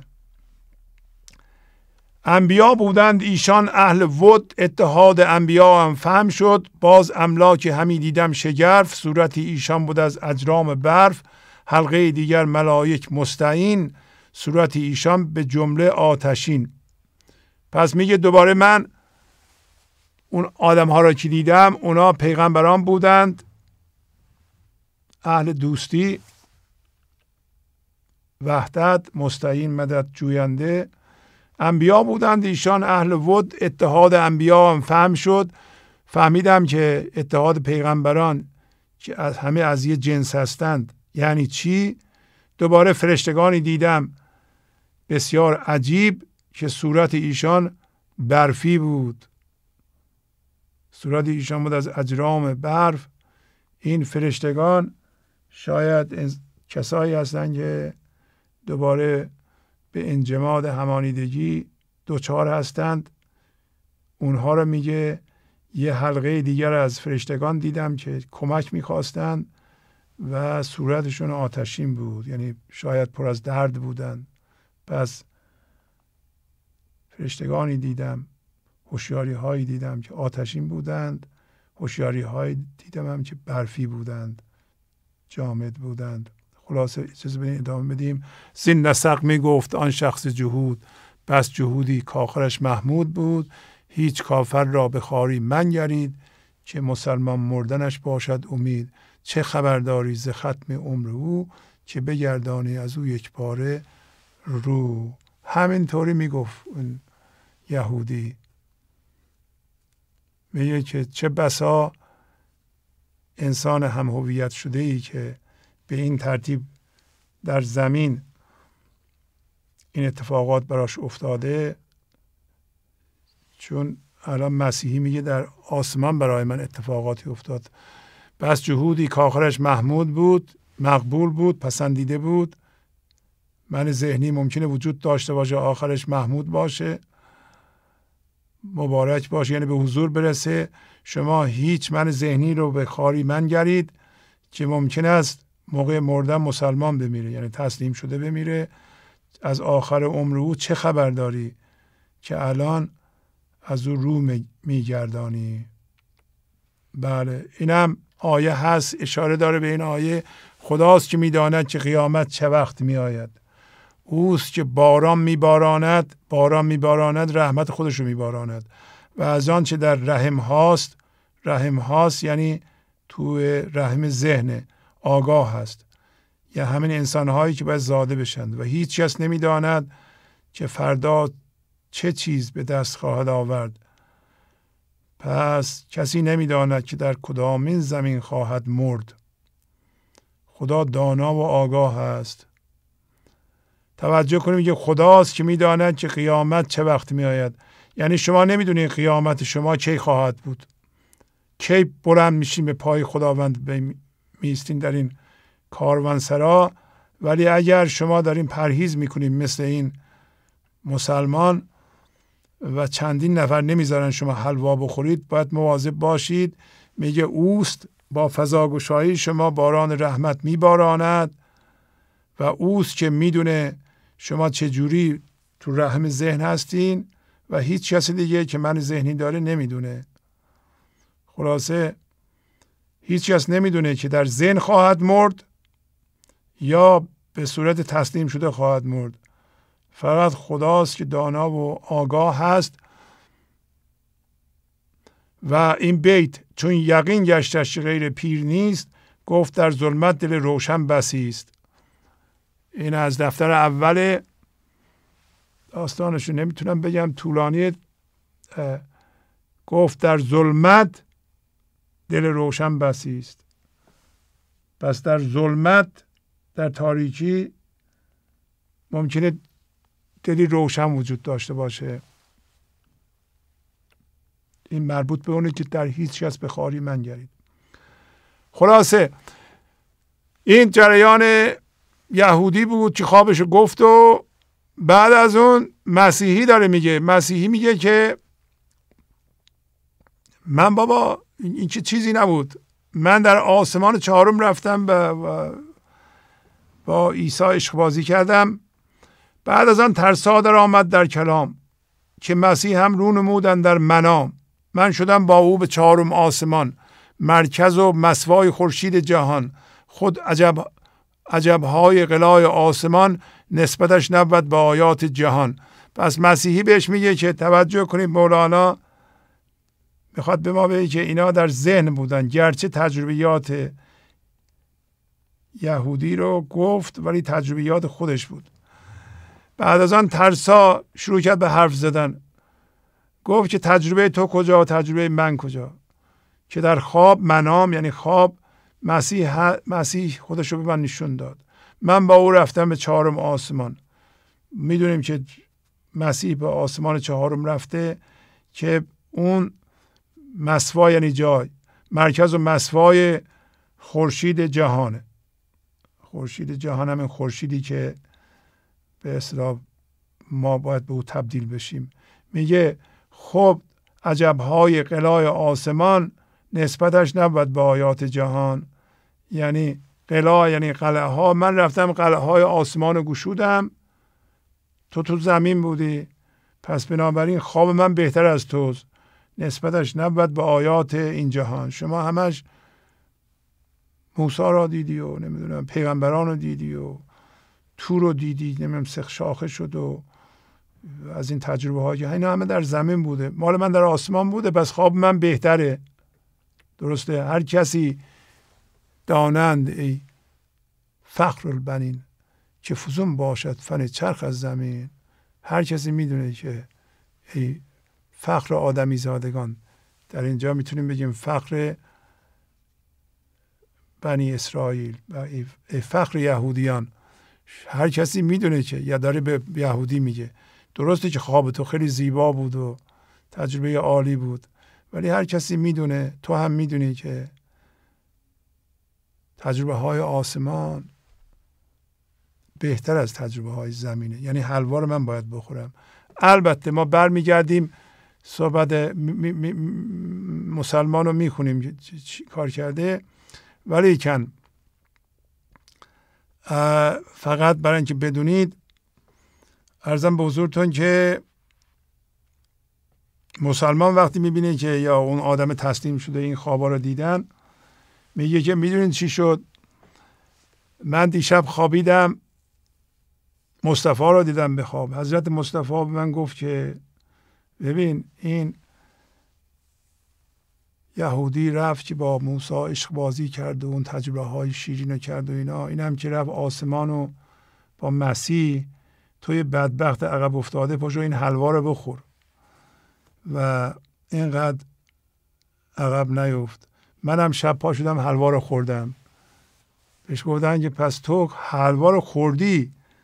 به چه دلیل حلوا رو خوردی؟ توی حریز بعد میگه که البته می‌خونیم اینها رو جزئیات داره. میگه خیلی خوب توی یهودی از حرف موسی می‌تونی سرکشی کنی؟ نه. توی مسیحی از حرف مسیح می‌تونی سرکشی کنی؟ میگه نه. خب من از حرف پیغمبرم چجوری سرکشی کنم؟ اون گفت بخور منم خوردم. الانم سرم خوشه. این نشون میده که فضا را باز می‌کنی با مصطفی در این لحظه حلوا را می‌خوری. یعنی به حرف یا به خواب این یکی یا اون یکی گوش نمی‌کنی قصه آخر است به اینجا خواهد رسید که یک کمی هم اشاره کردم که شما بدونید چی میشه. پس قصه داره میگه ما در یک کاروانسرای هستیم. یخبندان بیرون نمی‌تونیم بریم. باید به همدیگه کمک بکنیم. در اینجا یک انسان تسلیم شده هست. می‌خواد حلوا بخوره اینا می‌خوان عقب بندازن نمی‌خوان بذارن بخوره و خوابهای شگفتانگیزی می‌بینند. این کسایی که تو ذهن هستند خوابهاشون جدی می‌گیرند. البته مولانا در خواب یکی به ما کمک کرد. هر کدوم تجربه های خودشون رو عالی جلوه میدن ولی حلوا رو کسی می‌خوره که در این لحظه فضا رو باز می‌کنه مصطفی نور برگزیده رو می‌بینه. زندگی رو می‌بینه میگه همین الان باید بخوره. هر کسی این لحظه حلوا رو خورد او برده. پس می‌بینیم که این انسان تسلیم شده با وجود مزاحمت های اون دو نفر آخر سر این هست که موفق میشه. گنج حضور. سی دی و دیویدیو های گنج حضور بر اساس مصنوی و غزلیات مولانا و غزلیات حافظ. برای برخورداری از زنده بودن زندگی این لحظه و حس فضای پذیرش و آرامش نامحدود این لحظه برای حس شادی آرامش طبیعی درونی و بروز عشق در شما. برای سلامتی تن ذهن و لطیف کردن احساس شما. برای خلاص شدن از مسائل زندگی توهمات ذهنی بی‌حوصلگی دلمردگی بی انرژی بودن و رسیدن به حالت شادی طبیعی برای شناخت معانی زندگی ساز نوشته های مولانا و حافظ در مدت کوتاه. برای سفارش در آمریکا با تلفن 818 970 3345 تماس بگیرید. بله می‌بینید که در میان قصه مسلمان یعنی انسان تسلیم شده و یهودی و مسیحی مولانا برای روشن شدن مطلب اینکه چی می‌خواد بگه چون اون داستان طولانی شده یه حکایت دیگه میاره که اون اینه حکایت اشتر و گاو و قچ یعنی قوچ که در راه بند گیاه یافتند. هر یکی می‌گفت من خورم. یعنی من بخورم. پس یک شطور یک گاو یک قوچ یه بند گیاه یافتند این بند گیاه همون رسیدن به یک تاییه. می‌بینین همش یک بنده اونجا هم یک کاسه حلوا بود و الان هر کدوم از اینها می‌خواد بگه که من می‌خوام بخورم و در اینجا شطور باز هم نماد انسان تسلیم شده است. که یک هیکلی داره که بر اساس خداست فضای گشوده شده است. زمانش این لحظه هست که ابدیه ولی گاو و قوچ من ذهنی هستند و متکی به تاریخ و زمان مجازی.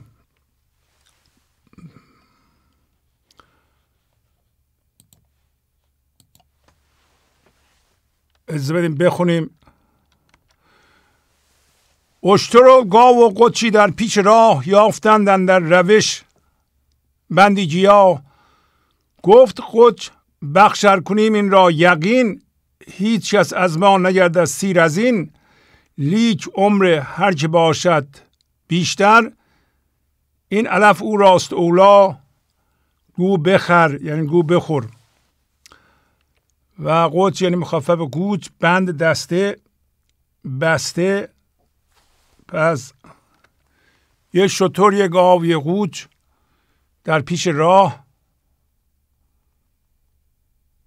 در روش در که می‌رفتن یک بسته گیاه یافتند. پس دو جور من ذهنی که گاو و قوچ باشه و شطور که هیکلش بر اساس فضاگوشایی و بینهایت خداست. بندی گیاه یافتند. بند گیاه همین حلواس یا زنده شدن به خداست وحدت مجدده. و این قوت که من ذهنی داره یکی از منهای ذهنی میگه اگر اینو بخش کنیم هیچ از از ما سیر نمیشه. و مولانا در این بخش به پخش شدن هوشیاری داره. می‌بینی الان بین انسانهای روی زمین این یکتایی بخش شده یا پخش شده. هر کسی سهمی از آن داره که باش همانیده هست.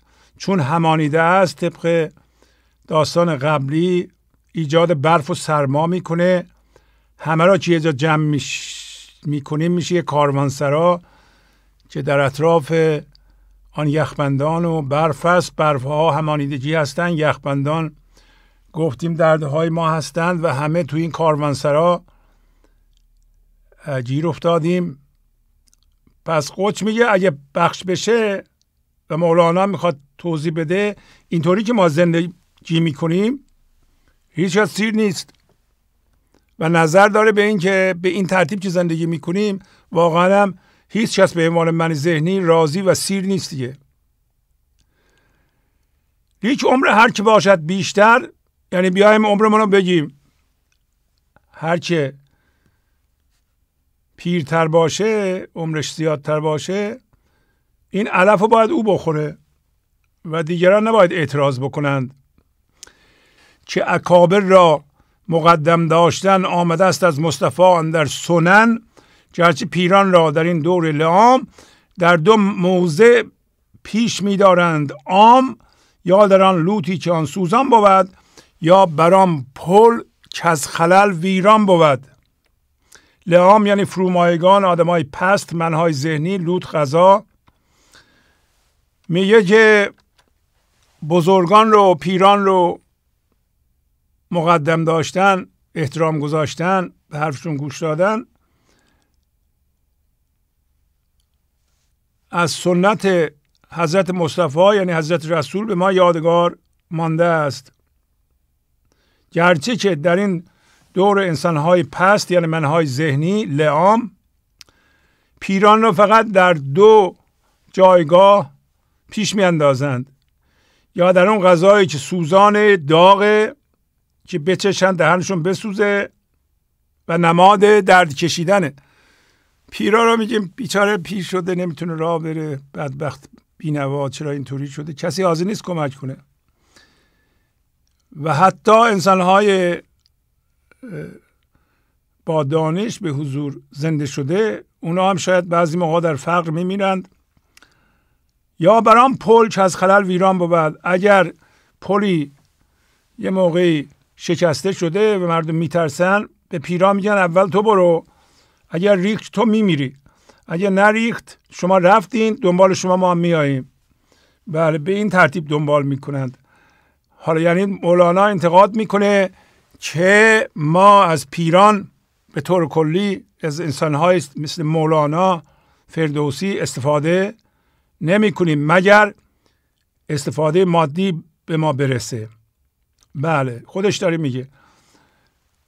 حدیث اینه از جمله موارد بزرگ داشت من از حضرت رسول احترام نهادن به پیران امتم هست. این سنت رو میگه. اینا رو چی میگه؟ اینا رو قوچ میگه.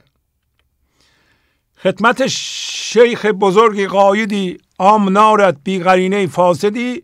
خیرشان این است چه بود شرشان قفشان را بازدان از فرشان. میگه که کسی به یه شیخی که بزرگه و پیشواست مردم عادی خدمت نمی‌کنن مگر یک منظور سوی داشته باشند فاسدی داشته باشند.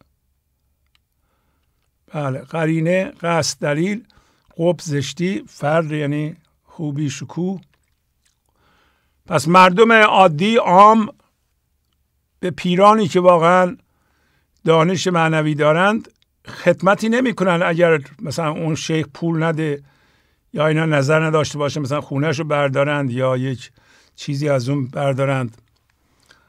چه می‌دونم وسایل خونهش رو بردارند. قرینه فاسد اینه میگه خیر این مردم منهای ذهنی اینه ببین شرشون چیه؟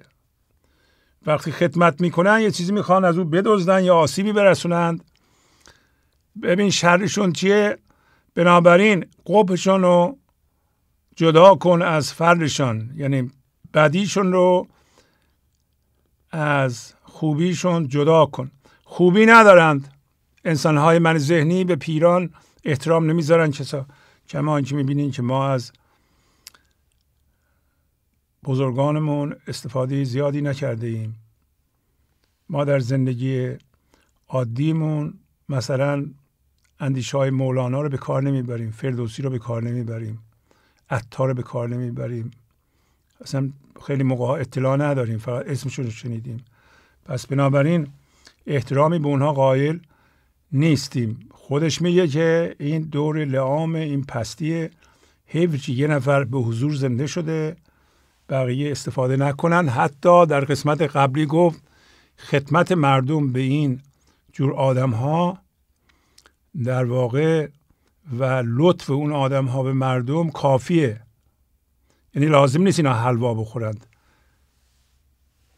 همین که خدمت می‌کنند از ته دلشون و نظر اونها به این مردم عادیه کافیه واقعا هم همینه. الان نظر مولانا روی ما هست. ببینید چقدر سود می‌بریم ما. بله. یه مثل می‌زنه برای اینکه ما یاد بگیریم که از بزرگان واقعا استفاده کنیم به بزرگان احترام بذاریم. اگر ما مثلا به بزرگ مثل مولانا احترام بذاریم خب این ابیات رو باید تکرار کنیم. یاد بگیریم. شما 60 سالتونه مثل یک بچه مدرسه ای این کتاب بگی دستت شعرها رو بنویس برو تو پارک اینا رو بخون حفظ کن تکرار کن در زندگیت به کار ببر به بقیه درس بده. اینا میگه احترام گذاشتم به بزرگان. اگر شما پنج دقیقه به این برنامه گوش می‌کنید بعدا میگین که حالا ببینم اون یکی کانال چی میده شاید اونا چیز بهتری دارند. اگه بهتری ندارن دوباره میایین به مولانا گوش می‌کنین. شما به مولانا احترام نمی‌ذارین. موقعی که وقتتون و انرژیتون و تمرکزتون رو روی خودتون می‌ذارین و روی این ابیات می‌ذارین. هر بیتی را هزار دفعه تکرار می‌کنین تا معنیشو برای شما باز کنه و وقتی معنیشو پیدا می‌کنین می‌فهمید در زندگیتون به کار می‌برید و جلوی من ذهنیتون و ناموستون و پندار کمالتون در میایین دارین به پیر احترام می‌ذارین. نه اینکه می مولانا همه چیزایی گفته. خب بعضیاش درسته. ولی خب من همه رو می‌فهمم. این احترام نیست. احترام اینه که ما زندگیمون رو با دانش اونها درست کنیم به کار ببریم. به کار ببریم. قدردانی یعنی به کار بردن. حالا مثل می‌زنه. و مثلش این است که میگه شاهید داشت می‌رفت مسجدی. اونجا خب مردم رو به خدا دعوت کنه خیلی برسونه. بعد این گارد امنیتیش مردم رو می‌زدن با چوب و چماق. که برو کنار برین کنار که شاه داره میره به مسجد. خلاصه یکی سرش میشه یکی پیرنش پاره می‌شد. یکی از که چماق زیاد خورده بود. گفت که اگر سودت اینه خیرت اینه. وای به شرت. بله اینو تمثیل می‌زنه که چجوری ما به پیرا احترام می‌ذاریم؟ سوی جامعه می‌شدن یک شهریار خلق را می‌زد نقیب و چوبدار. آن یکی را سر شکستی چوب زن وان دیگر را بردریدی پیرهن. در میانه بیدلی ده چوب خرد بیگناهی که برو از راه برد. برد یعنی برو کنار. قدیم می‌گفتن بردابرد وقتی شاهی رد می‌شد مردم حق نداشتن که به شاه نگاه کنن. باید دمر میافتادن و نیزداران جلو می‌رفتن. یه دی از این گارد امنیتی هم با اینا می‌رفتن که همه رو بزنن کنار و شاه رد بشه. یا مثلا دختر شاه رد می‌شد کسی نمی‌تونست برگرده به دختر شاه نگاه کنه یا به شاه نگاه کنه. اصلا همچین چیزی نبود. خلاصه این شاه ما هم داشت می‌رفت مسجد که خیلی به مردم برسونه. یعنی مردم به خدا دعوت کنه به دین دعوت کنه خلاصه به راه بیاره. سوی جامعه می‌شدن یک شهریار خلق را می‌زد نقیب و چوبدار نقیب مهتر قوم. در واقع مهتر قوم رئیس قوم. در اینجا مراد گارد امنیتی حاکم هست. چوبدار چماقدار. بیدل آزرده دلتنگ یا عاشق در اینجا مناسب معنی مفلس و بیچاره است. خب یه کسی بیچاره هم داشت مسجد می‌رفت سر راه اینا قرار گرفت اون چماقدار چند تا چماق به این زد و خب در سرش خونی شد که چرا دور نمیشی؟ مگه نمی‌بینی؟ کوری برد یعنی دور شو. برد و برد آبرد قدیم می‌گفتم برد آبرد یعنی دور شو دور شو دور شو کور شو. قدیم می‌گفتن دور شو کور شو. نگاه نکن. خلاصه. و سوی جامعه می شدن یه شهریار خلق را می‌زد نقیب و چوبدار. یکی رو یکی رو سرش می شکست سری یکی می شکست اون یکی رو پیرنش دریده می شد بعد اونجا یه مفلسی بود بیچاره بود. ده تا چماق بهش زدن که بیگناه بود. که چرا از راه سری نمیری کنار؟ خونچکان رو کرد با شاه و بگفت ظلم ظاهر بین چه پرسی از نهفت؟ خیر تو این است جامعه می روی تا چه باشد شر و وزرت ای قوی؟ یک سلامی نشنود پیر از خسی تا نپیچد عاقبت از وی بسی. بنابراین این مفلس بیچاره خون از سر روش میچکید. به شاه گفت که این ظلم میشه ظاهره؟ کاملا. تازه اینا نباید مردم ببینن. آبروت میره. اون ظلم هایی که در نهام می‌کنی ببینین چی. از, از این خجالت نمی‌کشی که مردم رو برای دین می‌کشی. که از سر راه تو بیاد. داری داری میری مسجد که مردم رو هدایت کنی به راه دین. اینه. ببین حالا اون ظلم هایی که در نهام می‌کنی چیه؟ خیر تو این از جامعه می‌روی یعنی مسجد جامعه می‌روی. ببینید که شر و گناهت ای گمراه چقدره که نهان ما نمی‌بینیم. و در اینجا نتیجه می‌گیره. پیر از خسان یعنی منهای ذهنی یه سلامی نشنوه که عاقبت به خودش نپیچه از درد. یعنی یه آدم عادی به یه پیری مثل مولانا سلام نمی‌کنه مگر اینکه مولانا به پیچش بیفته درد بچشه بهش درد بدن. بله. گرگ دریابد ولی را به بود زان که دریابد ولی را نفس بد زان که گرگ چه که بس استمگری است. لیکشان فرهنگ و چید و مچ نیست. نه کی اندر فتادی و به دام مچ اندر آدمی باشد تمام. میگه اگر یه ولی رو یا آدمی مثل مولانا رو گرگ, گرگ بدزده بهتر از اینه که یک قرین بد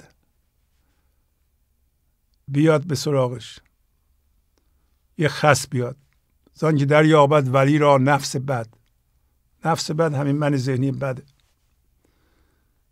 گرگ می‌خواد بدوزه بخوره. این نفس بد من ذهنی بد قرین بد. پر از دام هیله است تزویر دروغ. میگه گرگ گرچه که ستمگره می‌خواد آدم بخوره.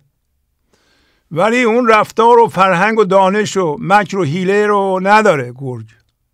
برای همینه که گرگ به دام انسان میفته. اگر مکر حیله انسان رو داشت من ذهنی رو داشت به دام انسان نمیافتاد. مکر در من ذهنی آدم به کمال رسیده. خب از اینا ما یاد می‌گیریم. شما ببینید با پیران با مولانا چجوری رفتار می‌کنید.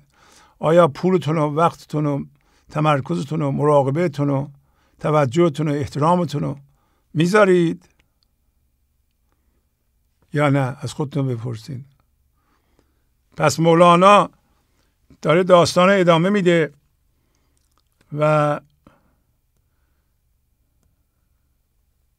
یکی از این افراد گفته که سنمون رو ببینیم.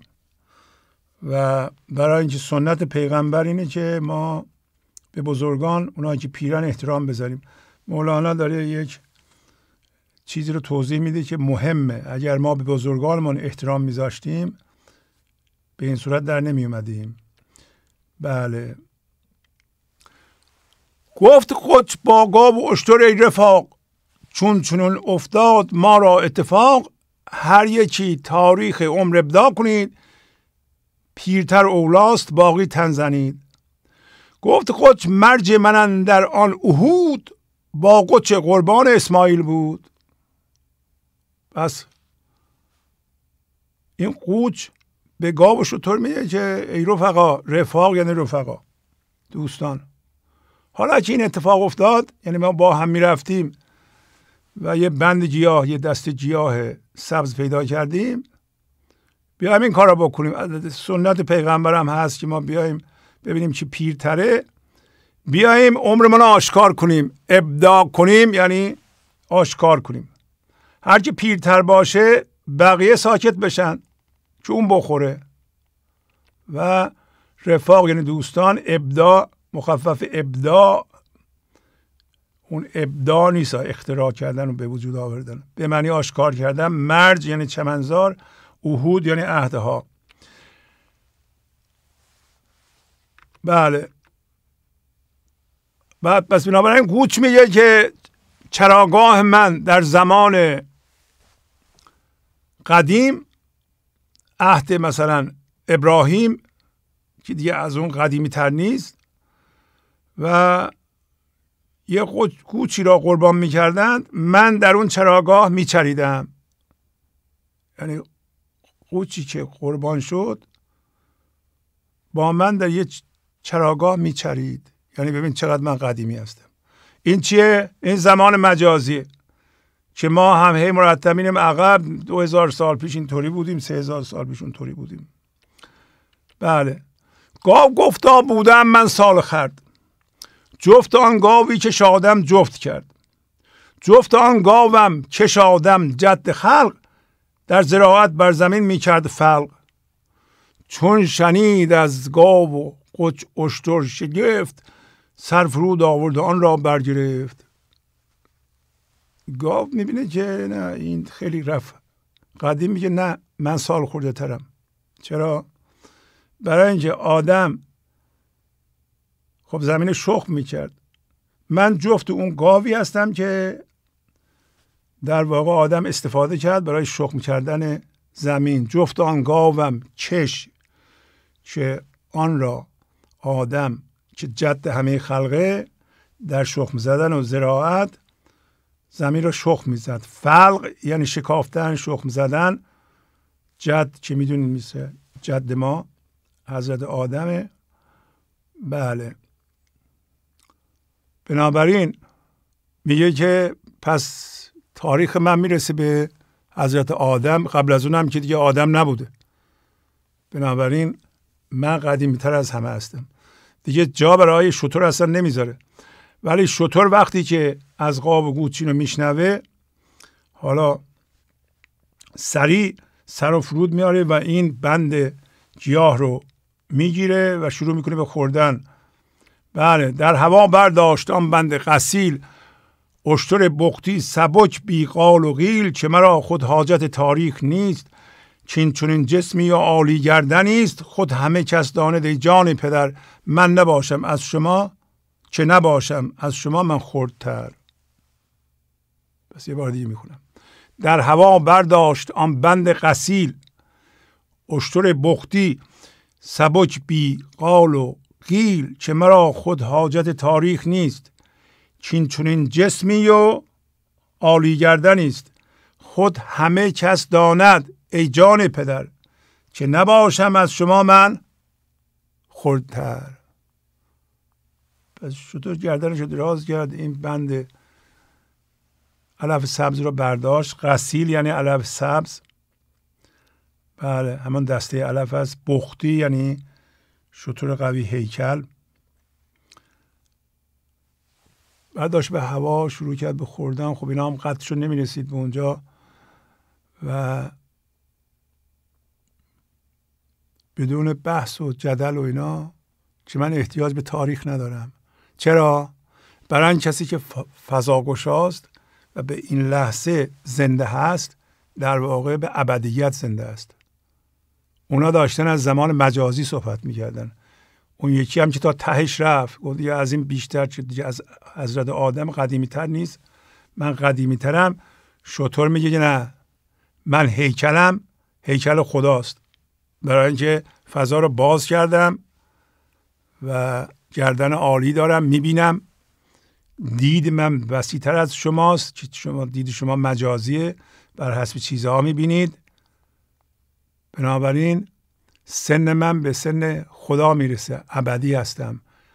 خود همه کس داند ای جان پدر که نباشم از شما من خوردتر من که به ابدیت زنده هم به ازلیت زنده هم به این لحظه زنده هم از شما دیگه زبان مجازی هستی خوردتر نیستم. من همسن خدا هستم. بله. داند این را هر چیز اصحاب نهاست که نهاد من فزونتر از شماست. جملگان دانند که این چرخ بلند هست صد چندان که این خاک نژند. کو گشاد رقه های آسمان کو نهاد بگه های خاکدان. البته این دو بیت مربوط است به قصه قبلی. یا حالا اینجا میشه مربوط کرد. داند این را هر چیز اصحاب نوهاست. نوها یعنی عقل. اصحاب نوها یعنی خردمندان. نهاد سرشت خلقت جسته و هیکل. هیکل شطور در واقع هیکل فضای گشوده شده است. نژند افسرده رقعه نوشته بقعه جا محل مکان. پس شطور چی میگه؟ شطور میگه هر کسی عقل داشته باشه یعنی عقل زندگی داشته باشه می‌دونه که نهاد من هیکل من از شما بزرگتره. یعنی زنده شدن به خدا چیه؟ فزونتر از جسم مجازیه. و این لحظه مهمتر از زمان مجازیه. شطور میگه من احتیاج به تاریخ ندارم. شما چی؟ شما احتیاج به تاریخ دارین. از خودتون بپرسین. چرا ما اینقدر احتیاج به تاریخ داریم؟ پس این لحظه چی؟ هنر من در این لحظه چیه؟ شطور میگه من این لحظه زنده هم. و اگر این دو بیت و مربوط به سخنان مسیحی بدانیم گفت من رفتم آسمان با عیسی عشق بازی کردم این شد اون اونطوری شد اونطوری شد. و همه می‌دونن که این آسمان بلند بهتر از خاک افسرده است. یهودی میگه که تجربیات شما همه در روی زمین بوده مال من در آسمان بوده. میگه این کجا و آن کجا؟ گشودن روگه های آسمان کجا؟ کونه هاد بگه های خاکدان. من رفتم اونجا نوشته های آسمانی رو خوندم. بوقه گفتیم مکان.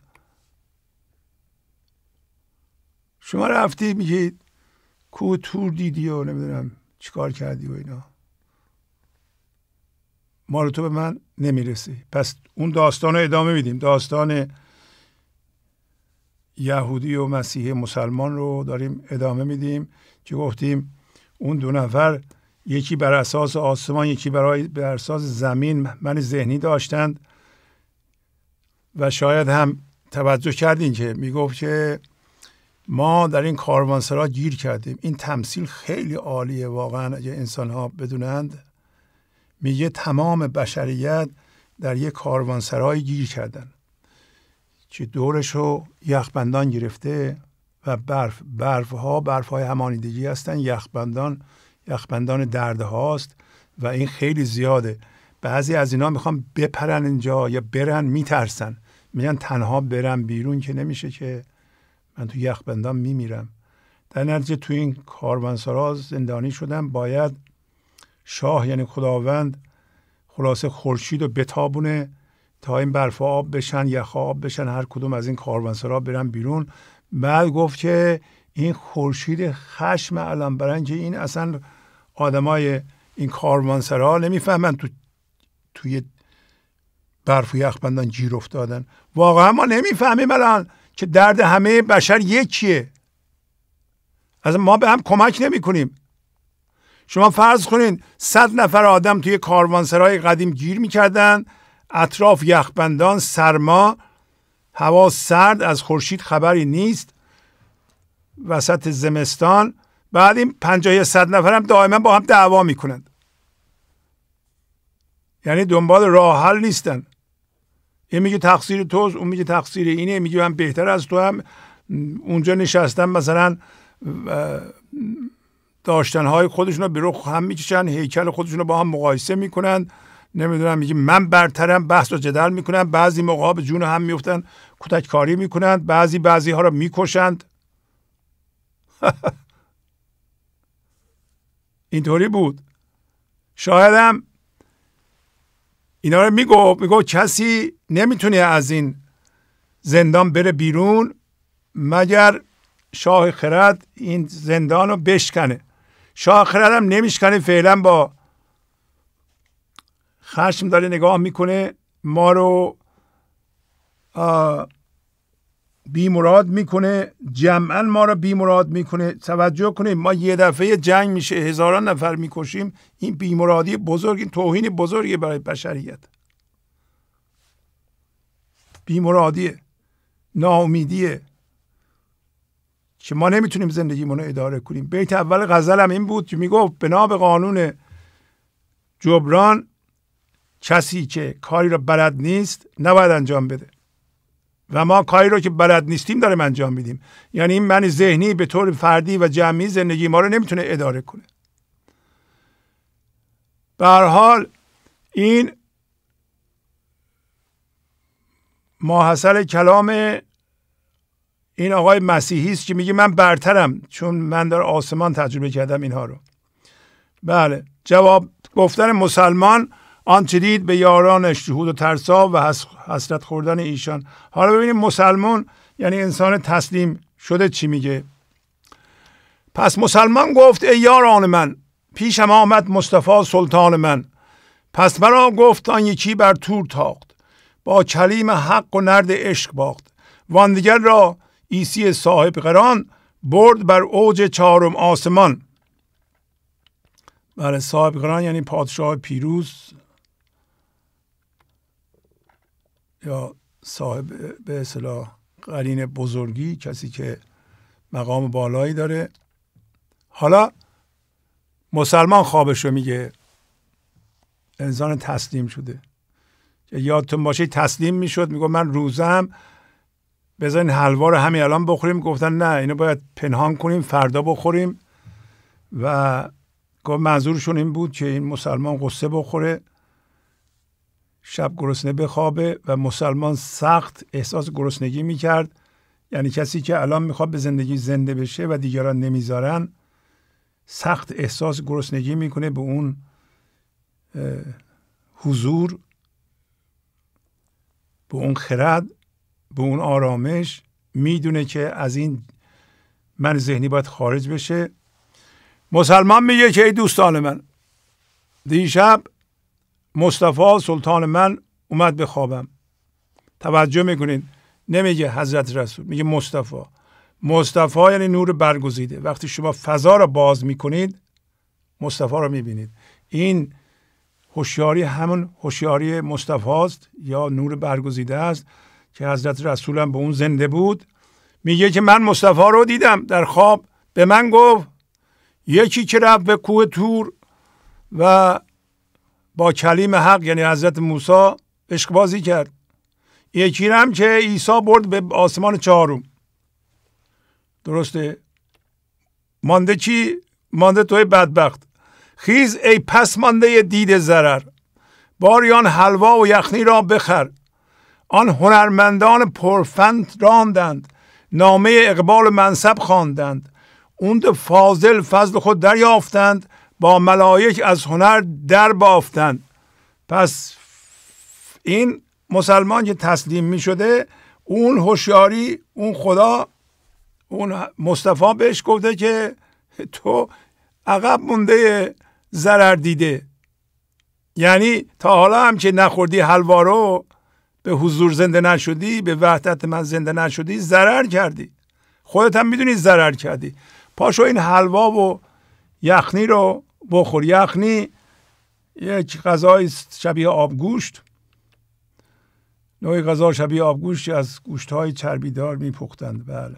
الان هم میپزم مثل در شیراز اون طرف ها آن هنرمندان پرفن راندند. نامه اقبال و منصب خواندند. اون هنرمندان پرفن یعنی اون دو تا من ذهنی که یکی مسیحی بود یکی یهودی. اونا راندن منتها در ذهن. نامه یا کتاب خوشبختی و مقام رو مقام معنوی رو ظاهرا خواندند یعنی خواندنشون ذهنی بود. آن دو فاضل که فاضل ذهنی بودن فضل خود را به صورت ذهن دریافتند. با ملائک هم در ذهنشون صحبت کردند. با ملائک از هنر در بافتند.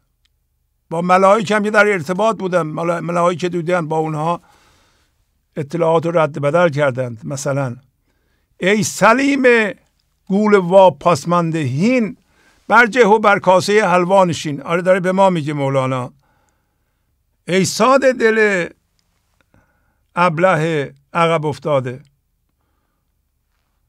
این گول همین ابلهی معنوی است. ای ساده دل ای گول ای کسی که عقب افتادی و پاسمندی حالا پاشو کاسه حلوا رو بخور. الان به ما میگه. همین لحظه پاشین که غزل هم میگو. غزل می‌گفت که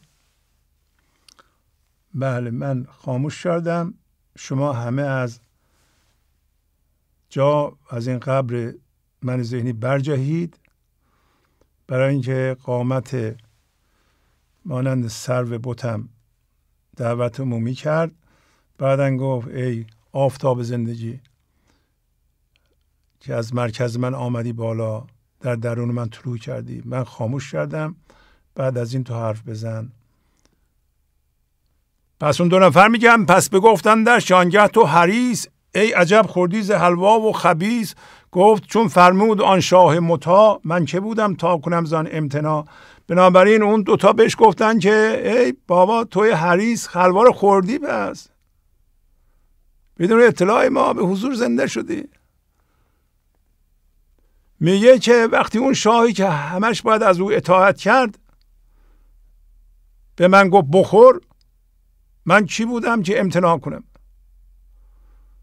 یعنی وقتی شما فضا رو باز می‌کنید زندگی به شما میگه این حلوای شادی رو بخور. حالا این منهای ذهنی میگن نخور برای فردا شما می‌تونید امتناع کنید. نه. بله. البته خبیز حلوایی که با روغن و خرما یا اصل میپزن می‌بینید که به اسمای مختلف میگه تا شما فکر نکنید واقعا حلواست. به صورت یه بند علف میگه علف سبز به صورت یخنی میگه به صورت حلوا میگه به صورت خبیس میگه. اونجا حلوا توی بشقاب بود. یعنی شما بدونین که این زنده شدن به یکتاییه. متا هم یعنی فرمان برداری شده کسی که از او اطاعت شود. تو جهود از امر موسا سرکشی گر بخواند در خشی یا ناخشی یعنی در خوشی یا ناخوشی. تو مسیحی هیچ از امر مسیح سرتوانی تافت در خیر و قبی من ز فخر انبیا سرچون کشم خوردم حلوا و این دم سرخوشم. تو یهودی از امر موسا سرکشی می‌تونی بکنی؟ می‌خواد به تو موسا رو واقعا ندیدی. اگر فضا رو باز می‌کردی اون هوشیاری موسایی رو می‌دیدی تو بیدار می‌شدی. تو جهود از امر موسی سرکشی به هر حال اگه موسی به تو می‌گفت این کارو بکن اون کارو بکن یا نکن تو گوش نمی کردی گر بخواند در خشی یا خوشی یا ناخوشی؟ میگه نه دیگه. تو مسیحی هیچ از امر مسیح سر توانی تافت سرپیچی می‌تونی بکنی در خیر و قبی اگر بگی این کار بکن به نظر شما خیر نباشه قبیح باشه تو انجام نمیدی؟ حتما انجام میدی. بنابراین من از فخر انبیا که حضرت مصطفی است چجوری سرپیچی کنم؟ بنابراین اون گفت بخور منم خوردم. پس فضا رو باز کردم. این هوشیاری به من گفت بخور همین الان بخور این لحظه باید بخوری. من دیگه منتظر شما نشدم. پس کسی که به حضور می‌خواد زنده بشه منتظر منهای ذهنی دیگه نمیشه. نمیگه همسر من بشه اون یکی هم بشه اون این کار نکنه. حلوا رو باید خودش پاشه بخوره. پس بگفتندش والله خواب راست تو بدیدی وین به حسد خواب ماست. خواب تو بیداری است ای بوبتر. که به بیداری ایان استش اثر درگذر از فضل و از جلدی و فن. کار خدمت دارد و خلق حسن. پس اون مسیحی و یهودی دیدن که واقعا این راست میگه گفتن که خواب راست رو تو دیدی. یعنی امروزه من ذهنی هم می‌فهمه که اگر نمی‌تونی فضا رو باز کنه حقیقتا باید فضا رو باز کرد و از درون نور مصطفایی به ما بگه بخور. حلوا رو بخور. گفتن که خواب راست رو تو بدیدی. این بهتر از صد جور خواب ماست که ما می‌بینیم. چون ما خوابها رو در ذهن دیده بودیم. این خواب تو که به حضور زنده شدی فضا رو باز می‌کردی ای پدر شادی ای سرمست بوبتر. بهتر از بیداریه بهتر از بیداری به ذهنه. برای اینکه این خواب تو اثرش در بیداری عیانه. پس هر کسی که فضا رو باز می‌کنه حلوا رو می‌خوره شیرینی زندگی رو می‌خوره خرد زندگی رو می‌گیره شادی زندگی رو تجربه می‌کنه انعکاسش در بیرون عیانه. برای اینکه گفت ببینید من سرحالم. بله؟ دیدین دیگه. خوردم حلوا و این دم سرخوشم. یعنی سر من خوشه. فکر من خلاقه. انکاسش در بیرونم نیکه. پس الان مولانا نتیجه گیری می‌کنه. در گذر از فضل و از جلدی و فن کار خدمت دارد و خلق حسن. این قصه ها مربوط به این بود که ما تم به زیرکی و دانش من ذهنی ندیم. نگیم من می‌دانم. من بلدم. در غزلم بود گفت که اسب رخت راست بر این شه تواف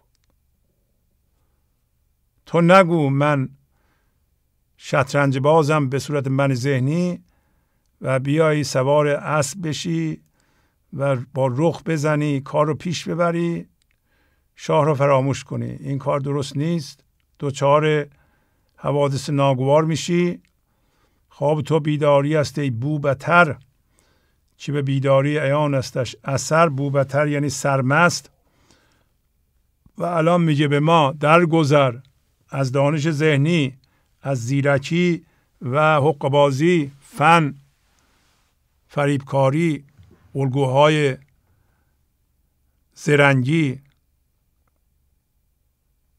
تکنیک های گول زدن درو درگذر از فضل و از جلدی و فن کار اینه که کاری موثره که خلق حسن داشته باشی خلق پسندیده داشته باشی. یعنی خلق حضور داشته باشی خلق زندگی داشته باشی و خدمت بکنی. کار خدمت دارد و خلق حسن. واضح. پس بوبتر سرمست البته به معنی سرمست از در اینجا جلدی چابوکی بله. بهر این آوردمان یزدان برون ما خلقت الانس الا یعبدون. میگه که حضرت حق ما را بدین جهت آفرید که او را عبادت کنیم. چنانکه در قرآن کریم فرموده است جنیان و آدمیان را نه نیافریدم جز آنکه مرا پرستش کنند. منظورش این آیه است جن و انس انس را. یعنی انس یعنی انسان هوشیاری انسانی. جن بگیم هر هوشیاری دیگه یعنی همه رو. تمام هوشیاری ها رو که در اجسام مختلف هستند نیافریدم مگر مرا پرستش کنند. یعنی همه بر اساس خرد خداوند میگردند. درسته؟ بهر این آوردمان یزدان برون ما خلقت الانس الا یعبدون پس به این علت ما رو از هیچ آورده بیرون فرستاده به این جهان که ما او را چکار کنیم؟ عبادت کنیم. نه اینکه من ذهنی داشته باشیم حول خودمون بچرخیم. این دوباره همون برمیگرده به بیت اول غزل. گاه همه چی دور خدا میچرخه. عرض می‌کنم که این قصه ها به غزلم مربوط هستن. می‌بینین دیگه. بله. و الان خودش نتیجه گیری می‌کنه. سامری را آن هنر چه سود کرد؟ کانفن از باب اللهش مردود کرد. چه کشید از کیمیا قارون؟ ببین. چرا فرو بردش به غرق خود زمین؟ بل حکم آخر چه بربست از هنر؟ سرنگون رفت دوز کفران در سقر سقر یعنی جهنم. همینطور که اینا رو می‌دونی. باب الله یعنی درگاه الهی یا در خداوند بلحکم کنیه اصلی ابو جهل است. ابو جهل در مقابل حضرت رسول به جای فضا را باز کنه و به زندگی زنده بشه به جهل من ذهنیش اصرار ورزید. سقر هم یعنی دوزخ. پس سامری می‌بینین که در غیاب موسی گوساله درست کرد. البته این داستان رو می‌بینید. موسی وقتی قوم خودش رو از مصر حرکت داد به سرزمین موعود مصر اگه بگیم جهان فرم سرزمین موعود فضای یکتایی. موسی به قومش گفته بود که طلا و جواهر و نمی‌دونم نقره و اینا رو نیاریم با خودتون. ولی خب قوم بنی اسرائیل پنهانی گفتن نمیشه که ما این طلاها رو می‌بریم به درد می‌خوره. حالا موسی عقلش نمی‌رسه به هر حال اینا رو پنهان می‌بریم. طلا و اینا رو نبریم یعنی چی؟ یعنی همانیدگی رو با خودمون نبریم. هر کسی که از جهان فرم از ذهن می‌خواد بره به سرزمین موعود یعنی فضای یکتایی چیزی با خودش نباید برداره. همانیدگی نباید برداره. ولی اینا طلا و جواهر و نمی‌دونم نقره و اینا رو با خودشون داشتن. موسی که رفته بود بالای کو اون سامری اومد گفت که این طلاهاتون رو بیارین. طلاها رو آوردن یه گوساله درست کرد و این گوساله همه معادل من ذهنی هست. بله. که باد در این میپیچید و صدا در می آورد و که مولانا این گوساله رو می‌گیره و میگه من ذهنی هم عین اینه. پس گوساله همه من ذهنیه. بله. نگذری زین بود سیصد سال تو تا که داری عشق آن گوساله تو. یعنی 300 سالم با من ذهنیت کار کنی تا زمانی که عشق این گوساله رو داری نمی‌تونی بگذاری بری به خدا برسی. ما عشق گوساله رو داریم. البته موسی برگشت دید که اونایی که این طلاها رو داشتن گوساله پرست شدن به جای خدا پرست. مولانا می‌خواد بگه که ما هم گوساله پرستیم. من ذهنی پرستیم باور پرستیم پول پرستیم. همانیدگی پرستیم و الان در این بیت میگه سامری را آن هنر گوساله سازی و گوساله پرستی چه کرد؟ مردم رو دعوت کرد به گوساله پرستی. سامری نفرین شد و بدبخ شد. و آن فن یعنی گوساله سازی و گوساله پرستی او را از در خدا راند. در خدا راند یعنی می‌دونین که فضا گشایی در خدا را باز می‌کنه. چیزهایی که در ذهن هستن همانیده هستیم میان مرکزمون بر حسبمون می‌بینیم از در خدا دور میشیم مردود میشیم. شما باید ببینید الان فضا باز می‌کنید یا فضا رو میبندید. گوساله پرستی فن درستی نیست. و خیلی از ما گوساله پرست هستیم. بله.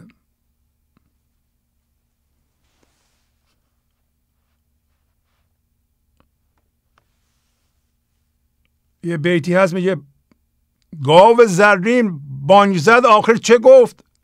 چهمقان را این همه رغبت چه گفت؟ گاو زرین ما من ذهنی ما این همه داد بیداد کرده. اتفاقا بیت آخر این قسمت هم خیلی جالبه. چی گفته؟ از بد به وجود آمدن گوساله یعنی من ذهنی این همه حرف زده چی گفته؟ هیچی. جز خرابکاری چی داشته؟ جز اینکه ما رو از در خدا رانده دور کرده چی کرده؟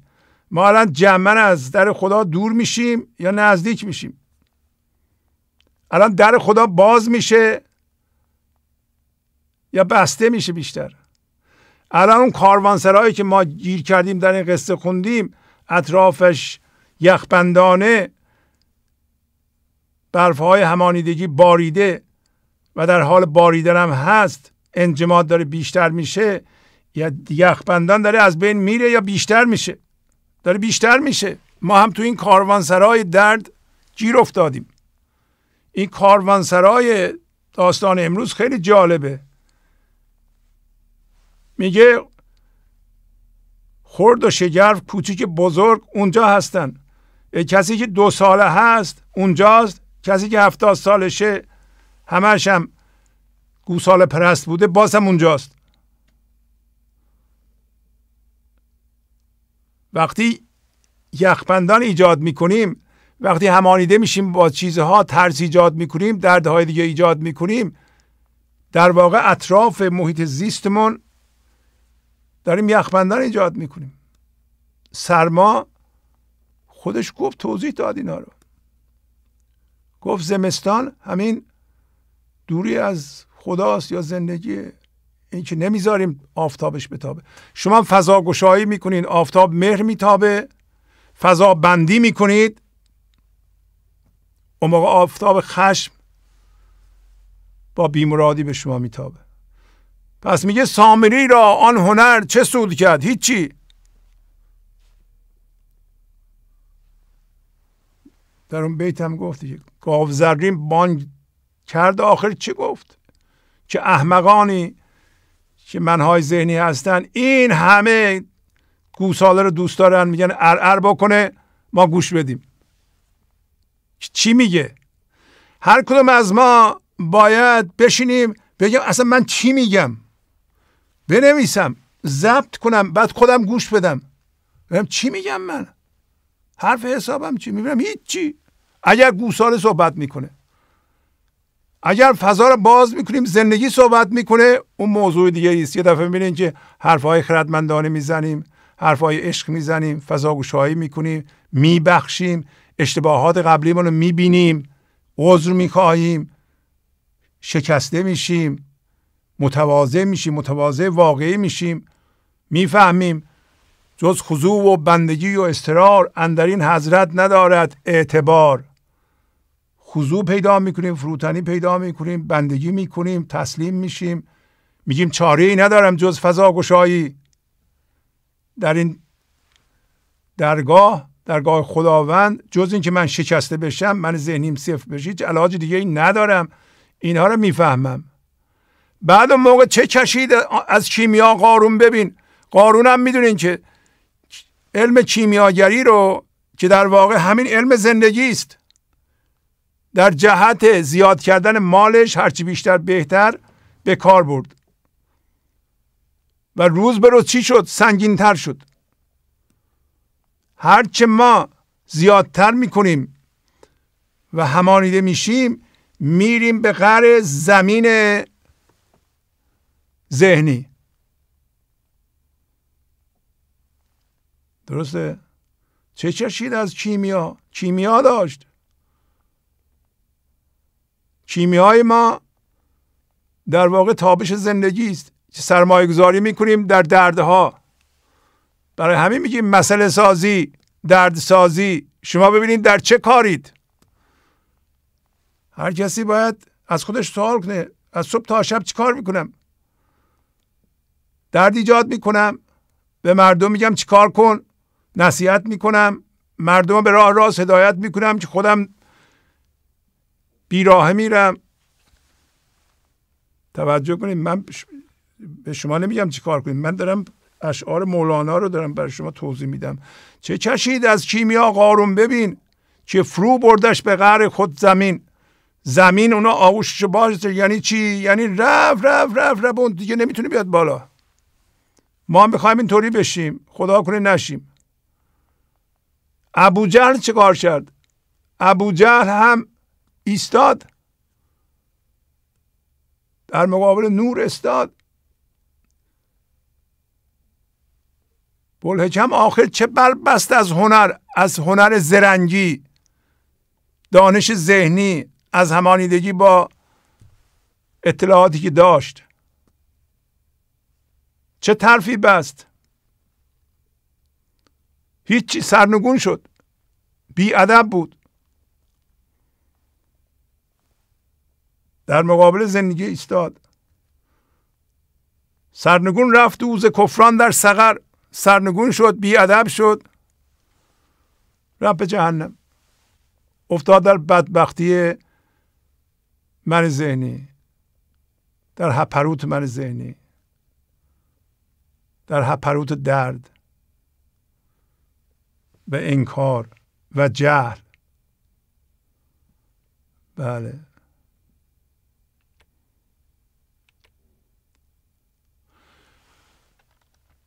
خود هنر آن که دید آتش ایان نه دل علی نار دخان. میگه هنر اینه که آتش رو ایان ببینه. یعنی چی؟ یعنی فضا رو باز کنه خود زندگی بشه. آتش و عشق رو به طور عینی ببینه. یعنی شما باید به خدا زنده بشین. نه اینکه تو ذهن باشین نه کپ نه گفتگو کپ یعنی گفتگوی چی؟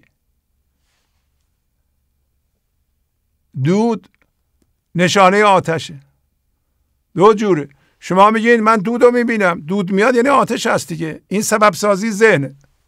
نه کپ دل نار دخان. دخان یعنی دود. دل نار دخان یعنی تصاعد دود دلیل بر وجود آتش است. کسی را باید هنرمند بدانی که آتش را آشکارا و به طور عینی می‌بیند. نه اینکه فقط دود رو می‌بیند. و ببیند دود علامت آتشه دود چیه؟ دود ذهنه. فعالیت ذهنه. سبب سازیه شما بر حسب سبب سازی استدلال می‌کنید گفتگو می‌کنید با ذهنتون. پس خدا هست دیگه. استدلال های ذهنی. نه. استدلال ذهنی بنداز دور. تبدیل شو فضا رو باز کن. باور پرستی هنر نیست. باور پرستی همین کپ دل علی نار دخان هست. با سبب سازی به وجود خدا پی بردن یعنی تصاعد دود دلیل بر وجود آتش است پس عینا باید ما به او زنده بشیم. گفتیم این کار شبیه این است که خورشیدی از درون ما طلوع می‌کنه. بله. این دلیلت گندتر پیش لبیب در حقیقت از دلیل آن طبیب چون دلیلت نیست جز این ای پسر گوه میخور در کمیزی مینگر. الان تمثیلش این است که بعضی از پزشکان الان البته همه پزشکان فقط به ادرار نگاه می‌کنن. امروزه دیگه این پارامترهایی که در ادرار هست اندازه می‌گیرن از روی اون پارامترها میگن که خب این ممکنه فلان مرض داشته باشه. قدیم هم به رنگ ادرار و اینا نگاه می‌کردن. میگه پزشکی که بی سواد باشه به رنگ ادرار نگاه می‌کنه. و پزشکی که واقعا پزشک باشه به تجربه داشته باشه به نمی‌دونم به رنگ بیمار یا به حالا نبز بیمار نگاه می‌کنه و تشخیص میده. یه عارف هم مثل مولانا وقتی یه کسی مثل ما یه دقیقه حرف می‌زنه یا به ما نگاه می‌کنه یا ما از خودمون میگیم می‌فهمه چی کاریم ما. پس بنابراین دلیل ذهنی و سبب سازی برای زنده شدن به عشق کافی نیست. میگه دلیل تو بدتر و گنده تر از آن طبیبه اون طبیبی که فقط سوادش می‌رسه به رنگ ادرار نگاه کنه. ای دلیلت گنده تر پیش لبیب. لبیب یعنی خردمند. در حقیقت از دلیل آن طبیب. یعنی دلیل تو که از سبب سازی ذهنی میاد از ذهنت بیرون نمی‌تونی بری و در این راه بسیار هم زرنگ هستی. دانش تو به حساب میاری؟ که در داستانهای گذاشته گفت که این دانش مدرسه و زرنگی تو به درد این کار نمی‌خوره. یعنی با زرنگی و دانش دبیرستانی و دانشگاهی نمی‌تونی به خدا برسی. چون اونا فقط سبب سازی میشن. باید فضا رو باز کنی. ای دلیلت گنده تر پیش لبیب در حقیقت از دلیل آن طبیب چون دلیلت نیست جز این چون دلیلی غیر از سبب سازی نداری مثل اون طبیب ای پسر برو کسافت میخور و به کمیز نگاه کن به ادرار نگاه کن. یعنی برو به سبب سازی خودت نگاه کن. بله. ای دلیل تو ای دلیل تو مثال آن عصا در کفت دل علا عیب اما بار دیگه ببینید. ای دلیل تو مثال تو ای دلیل تو مثال آن عصا در کفت دل علا عیب اما ای کسی که دلیل در دست تو مانند عصایی در دست کور هست. همانطور که عصا دلالت بر کوری فرد می کند توسل به عصای سبب سازی و استدلال نیز دلیل بر کوردلی است. درسته؟ شما چی؟ شما غیر از سبب سازی دلیل دیگه ای دارید؟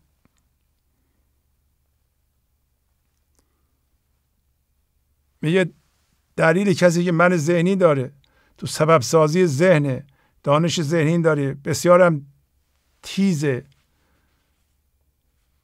فتن داره. اینا رو قبلا خوندیم در ابتدای این داستان. دلیل تو شبیه اون عصا در دست یک کوره. وقتی عصا رو در دست یه نفر می‌بینی می‌تونی حدس بزنی که این آدم چشماش نمی‌بینه. پس کسی که استدلال می‌کنه سبب سازی می‌کنه و می‌خواد به زندگی زنده بشه شبیه این کسی که دستش عصا هست عصای استدلال و عصای سبب سازی نشان این است که مرکزش جسمه مرکزش کوره. غلغل و تاق و ترمب و گیردار غلغل و تاق و ترمب و گیر و دار. که نمی‌بینم مرا معذور دار. غلغل یعنی جوش آوردن واکنش نشون دادن. تاق و ترمب یعنی سر صدا و جلال و شکوه ظاهری. گیر و دار بگیر و ببند.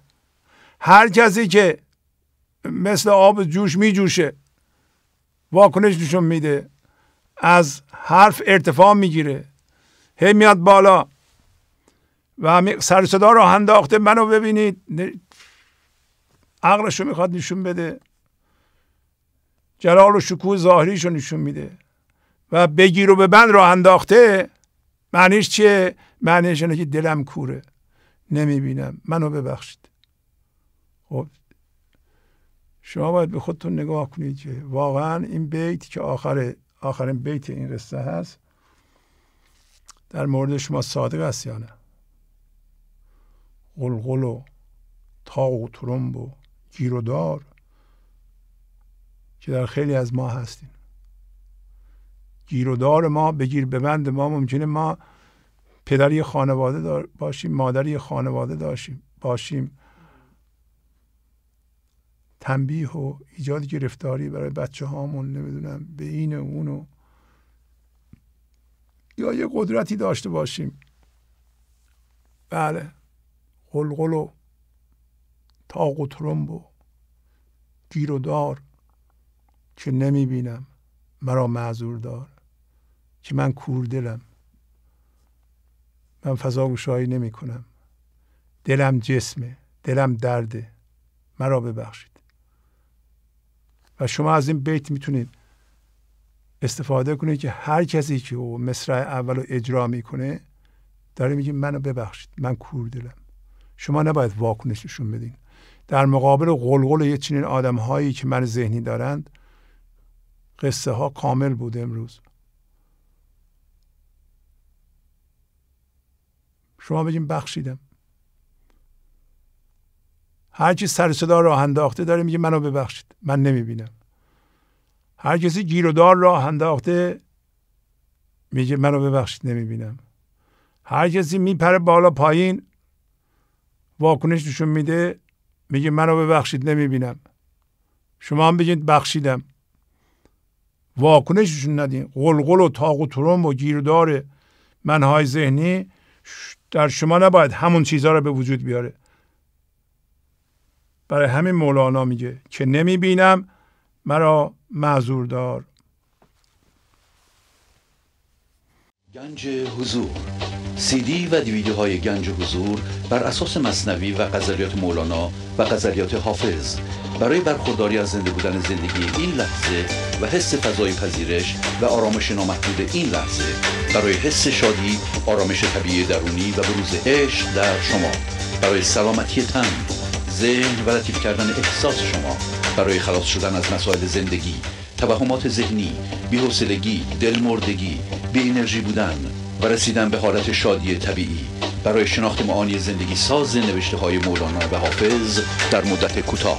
برای سفارش در آمریکا با تلفن 818 970 3345 تماس بگیرید. در این قسمت از برنامه به برخی از پیغام های تلفنی شما گوش خواهیم کرد. تلفن استودیو دو صفر یک هفتصد و چهل هفت هشتصد و هشتاد هشت صفر چهار چهل شیش هست. و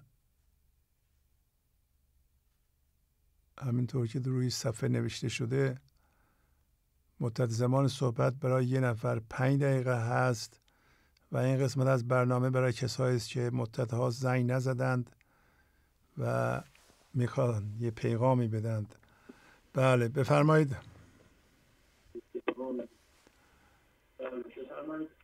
الو. بله بله بفرمایید. سلام علیکم.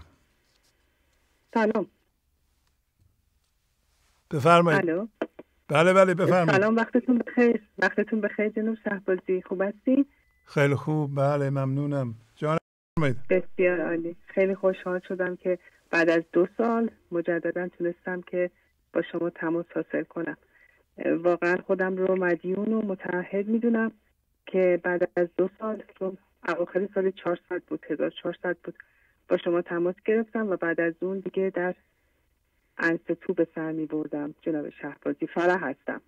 خانم فرح بله. بله بله. از تهران. بله بله. از اندیشه. بله بله بله. یادم میاد شما زنگ می‌زدید. دیگه زنگ بله. نزدید. بله. بله بله. من آخرین باری که تماس گرفتم جناب شهبازی همون سال 400 بود که خدمتون عرض کردم. دقیقا یک روز مونده بود به سال تحویل 401 گفتم که بنا رو بر این گذاشتم که دیگه قرین بد رو در واقع دیگه صرف نظر بکنم و به هر نحوی که شده فائق بیام بر این میلی که دارم. حتی نسبت به افرادی که خیلی نزدیک هستن به من و البته که بیشتر همانیدگی های ما با همین افراد خانواده هستش که بعضا هم قرین بد هستند و ما رو از مسیر هوشیاری باز میدارن و در این کاروان سرایی که هممون در زمحریر و سردیش گیر افتادیم و برفش داره ما رو دیگه در واقع یخ زدیم و منجمد شدیم و افسرده و فسرده شدیم واقعا در این بر این شدم که دیگه باید یه کار بزرگی بکنم و این کار بزرگ به شدت من رو در سختی و عنا و درد انداخت جناب شهبازی واقعا سخت آدم بخواد از اون کسانی که باهاشون خو گرفته یا با این من ذهنی که سالها باهاش خو گرفته و همانیده شده فاصله بگیره یا بخواد در در واقع روبرو شدن با اونها رو ببنده به روشون. بسیار برای من سخت بود بسیار تهمت ها و صحبت های ناروایی رو شنیدم و حالا یا به گوشم رسید یا با ارتعاشاتشون متوجه شدم ولی واقعا در این دو سال روی خودم کار کردم و واقعا در رو بستم و فقط و فقط تمرکز روی خودم کردم. یادم خانم اکرم از قزوین زنگ زدن بسیار زیبا گفتند که قرین بد رو باید مراقبت کنیم و تمرکز روی خودمون داشته باشیم و واقعا روی خودمون کار کنیم. این حرفشون انقدر به دل من نشست و انقدر در من کارساز شد که من از همون موقع با اینکه از برنامه 745 به این ور که با شما یه صحبت تلفنی داشتم و شما فرمودید که بیشتر و بیشتر قانون جبران رو رعایت کن بیشتر رو خودت کار کن بیشتر تمرکز رو خودت داشته باش و واقعا از اون موقع به اون بعد دیگه من به شدت چسبیدم به برنامه گنج حضور. تمام وقتم رو روی برنامه گذاشتم و یعنی بیشتر هم و غمم این بود که خدایا من از این مسیر جدا نشم یعنی رو گفت رو هر که غم دین برگزید باقی غم ها خدا از وی برید. و واقعا هر در این مسیر بیشتر غمگین شدم زاری کردم ناله کردم بیشتر شادی درونی در من بروز کرد و ظهور کرد و این برای من بسیار جالب بود. امروز خوندیم در غزل 260 و با بسیار زیبا مثل همیشه و بسیار بینظیر فرمودید که در این کاروان سرای سرد سر تهش هم معلومه تولد و مرگ. چون که دیگه مشخصه که این حدیث اندازی بشریت کماکان ادامه داره. خداوند حلوا رو در جلوی ما گذاشته. یا به قولی همین یخنی یا همین دست گیاه رو در مقابل ما گذاشته توسط شما توسط مولانا. ولی ما کماکان داریم سبب سازی می‌کنیم کماکان داریم علتمندی می‌کنیم. کماکان داریم حق ناشناسی و قدر نشناسی می‌کنیم و این حلوا رو یه سره تازه به تازه نمی‌خوریم. تو ادامه میدیم و می‌خوایم مبارزه کنیم و می‌خوایم همش بگیم من درست میگم من سبب سازی می‌کنم من و من و من و من و این من کاذب دائم داره در ما همون علتمندی رو ایجاد می‌کنه که میگه عمر رفت و تو منی داری هنوز و میل در ناایمنی داری هنوز. تنها چیزی که تونستم یعنی بیشتر از اینم نمی‌تونم صحبت کنم چون زمان رو باید رعایت بکنم. خودم رو موظف می‌دونستم که زنگ بزنم از شما تشکر بکنم. برای سال میلادی هم نتونستم خدمتون تماس بگیرم شرایط مناسب نبود. گفتم امروز اولین تلفنی باشم که هم ازتون بی نهایت تشکر بکنم بابت تمام زحماتی که برای ما کشیدین. من سیزده ساله که در واقع شاگرد شما و مولانا هستم و بی نهایت بی نهایت سپاس گذارم از تمام زحمات شما. واقعا من وقتی زنگ می‌زنم جناب شهبازی واقعا لال میشم. اصلا نمی‌تونم حرف بزنم. الان هم که زنگ زدم دیگه خیلی به خودم فشار آوردم. گفتم که اقلا می‌تونی که تشکر کنی. می‌تونی که در واقع تعهدت رو و جبران در واقع قانون جبران معنوی رو به جا بیاری و قدردانی و حق شناسی رو به جا بیاری. خیلی متشکر و سپاسگزارم. وقت شما رو نمی‌گیرم. از زحمات شما ممنونم. سپاسگزارم. فرمایشی اگر نداریم ارزی ندارم. خدا حافظ شما. سلامت باشین. خدا نگهدار. بفرمایید. الو. بله سلام. بفرمایید. الو سلام. شهبازی. سلام. تلویزیونتون رو باید خاموش کنید. چشم. بعد میشه تماس می‌گیرم فاطمه هستم بله خانم فاطمه بفرمایید خواهش می‌کنم. خواستم قانون جبران رعایت کنم تماس گرفتم. شهباز من یک فکر کنم یک سال نشه هشت ماه نه ماه پیش تماس گرفته بودم. خودم موظف کردم که باید این قانون جبران معنوی هم بکنم حتما زنگ بزنم. و طبق گفته شما که زندگی میگه دوست داره ما خودمون رو بیان کنیم به خاطر این هست که من تماس گرفتم. آفرین. از زحمت های بیدریق شما واقعا خیلی زحمت می‌کشین برای ما آیه شعبازی ما واقعا مگه شانس آوردم با این گنج حضور آشنا شدم. شما لطف داریم و خواستم یک تحولی که در خودم به وجود بله اومده بله. میگم بفرمایید. یکی از تجربیاتم. آقای من قبلا خیلی از تنهایی میترسیدم. یعنی نمی‌تونستم تنها باشم تو خونه. حتی برای یک ساعت دو ساعت هم احساس ناراحتی می‌کردم. و به خاطر همین بیشتر وقتا با همسرم که مثلا دوست داشت با دوستاش مثلا برنامه بذاره بیرون بره اینا من ترسی که حتی بچه هم داشتم و اینا تو خونه بودن. البته من الان دیگه بچه هم همه ازدواج کردن نیستن.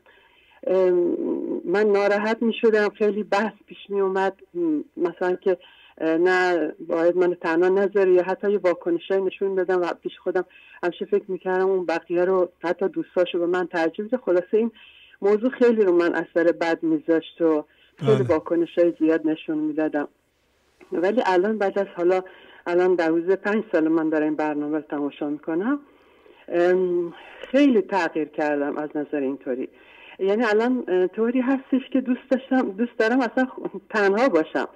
وقتی تو خونه تنها هستم فکر می‌کنم تنها نیستم. یعنی یه حس خیلی خوبی دارم. حس می‌کنم که نه وقتی که یکی میاد احساس می‌کنم باز تنها میشم. بله بله و بله خیلی حس خوبیه و حتی الان من همسرم بیرون می‌خواد بره با دوستاش می‌خواد بره هیچ واکنشی دیگه نشون نمیدم. حتی خودم دوست دارم بهش کمک کنم غذایی باشه چیزی باشه آماده کنم مثلا بخواد بره بیرون و اینا. او حسای شاید حسادت یا یک مقایسه که مثلا فکر می‌کردم اینا اینا دیگه خیلی کم شده یعنی نیست. در من. خیلی زیبا. و بله. بعد اون بیت پندار کمال علتی بدتر ز پندار کمال نیست در جان تو ای زو دلال از دل و از دیدت بس خون رود تا ز تو این موجبی بیرون شود. اینو که من قبلا میخوندم فکر می‌کردم که مثلا علتی بدتر ز یعنی هیچ بیماری بدتر از من می‌دانم نیست. و اون که من می‌دانم یعنی من از کسای دیگه بیشتر می‌دونم. ولی من دیروز که بازم داشتم اینو می‌خوام متوجه شدم که یعنی داشتم مراقبه می‌کردم باهاش علتی بدتر این. یعنی اینکه من وقتی میگم می‌دونم یعنی از خدا بیشتر می‌دونم از زندگی بیشتر می‌دونم. بله. و با او پندار کمال یعنی اینکه تو این لحظه دیگه نیستم. باز دوباره همون میرم توی از حضور خارج میشم و اینه که خیلی اون هم هویت شدگی هایی که از اول داشتم اینا اینا می‌دانم اونا هستش. آفرین. آفرین. خیلی زیبا. بله شعباز جانم. عالی ارزی ندارم. دارم شما رو تش... تحسین می‌کنم. بله. خود خلاصه خیلی من تصویر شعرها رو همه می‌خونم تا اونجای خب جبران مادی که از همون سال اول روزای اول من انجام دادم نوشته ها حتی من مرتب اینا شب من نمی‌دونم باید یعنی هر لحظه نگاه می‌کنم ببینم مثلث اون شکلا رو من همه اینایی که شما ابدا کردین همه رو تو دیوار زدم نگاه می‌کنم ببینم توی مثلا اون مثلث همانش هستم یا وا همانش. هر لحظه یعنی هر قدم اون. چه چگونه بود قدم را چه نشان نهی قدم را. نگر اولین قدم را. یعنی اولین قدم رو که هر لحظه صبح بیدار میشم به خودم از درون نگاه می‌کنم ببینم الان من توی این لحظه هستم یا خارجم. یعنی اینو متوجه دیگه میشم. دیگه حالت حالت اتوماتیک شده. اینکه زحمتی دیگه برای دونستنش نم- نمی‌کشم دیگه زیاد. اصلا این پیشرفتم رو بگم نمی‌دونم. عالی و اینکه زنگ بزنم خیلی از شما تشکر کنم. از زحمتاتون واقعا آقای شهباز ما واقعا دست قدرتتون رو میبوسم. خواهش می‌کنم. خیلی خیلی به ما کمک کرده یعنی من همین زندگیم همین گنج حضوره. اصلا دوست دارم مرتب تو خونه اگه هیچ کسی دیگه نباشه بخواد تمام تلویزیون. حالا که دیگه این موبایلم که دیگه اپلیکیشن اینا بس کردم خیلی خوب شده. هر جا هستم حتی دراز کشیدم یا مثلا هر چیزی اینم مثلا نگاه می‌کنم. همون برنامه رو. آره یعنی کار من همش همینه بیشتر. آفرین آفرین. و با یه ذوقی اول به صورت یه جوری عادت بود یا یه به صورت یه جوری که مثلا باید این کارو می‌کردم. خیلی فراز نشیب زیاد داشتم افتان و خیزان زیاد داشتم. اصلا ناامید نباید بشی در این راه باید ادامه بدی. آفرین. اصلا ناامیدی نیست. یس ناامیدی دان آواز قول می‌کشد گوشت تا قلب آفرین یعنی هر وقت می‌خوای یه چیز ناامید بشم این بیتا فوری برام میاد.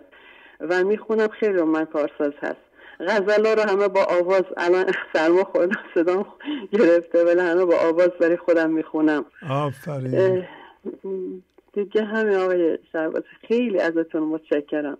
روابطتون با همسرتون هم خیلی بهتر شده نه؟ روابطتون با همسرتون بچه هاتون بله بله اصلا دیگه من مثلا اون کنترل و اون ترس البته اون من همیشه هم هویت با بیمار یعنی از ترس ترسم از بیماریه. یعنی همیشه از کودکی چون مادرم همطور بود این حالت ارسی که بیمار می‌شد من یه ترس خاصی داشتم. ولی حالا دارم ترس من می‌بینم که در این مورد هست. بعد بچه ها همینطور همیشه نگران وضعیتاشون بودم. الانم یه مقدار هستم ولی می‌بینم. که مثلا الان ازدواج کردن حالا من نباید دخالت بکنم دخالتام. اینا کنترل اینا خیلی که کم شده های خیلی رابطم با بچه ها اینا که عالی. خیلی خوب شده همسرم هم همینطور خودش هم نگاه می‌کنه. ولی خب من خودم عضو هستم و دیگه اینطور آفرین آفرین. باتون خداحافظی بکنم. عالی بود عالی. ممنون. ممنون. سلامت باشین. دستانتون میبوسم. خداحافظ شما. خداحافظ خداحافظ. بفرمایید. الو. بله بله بفرمایید. سلام. سلام خواهش می‌کنم. الو سلام. بله سلام. من از کرمان زهرا از کرمان هستم. شهبازی خیلی ممنونم ازتون خیلی ممنونم. از الان چند سال هست که دارم گوش میدم. آفرین. عالی. خیلی حالم خوبه. خیلی یعنی سی سال که هسته که شوهرم فوت کرده خیلی مشکلات داشتم. مریض بودم. ولی الان دیگه مریضیم. کلن کلن حالم خوبه. اصلا همه دردام کل دردام از, از یعنی خوب شدم. آفرین خیلی سالم شدم. آفرین.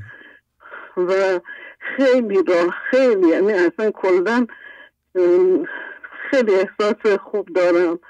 خدا رو شکر می‌کنم خدا رو شکر می‌کنم که تو این راه افتادم. آفرین آفرین. و الان دیگه کل بیماری همه چون فهمیدم از زمانی که فهمیدم بیماری یک مهمانه و باید بره و خیلی احساس یعنی بیماری کلن از وجودم بیرون کردم و حالم خیلی خوبه. منو ذهنی می شناختم.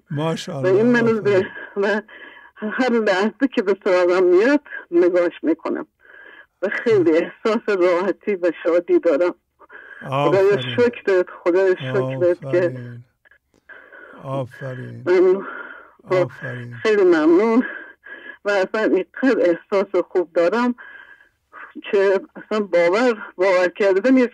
اصلا غیر قابل بسته آفرین. اصلا ممنونم از تونای شهبازی. ممنونم. خواهش می‌کنم. آفرین بر شما. عالی عالی عالی عالی عالی. من ذهنی می شناختم. یعنی همش میگم من ذهنی منو دیوانه کرده. مرا با دلبرم بیگانه کرده. آفرین آفرین. منم دیگه شناختمش دیگه. میگه من ذهنی همه رنگی نداره. حالم خوب و دلم تنگی نداره. آفرین. وقتی شناختمت حالم عوض شد. ذهنم خاموش شد و دلبر عیان شد. آه به به به. قربانتم ببخشید می‌پرسم چند سالتون شما؟ من شست و شیش سال. شست و شیش سال. آفرین آفرین آفرین. خیلی خوب. خدا شکر می‌کنم خدا شکر. عالی عالی. ممنون خب کنم باهاتون خداحافظی کنم. عالی بود. عالی عالی. خداحافظ. خداحافظ خداحافظ. خداحافظ. چقدر خوب. ماشاءالله. بفرمایید. الو. بفرمایید خواهش می‌کنم. سلام. سلام. عزیز. از اصفهان تماس می‌گیرم و چقدر خوشحالم. اولین باریه که من دارم زنگ می‌زنم به برنامه. و توی این لحظه واقعا انقدر قلبم اومده تو ذهنم اینطوری بهتون بگم. خدا رو شکر می‌کنم که با این برنامه آشنا شدم. آفرین. این برنامه واقعا زندگی منو دستخوش تغییرات خیلی بزرگی کرد. زمانی که یادمه. به زور می‌خواستم به خودم برونم که این برنامه رو ببینم و تایمش نشده بود. هی تلاش می‌کردم و هی با من ذهنی برنامه نگاه می‌کردم هی بدتر عصبی می‌شدم. و زمانی که زمانه شد یه بیت شعر از مولانا واقعا زندگی من رو نجات داد که میگه گر شش جهتت بسته شود باک مدار که از قعر نهادت سوی جانان راه هست عقل گوید شش جهت حد است و بیرون راه نیست. عشق گوید راحت من رفتم بارها خیلی خوشحالم تمام زندگی واقعا تغییر کرده. با این برنامه. این که می‌بینم افراد زنگ می‌زنن. یعنی هر کی زنگ می‌زنه من انقدر خوشحال میشم. از اینکه می‌بینم آدم ها دارن روی خودشون کار می‌کنن. از اینکه دارن آگاه میشن. از اینکه متوجه میشن آقا خدا درون ماه ما کجا داریم دنبالش میگردیم؟ خیلی خیلی بی نظیر من دو سال تمام توی افسردگی شدید بودم با پدرم رنجش داشتم. زندگی رو کلا فراموش کرده بودم. یادمه. می‌گفتم اصلا کو خدا. و بوک ساخته بودم از آدم ها برای خودم. خیلی چیزها رو برای خودم ساخته بودم. و خدا هی آینه میچید دورم که خودم رو ببینم. آه قطع شد. حف شد. خب ولی پیغام گرفتیم. بفرمایید. بفرمایید. بله. بله. بفرمایید. بله سلام بفرمایید. سلام آقای شهبازی. من خدا هستم شهست دو ساله از تونکابا مادر بزرگ آشین اشتان هستم. بله خواهش می‌کنم. سلام خوبی شما؟ من شما تشکر آقای شهبازی با بودن برنامه شما با شعرهای مولانا. بد باشیم واقعا نعمت خدا خیلی ما رو دوست داشته. خیلی خیلی. خیلی من سپاس گذارم شما از مولانا.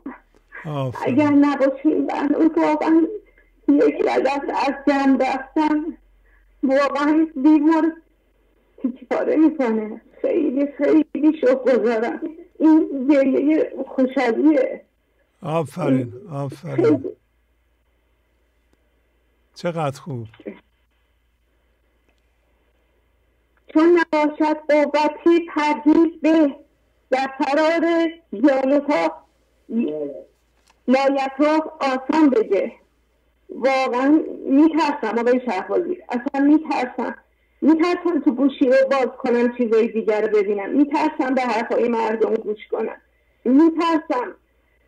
از همه چیزایی که من همه دیگه می‌کنه میترسم. می‌دونم یکی از برنامه های شما راجع به دو بود همین چند روز پیش که واقعا باید ما رو تکون بده خدا باید ما رو تکون بده تا بله. این کره ما در بیاد واقعا خیلی باید شکرگزار باشیم که ورای تمام این چیزای ظاهری به فرموده شما میگید به فرموده حضرت مولانا خوشی های زمینی واقعا چقدر باید زحمت بکشیم تا ده دقیقه این رد و برد یه خوشی برامون بیاد به روزم حتی نمی‌کشه. این بله. لذت از ما دور میشه ولی این شادی که از اون برمیاد چقدر لذت بخشه؟ چقدر آفرین. ماندگاره چقدر پخش میشه از ما؟ برکتش به اطرافمون ارتعاشش به همه به همه کائنات. خدا رو. شکر خدا رو شکر. خیلی آقای زیبا. شهبازی که تو بیتی که فرموده بودید تو یک ماه اه، که در الان یه مقدارش گذشته فرمودید که چون مرده زنده بیرون می‌کشد هر که مرده گشت او دارد رشد چون ز زنده مرده بیرون می‌کند نفس زنده سوی مرگی میتند مرده شو تا مخرج و حی سمن. زنده زی مرده بیرون آورد. این ترس این به خاطر اینه که واقعا این نفس من می‌خواد منو بکشه. به هر چیزی که می‌خوام دستم رو دراز کنم می‌فهمم که پشتش مردنه. پشتش عذاب پشتش درد خیلی باید به قول شما میگید روی زمین مینگذاری شده داریم راه میره. خیلی باید با احتیاط با احتیاط. بله. یعنی متاسفانه چی میگن؟ در مورد من به قول شما راست میگه. این پندار کمال این پندار کمال خیلی میگید. انشا بنویسید ببینید ایرادت کجاست که از صبح تا شب در حلوله باز در اول مرتبه منزله الان خاطرم بله. کار می‌کنم می‌خونم انجام میدم باز دوباره میدم ولی خوبه. به قول شما میگید اینا این پایین مونده باید بیاد بالا. پس نیاد بالا من از کجا بفهمم. الان نوام که پیش من هستن به همسرم میگم میگم اگر این دو تا بچه پیش ما نبوده پندار کمال من دنیا رو برداشته بود فکر می‌کردم دیگه اوه دیگه من همه چی رو می‌دونم. خدا رو شکر با بچه ها من متوجه میشم که چقدر باید حالا رو خودم کار کنم که صدر خیش صدرمون هست. راه فکر نکنم تموم شده. فکر بله. نکنم خیلی خوب است. آفرین آفرین. صحبت کردم آقای شهبازی ممنون از خیلی زیبا. همه چی همه چی. از گروهتون از همه کسایی که کمک می‌کنن. مخصوصا کسایی که قانون جبران مالی رو چقدر ارزشمنده الان سه تا شبکه شما گذاشتیم اپ گنج حضور رو گذاشتیم خیلی واقعا تنها چیزی که الان دنیا بهش نیاز داره برنامه شما. برنامه مولانا. واقعا دارید شادی رو پخش می‌کنید. واقعا دارید حضور رو زیاد می‌کنید. خیلی خیلی خیلی ازتون ممنونم. آقای شفاتی من ازتون خدافزی می‌کنم. بچه ها می‌خوام با شما برای شما شعر بخونم. بله بله. بفرمایید خواهش می‌کنم. خیلی خوب بود. ممنونم. خدا نگهدار. خدا حافظ سلام آقای شهبازی من اشکان صدیقی هستم. یازده ساله. به به به. خوبین؟ آقا اشکان خوبین؟ خوبم شما بله خوب خوب آفرین.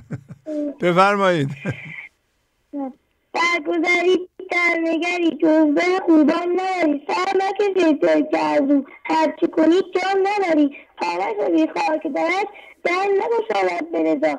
تا نکشی خار غمش گل به گلستان نبری.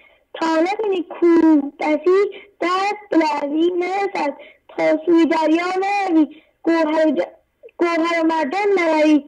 سر نرد چرخ تو تو بی سر نشوی کس نکرد نقد تو. تا سوی میزان نروی. تا نشوی مست خدا.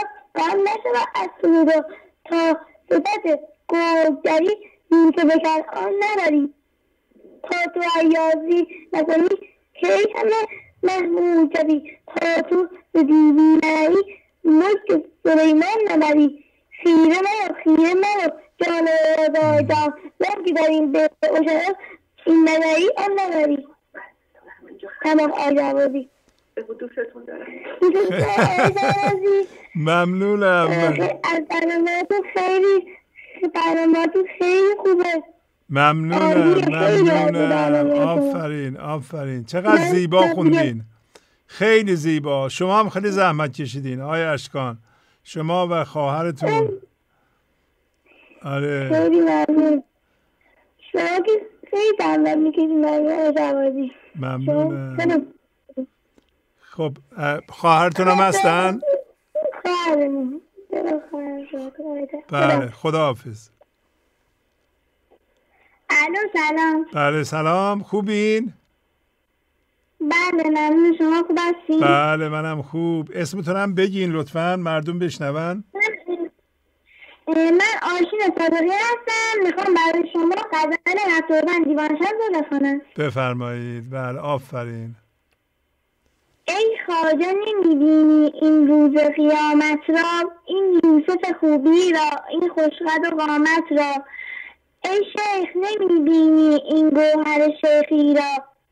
این شهشای نو را این جاه و جلالت را. ای میر نمی‌بینی این مملکت جان را؟ این روزه دولت را این تخت و سعادت را. ای خوش دل و خوش دامن دیوانه تو ای یامن برکش قدمی با من بگذار ملامت را. ای ماه که در گردش هرگز نشوی لاغر. انوار جلال تو بریده زلالت را. چون آب روان دیدی بگذار تیمم را. چون عید وصال آمد بگذار ریاضت را.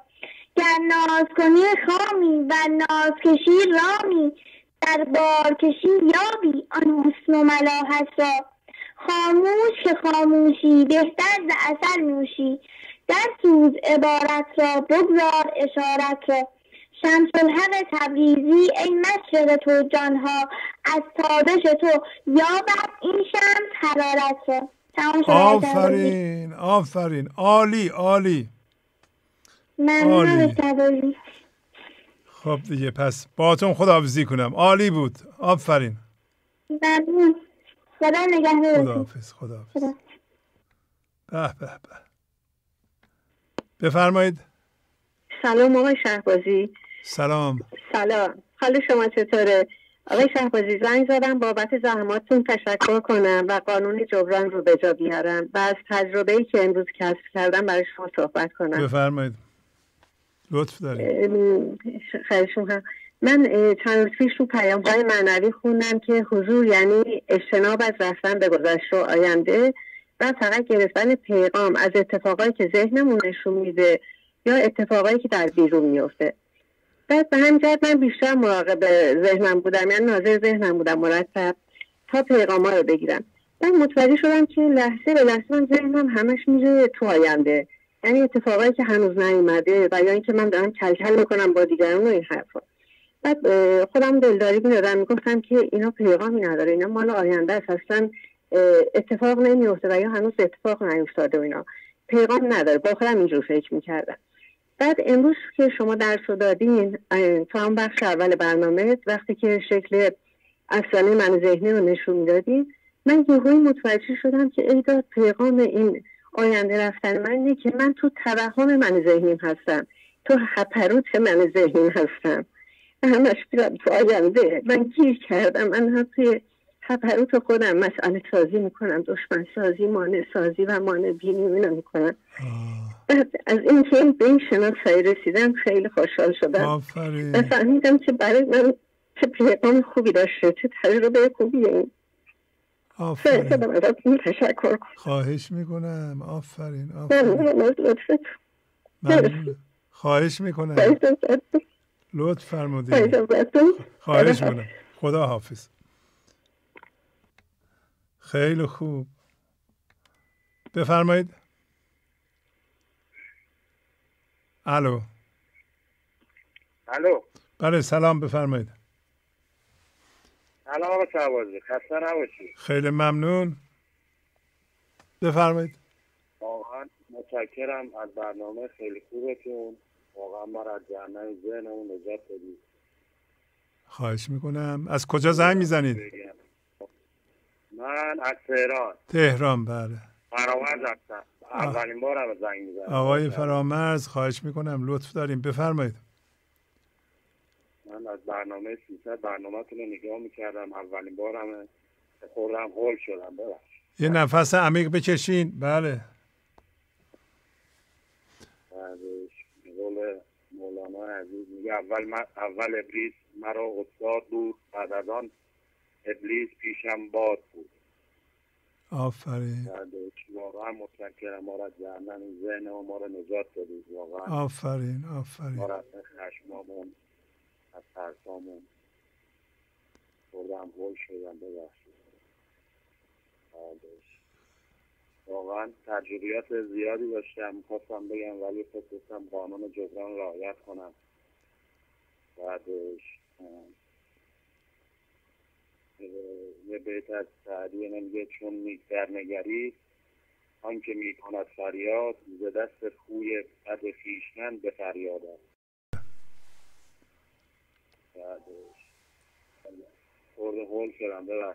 یه نفس عمیق بکشیم ببینیم کمک می‌کنه. هول شدن نداره. آره. شما که آقای فرامرز دیگه درسته اسمتون.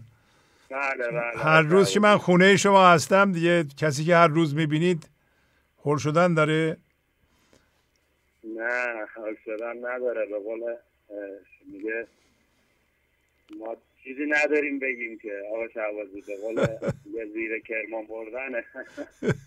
شما شما خیلی چیزا داریم بگین. شما ما درس یاد گرفتیم. ما درس یاد گرفتیم. شما واقعا ما درس زندگی از شما یاد گرفتیم. واقعا ما زندگی خیلی مدیون شما هستیم. لطف دارین لطف دارین. کرده بودیم. ببخشید ما خشم. ما واقعا همون روزای اول که من برنامه شما رو نگاه می‌کردم واقعا اول شکی درونم افتاده بود که این, بر... این چی میگه؟ ما داشتیم که کجا زندگی می‌کردیم؟ واقعا یه اول اون من سه چهار روز اول که برنامه شما رو نگاه کردم اصلا شبا خوابم نمیبود می‌گفتم من این ما فکر می‌کردیم ذهنمون همه چیزمونه ذهنمون با ذهنمون زندگی می‌کردیم. فکر می‌کردیم واقعا این ذهنمونه که داره به ما کمک می‌کنه. ولی با برنامه شما با مولانا اصلا همه چیز زیر رو شد. آفرین. همه چیز اصلا درون ما زیر رو شد. آفرین. شعرهای زیادی یاد گرفته بودم برنامه شما. واقعا این شعر خیلی به من کمک می‌کنه. نو به نو هر روز باری می‌کشم. وین بلا از بهر کاری می‌کشم. آفرین. یه دوزخ از آن خانه کان بیروزن است. اصل دین ای بنده روزن کردن است. آفرین. گرد خود برگرد و جرم خود ببین. جنبش از خود بین و از سایه مبین. واقعا ما آفرین رو زنده کردی. واقعا ما رو از این این نفس و ذهنیم که گیر کرده بودیم واقعا ما رو زنده کردی. نمی‌دونم چجوری از شما تشکر کنم. خواهش می‌کنم. بتونم پیامهای بهتری بدم. واقعا از همتون دست همتون رو میبوسم. خواهش می‌کنم. ممنونم. لطف دارین. عزیز. آفرین. آفرین. خیلی خوب. پس می‌خوایم باتون خداحافظی می‌کنم اگر تمام شد وقت. آره آره. عالی بود. عالی. خیلی خوب صحبت کردین. عالی عالی. خداحافظ. قربونش. بفرمایید. الو. بفرمایید خواهش می‌کنم. سلام عرض می‌کنم. آقای شهبازی نازنین. سلام خواهش می‌کنم. لیلا هستم از دانمارک. لیلا خانم از بله. همون لیلایی که از تو استرالیا هست شما یا دانمارک هست لیلا. دانمارک هستم استاد. دانمارک تشریف دارین؟ بله. حدود نه سال هستش که با برنامه انسانساز نورانی و فاخر گنج حضور آشنا شدم و افتخار می‌کنم که از شاگردان لنگولوک و افتان خیزان مولانای جان شما بزرگوار و کودکان عشق و جوانان عشق و همه یاران عشقی هستن که هر روز تماس می‌گیرن. عاشق همشون هستم دست همه رو میبوسم. خواهش می‌کنم. ممنونم. لطف دارین. اول که الناز خانوم خواهرم. الناز از آلمان. آه الناز. الناز خواهر شماست پس. بله. این برنامه رو معرفی کردن فقط به عنوان یه برنامه خوب و ادبی و معنوی نگاه می‌کردم و از بیانات شما لذت میبردم. ولی خب بعد از اینکه با یک نامرادی که قلاووز من شد به طور عمیقی با ارتباط قلبی با برنامه پیدا کردم و تقریبا اون موقع حسای خیلی خوبی داشتم که تجربه کردم. و اون موقع در اون سطح دوم فقط برای رفع مشکلات دیدم که چقدر راه حل خوبی پیدا کردم برای زندگی. با توجه به اینکه رشته خودم هم روانشناسی بود خیلی در ارتباط با انسانسازی می‌دیدم و می‌دیدم که چقدر همسو با روانشناسی مثبتگرا درمان با معنویت درمان شناختی هستش. ولی خب اخیرا خب دریافت کردم که این هم هدف برنامه نیستش هدف اصلیش. هدف الان متوجه شدم که فضاگشایی تبدیل شدن و ناظر بر خود بودن هستش. و اینکه فقط باید به خودمون تکیه کنیم یعنی توجه کنیم از خودمون شروع کنیم ساختن رو از هیچ کسی انتظار نداشته باشم. هدف رهایی از من ذهنی و تبدیل شدن و زنده شدن به عشق هستش. آفرین. بله. ام، این که یاد گرفتم حضور در لحظه و دوری از پرش به گذشته و آینده هدف برنامه هست. اینکه یاد گرفتم پیغام رو میشه از همه بازندگان دریافت کنم قضاوت رو کنار بگذارم دستبندی ها و کنار بذارم از همه یاد بگیرم. فقط آموزنده شنونده انستو باشم و یاد بگیرم. از شیطان از کافر از مؤمن از کودک از بیماری خودم از نامرادی ها آفرین بله. البته در سایه و زحمات شما و بقیه. یاران عشقی. آفرین آفرین. بله حالا اگه اجازه بدید من شعری که این روزها خیلی از برنامه فکر می‌کنم 961 از, از اون روز خیلی می‌خونم اینو و خیلی باش ارتباط گرفتم و باش اوج می‌گیرم. اگه اجازه بله بدید بله. وقتم هست بله حتما. بله. بله بله بله. غزل شماره 1391 تا کی به حبس این جهان من خیش زندانی شدم. وقت است زندانی کنم. وقت است جان پاک را تعمیر میدانی کنم. بیرون شدم زالودگی با قوت پالودگی. اوراد خود را بعد از این مقرون سبحانی کنم. نیزه به دستم داد شه تا نیزه بازی ها کنم. تا کی به دست هر خسی من رسم چوگانی کنم. آن پادشاه لم یزل داده است ملک بی خلل باشد بتر از کافری گر یاد دربانی کنم. چون این بنا برکنده شد آن گریه ها خنده شد. چون در بنا بستم نظر آهنگ دربانی کنم. ای دل مرا در نیمه شب دادی ز دانایی خبر. اکنون به تو در خلوتم تا آنچه میدانی کنم. در چاه تخمی کاشتن بی عقل را باشد روا. اینجا به داد عقل کل کشت بیابانی کنم. دشوارها رفت از نظر هر صد شد زیر و زبر. بر جای پا, بر جای پا چون روز پر. دوران به آسانی کنم. در حضرت پرد سمد دل کی رود سوی عدد؟ در خان سلطان ابد چون غیر سرخانی کنم. تا چند گویم بس کنم. کم یاد پیش و پس کنم. اندر حضور شاه جان تا چند خط خانی کنم. به به به. به آفرین آفرین آفرین. عالی عالی. من. ممنونم. امیدوارم که بعد از این بتونم دوباره تماس بگیرم. بله. و در پایان تشکر می‌کنم. واقعا هم خیلی خوشحالم که این همه پیام های خوب شنونده این برنامه هستم. واقعا شاگرد کوچیک این برنامه هستم. شکر شکر شکر. خدا نگهدار. خواهش می‌کنم. خدا حافظ. بفرمایید. الو. الو سلام استاد. بله سلام. خواهش می‌کنم. من مریم هستم از زنجان مزاحمتون شم. بله مریم تشکر کنم از زحماتتون و زحمات همه دوستان. درسای زیادی ازتون یاد گرفتم. یکی از چیزهایی که تو این برنامه خواستم بگم این بود که فرمودین آن دو گفتندش ز قسمت در گذر گوش کن قسام فنار از خبر. دیدم که ما قسام فنار رو زمانی در آتش درک هستیم که واقعا ما هوشیاریمون رو قسمت می‌کنیم.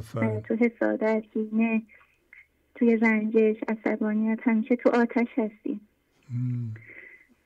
و دردای من ذهنی رو اون موقع تجربه می‌کنیم. یه بیچرم کنده بودیم قبلا. جان همه روز از لگت کو به خیال و زیان و سود. از خوف زوال نی صفا میماندش نی لطف و فر نی به سوی آسمان. راه سفر دفتر اول بیت چهارصد یازده. حتی زمانی که ما به آینده و گذشته هم میریم هوشیاری رو قسمت می‌کنیم. اون موقع تو آتشیم. آفرین. و اینکه و فرمودیم که عقل تو قسمت شده بر صد مهم در هزاران آرزو و تمرن جمع باید کرد. اجزا را به عشق. تا شدی خوش چون سمرقند و دمشق آفرین. دفتر چهارم بیت سی و دو هشتاد هشت. ممنون استاد. آفرین بر شما. خواهش و دوستان عشقی باهاتون خداحافظی می‌کنم. عالی. سپاس تمام زحماتتونم قربانتون. ممنونم مریم خانم. خدا حافظ. خدا بفرمایید. الو سلام آقای شهبازی. سلام خواهش می‌کنم. حال شما؟ خیلی خوب. بله مرسی. خوب هستین خسته نباشین. خیلی خسته نیستم. سلامت باشین. خدا قوت. فاطمه هستم از تفریح بله فاطمه خانم. خوبین؟ خیلی وقت زنگ نزده بودم. فقط خواستم زنگ بزنم صدایتون بشنوم. خسته نباشید بگم خدمتتون. ممنونم. لطف دارید سلامت باشین. خیلی ممنون. زنده باشین انشاءالله. واقعا ممنون هستیم از شما. از برنامه بسیار زیبا. کمک کننده انسان ساز داشتم دیروز برنامه 286 شما رو نگاه می‌کردم. این برنامه خیلی به من کمک کرد آقای شهبازی. خب بله. بله بله خیلی خوب میاد. 286 و اینا ما دیگه یادمون رفته. اون موقع چی گفتیم بله بله. انشالله که خوب بوده. کردم خیلی خوبه خیلی عالیه. برنامه خیلی قشنگه.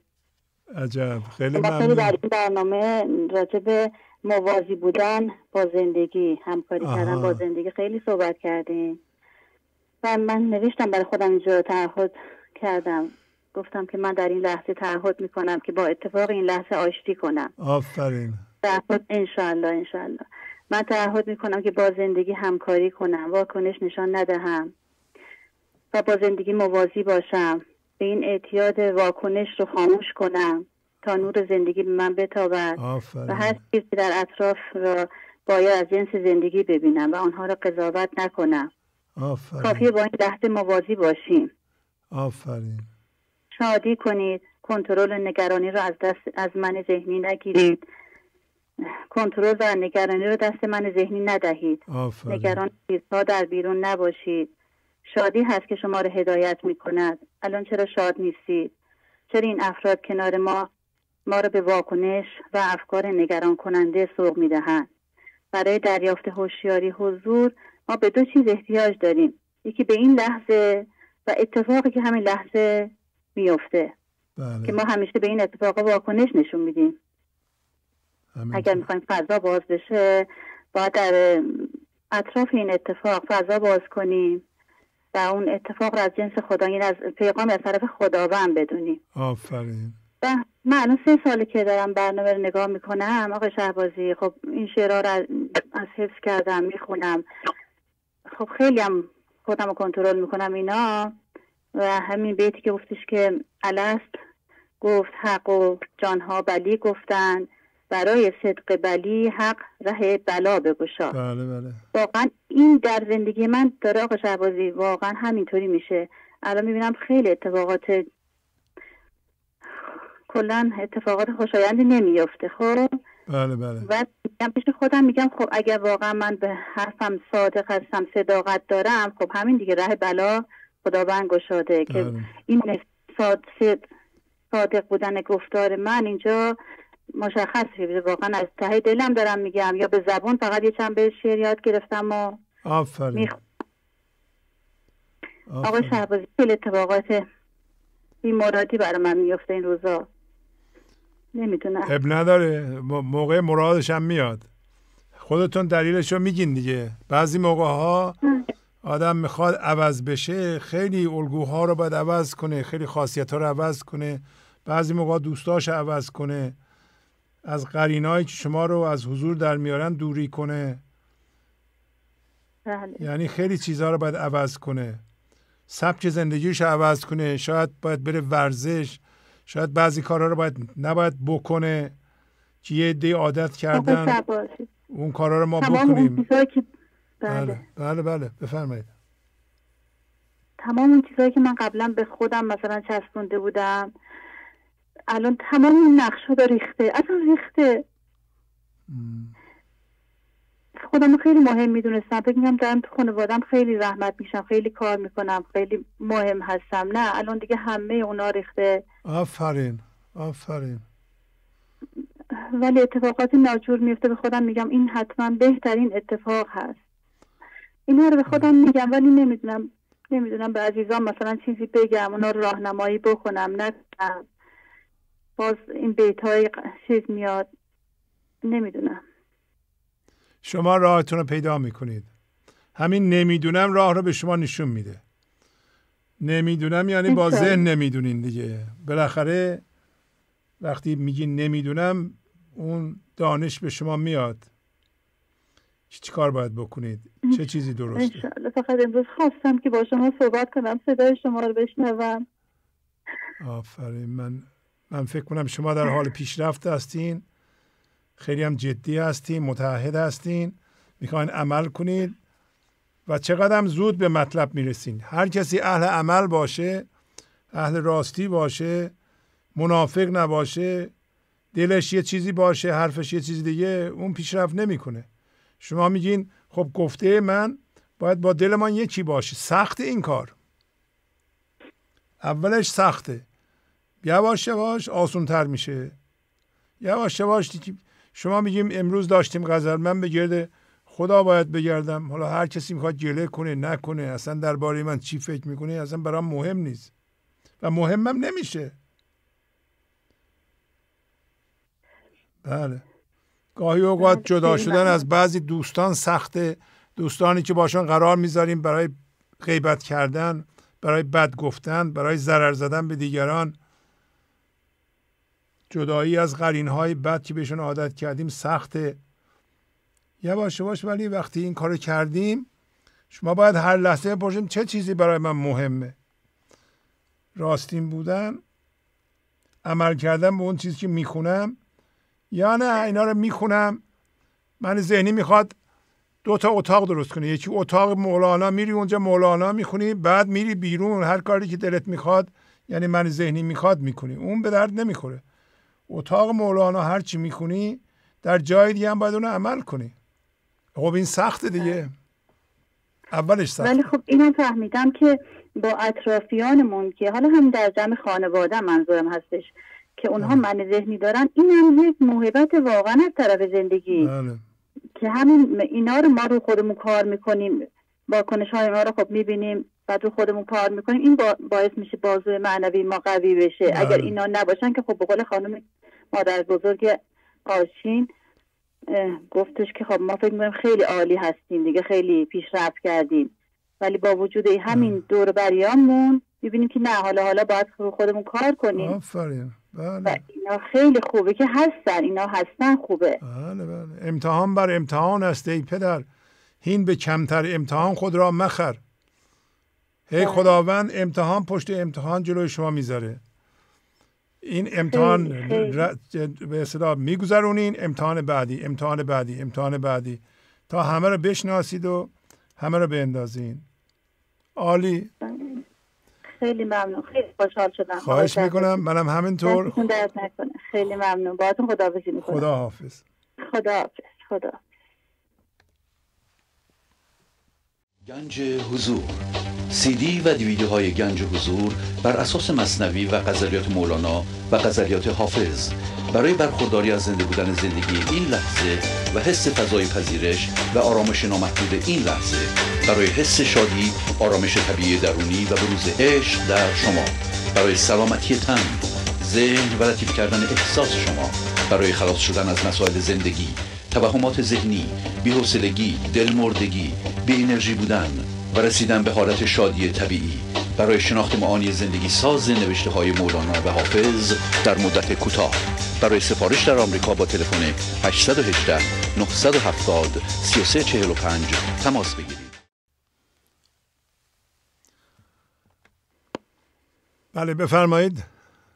الو سلام علیکم. سلام خواهش می‌کنم. بفرمایید. سلام و درود فراوان به جناب شهبازی استاد بزرگوار. خواهش می‌کنم. من از تهران تماس می‌گیرم. جیران هستم. بله جیران نه. خانم. خواهش می‌کنم. بفرمایید. برای اولین بار هست که سعادت دارم با شما استاد بزرگوار صحبت کنم. خیلی ممنون. خواهش می‌کنم. من حدود 13 14 سال پیش از طریق همسرم و از اه، ماهواره و با پایین بالا کردن کانال ها با برنامه گنج حضور آشنا شدم و این اون زمان خب این امکاناتی که مثل الان هست اپ گنج و حضور و اینها نبود و من اون موقع سیدی می‌گرفتم یا برنامه ها رو ضبط می‌کردم. نمی‌دونم صدای من خوب میاد؟ بله بله عالی میاد. خیلی متشکرم. قبل از شروع کارم در محل کار ضمن پیاده روی برنامه رو گوش می‌کردم. خیلی برام تأثیر گذار بود و خب اون زمان یک اه، به هر حال چالش بزرگی هم داشتم که این برنامه خیلی خیلی بهم کمک کرد که همه تو محیط کارم مثلا می‌گفتن چطور تونستی با این مشکل مثلا بیای کنار کنار بیای. و از جنابالی واقعا بابت همه چیز سپاسگزار هستم. از این برنامه پرمحتوای امروزتون غزلهای مختلف که می‌کنی از از اپ گنج حضور چقدر عالی استفاده می‌کنم. یاد می‌گیرم این بحث بحث بیداری هست. زیاد بیمراد شدم و این بیتا رو می‌خونم. بیمرادی شد قلاووز بهشت. آفرین. و تا جنت شنو ای خوش سرشت. وقتی رای بر من اون بیماری مشکلات دنیوی درد هوشیارانه یاد این بیتا رو می‌خونم که در خار پشت هر بلا خود را مزن تو هم حالا ساکن نشین این ورد خوان جا القضا. آفرین. خیلی تاثیر می‌ذاره برام. حاکم از تو یفعل الله ما یشا کو ز عین درد انگیزد دوا. آفرین. قضا که تیر حوادث به تو همی انداخت تو را کند به عنایت از اون سپس سپری زمانی که ناامید و خستم و فکر می‌کنم علا رقم تلاشم نمی‌تونم به حضور رسم کاهلی می‌کنم. بیتو می‌خونم که سان مزد کار می نرسد من تو را. هیچ پیوسته نیستی تو در این کار. گه گهی وقتی ناراحت و غمگین و قصه دارم. چون که غمبینی تو استغفار کن. غم به امر خالق آمد کار کار می‌کنم روی خودم. کار می‌کنم. در حال این ابیاتی که از مولانا رو شما احمد می‌کشین همکاران همه دستن در کاران هر روز اینا رو فرست کردم می‌خونم مراقبه می‌کنم تکرار می‌کنم موقع پیاده روی. تا هر حال طبق قانون مزرعه با صبوری شوق گذاری از همانی دیگه ها رها بشم. آفرین آفرین.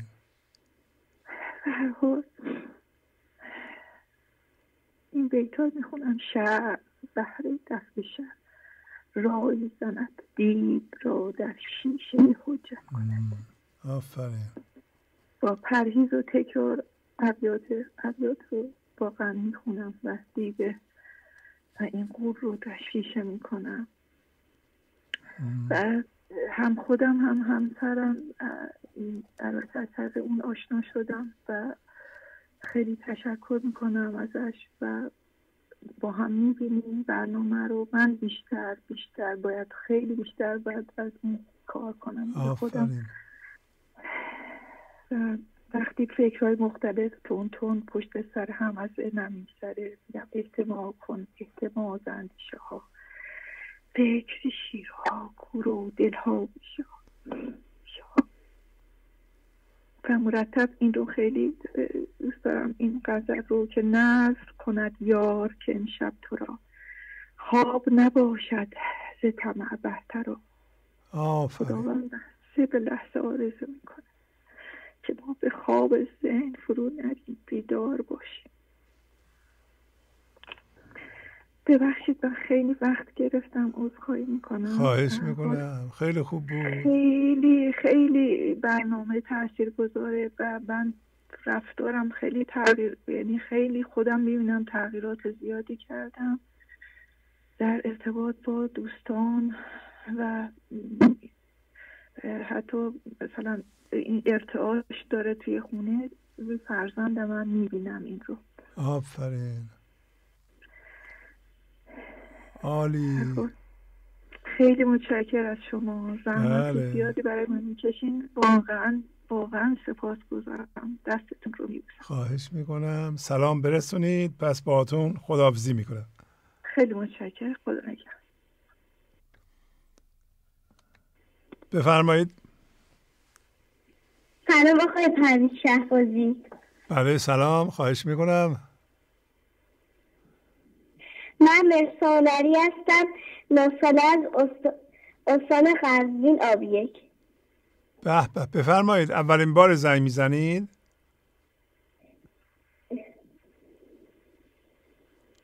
الو. بله. بله من بله بفرمایید. من الان فهمید من شما خیلی ممنونم که این برنامه رو داریم خیلی ممنونم که این برنامه رو درست کرد. کردیم خیلی من بیماری داشتم. ولی به لطف شما دیگه این بیماری بیماری ها رو دیگه ندارم. از شما خیلی ممنونم این برنامه رو درست کردیم آفرین. شما چند سالتونه؟ نه, نه سالمه. نه سالتونه. چند وقت برنامه رو گوش می‌کنید؟ چهار ماهه. چهار ماهه. آفرین آفرین.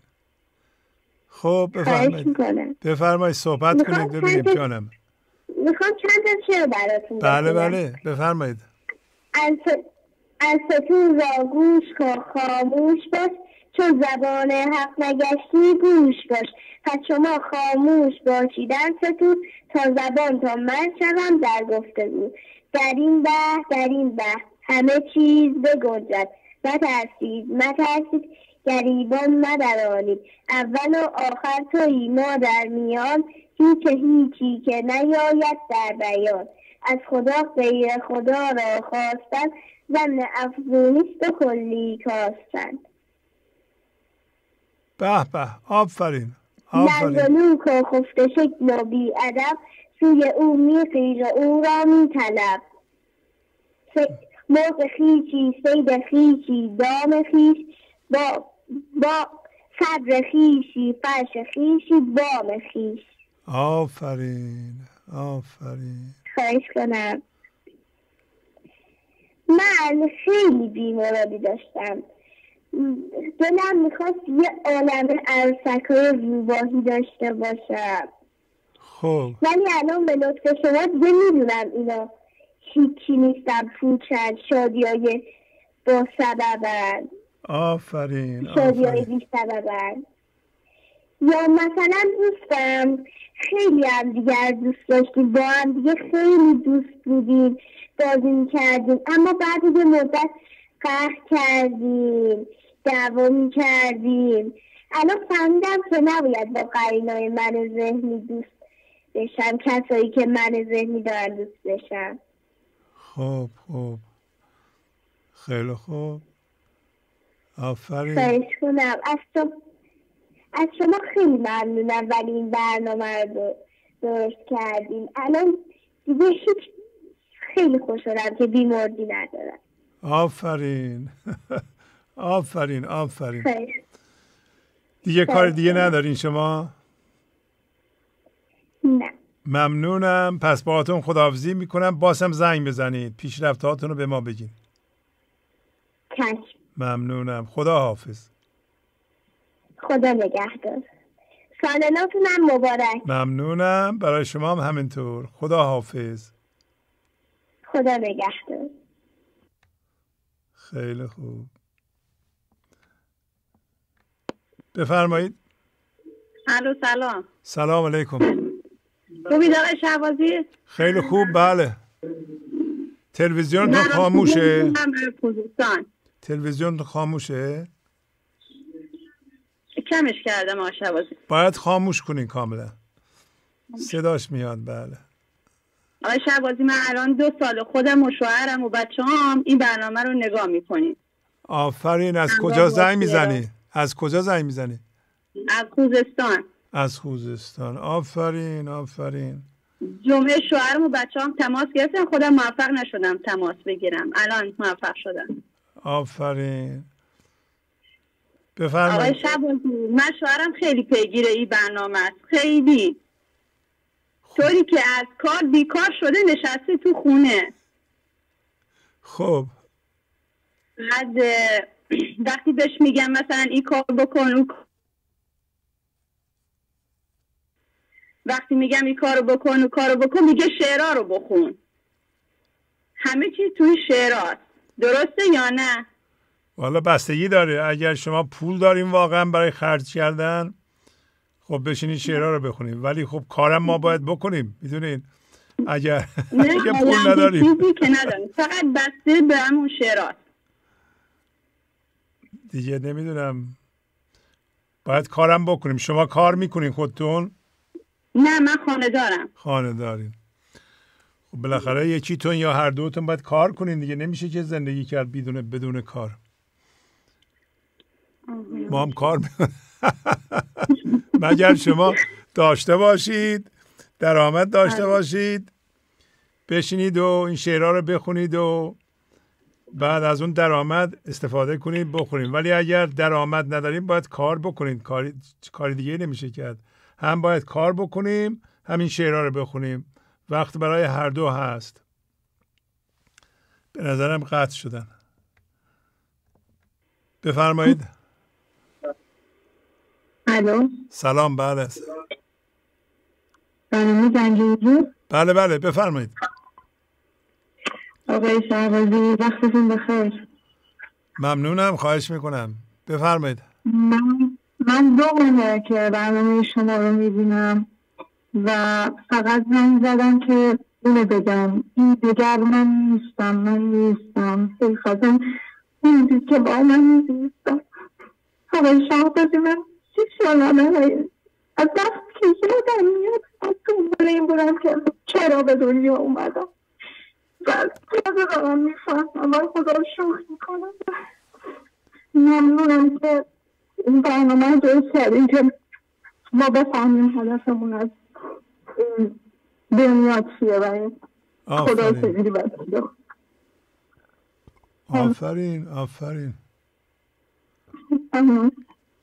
بله بفرمایید.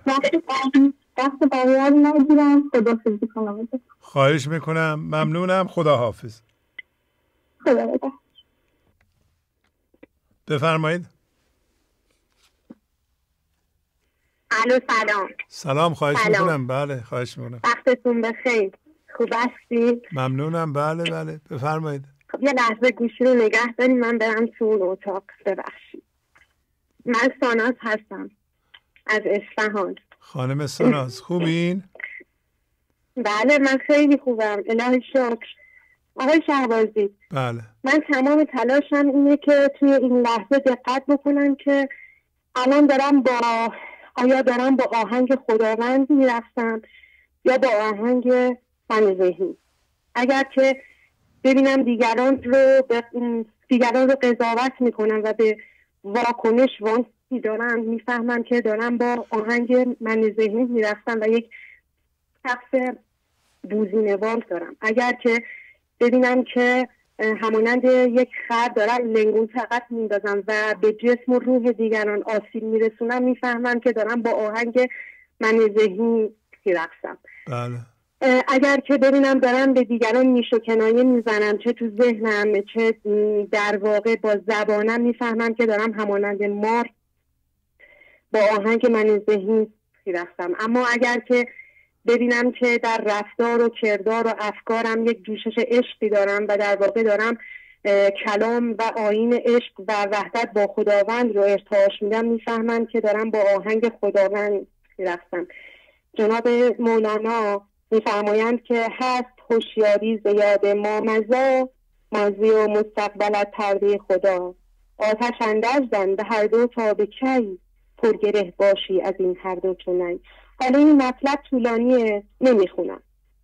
فقط یه خواهشی که ازتون داشتم من می‌فهمم که شما خب تایمتون خیلی کمه باید به همه کارها برسید. بزرگواری کنید. هر زمان که فرصت کردین من چون شیش ماه یه پیامی توی تلگرام دادم هر وقت تونستین این رو پاسخ بدین به من. ممنونم. مرسی. ساناز دوباره. دوباره شما پیغام بفرستین بیاد بالا. آره. من فرستادم. بعد همکارانتونم پیغام من رو برای شما ارسال کردم ولی خب چون تایمتون کم هست و قابل درکه ندیدین این رو باشه چشم رو چشم ساناز بله. اسم به اسم سانازه؟ بله ساناز سپاس نه به اسم آرما هست. به اسم آرما یاد بالا. اما. خودم ساناز هستم. بله آرما. بله. چشم چشم. چشم نگاه می‌کنیم چشمتون پر نور. خیلی ممنونم. خدا می‌کنم. نگهدارتون. خدا حافظ شما. خدا نگهدار. بفرمایید. الو سلام استاد. سلام خواهش می‌کنم. بفرمایید. تو شرمنده من یه لحظه گوشه تلویزیون خاموش کنم ببخشید استاد علی هستم از کرمان. آقای علی؟ علی از کرمان علی آقا خواهش؟ می‌کنم. بفرمایید بله. استاد این استاد ما وقتی زنگ می‌زنیم چند بار زنگ صدا ما اونجا درست نمی اومد الان خوبه؟ الان خیلی خوبه بله. بله شکر خدا. اگر وقت باشه یه شعر بخونم بفرمایید. ممنون ممنون. شعر گنج نهان. بله. بازبون کرمونیه. حالا می‌خونم. گنجی نهان بود اندرون. من در پیش اندر برون گویی که لیلی گم شده مجنون وار درد جنون. صحرا چرا بی آب و نون؟ آبش کشیده بر درون. لب را چاره چی بود؟ جز رفتن از صحرا برون. باید بجوید او کنون یک ساربان از بحر نون تا او کند چون نیست استاد درون. چون نون الف خم شد کنون شد لاله هایش واژگون. دستش به تسلیمی بزد بیدار شد از خواب گرون. شد شکر باره او کنون از لطف آن شاه درون. گفت آدم آدم با خودش با من یکی بود ساربون.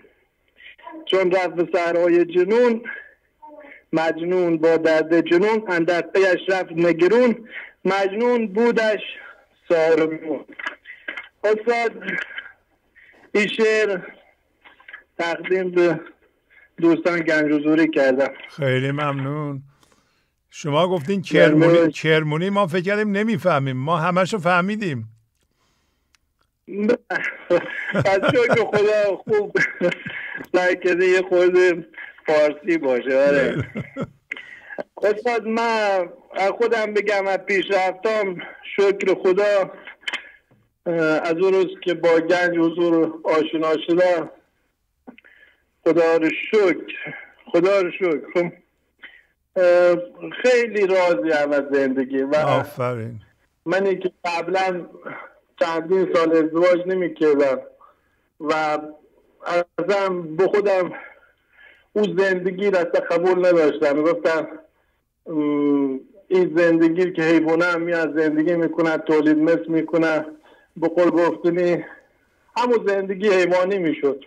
و همینجور چندین سال من ازدواج نکردم و این سوال همیشه درون ما بود.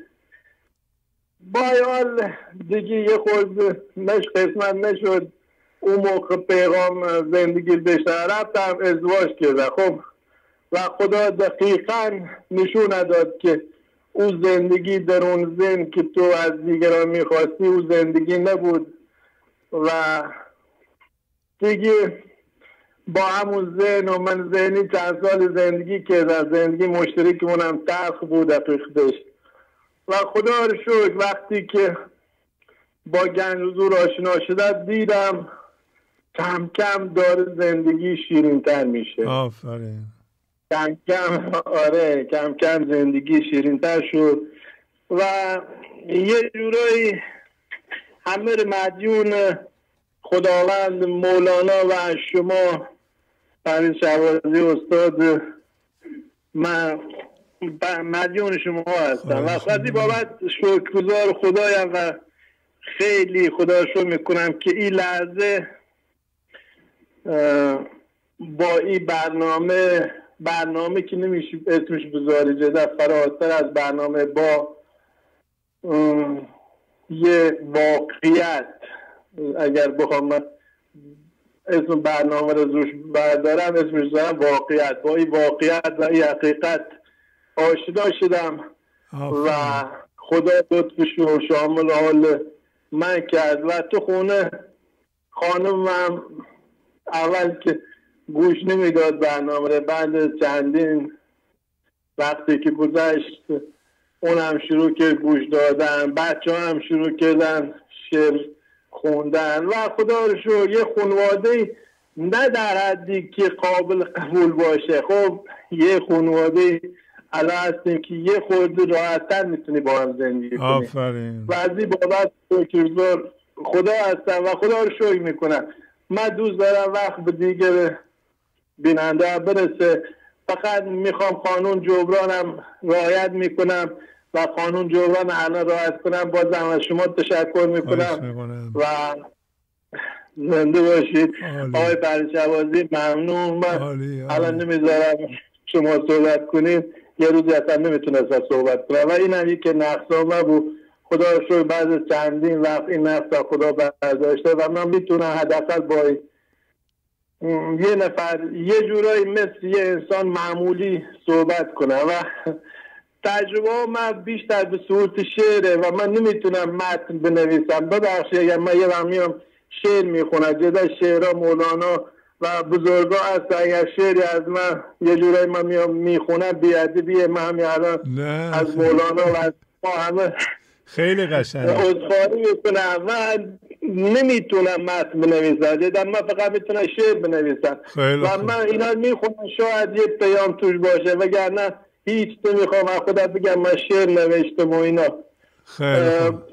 همینجا باز از مولانا معذرت خواهی می‌کنم. اگر من میام در عوض غزل او میان شعر از خودم می‌خونم شرمنده هم ببخشید. خانم من می‌خواد صحبت کنه. بله بله. خواهش می‌کنم. بله بله بدیم بله. خدا حافظ خدا الو سلام بله سلام. خوبین؟ ممنون شکر شما خوبین منم خوب بله. خب بفرمایید. من فقط می‌خواستم تشکر کنم. من زیاد هنوز تازه با برنامه آشنا شدم. فقط می‌خواستم تشکر کنم. ممنون از زحماتتون. عرضی نداشتم. آفرین آفرین. ممنونم. انشالله نگاه کنیم به برنامه. حالا در جلسات آینده بیاییم پیغام بدیم برای ما. حتما. ممنون از خواهش می‌کنم. خداحافظی می‌کنم. خداحافظ. شما خدا بفرمایید. سلام آقای شهبازی. ستی هستم. از تبریز شیش ساله. بله بله. خوبین؟ بله. بله ست... ستیا درسته؟ آره. آفرین آفرین. چقدر قشنگ شعر می‌خونین شما. دیدم شعر خوندن شما رو. بله بفرمایید. یا در آخر زمان کرد رفسادی باطن او جستجه ظاهر او بازی. آفرین. از خدا غیر خدا را خواستم در نفسونی کلی گفتم من و آفرین تو من و تو جمع شوی. از سر زار. خوش و فارغ ز خرافات پریشان من و تو. آفرین. خونه کندم که نشینم در ایوان من و تو. به دو نقش و به دو صورت. به یکی جان من و تو. به به به آقای شهبازی وقتی من می‌خوام بزرگ می‌خوام دستای شاید.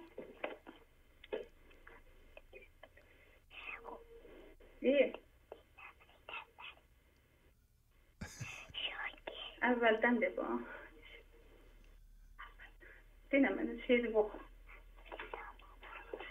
مرا عهدیش با شادی.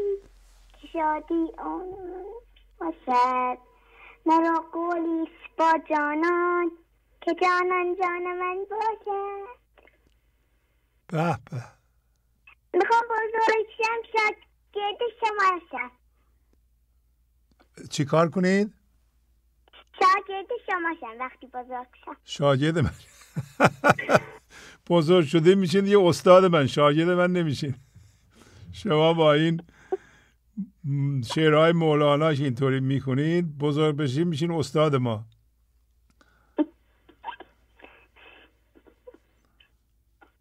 خب. خداحافظ. خدا مامانتون نمی‌خواد صحبت کنه؟ نه. نه. خیلی خوب خداحافظ. خداحافظ. سهتون بدم خداحافظ. خداحافظ.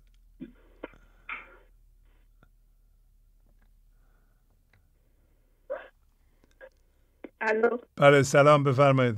سلام حال شما خوبه؟ خیلی خوب بله ممنونم. جانم بفرمایید. ال- الحمدلله من شهره هستم از مهشهر کرج تماس می‌گیرم. خانم شهر خوبین؟ قربانتون مرسی ممنون خوبم. سلامت باشین. بفرمایید. آقای شهبازی جان قربونتون برم. من از برنامه 988 داشتم این سری غزلا رو میخوندم برای خودم. خیلی قشنگن با شما به اشتراک می‌ذارم. بله. رویم و خانه بگیریم پهلوی دریا که داد اوست جواهر که خوی اوست سخا ما باید بریم و کنار دریا خونه بگیریم. بخشش بخشش دریا گوهر است و خویش هم سخاست یعنی توانایی بخشیدن زیاد. ما باید این راه رو بریم و تنهایی هم بریم. دریا نماد بینهایت خداوند است و تمثیل دریا به زندگی و خداوند بسیار در اشعار جناب مولانا آمده و دریا بسیار وسیع است. چون که قبضی دیدی چاره آن قبض کن چون که جمله چون که سرها جمله می روید زبون. یک اینرژی یک مقاومتی وجود داره که انسان در برابر تغییر مقاومت می‌کنه. بله. نقل مکان کوچ یا مهاجرت سخته. شما هم باید تک تک خودتون رو متقاعد کنید که از ده ذهن به شهر یکتایی برید. ذکر آرد فکر را در احتزاز ذکر را خورشید این افسرده ساز. پهلوی دریا رفتن یعنی متحد شدن به مرکز عدم. فضاگشایی پی در پی و مقاومت رو کم کردن. رحمتی بی علتی بی خدمتی آید از دریا مبارک ساعتی. الله الله گرد دریا باد گرد. گرد دریا بار گرد گرچه باشند اهل دریا بار زد تا که آید لطف بخشایشگری صوف گردد روی زرد از گوهری. دفتر پنجم ابیات 36 24 آمدن در رحمت منوط به سبب سازی شما نیست که شما با ذهنتون بگید من باید این کارو بکنم این کارو بکنم تا خداوند به من لطف کنه. نه. خداوند دائما دادش جواهره و دائما میبخشه. الله الله یعنی تو رو خدا تو رو خدا حتما این کار رو بکن و از ده و مسافرت کن و برو کنار دریا. دریابار یعنی شهری که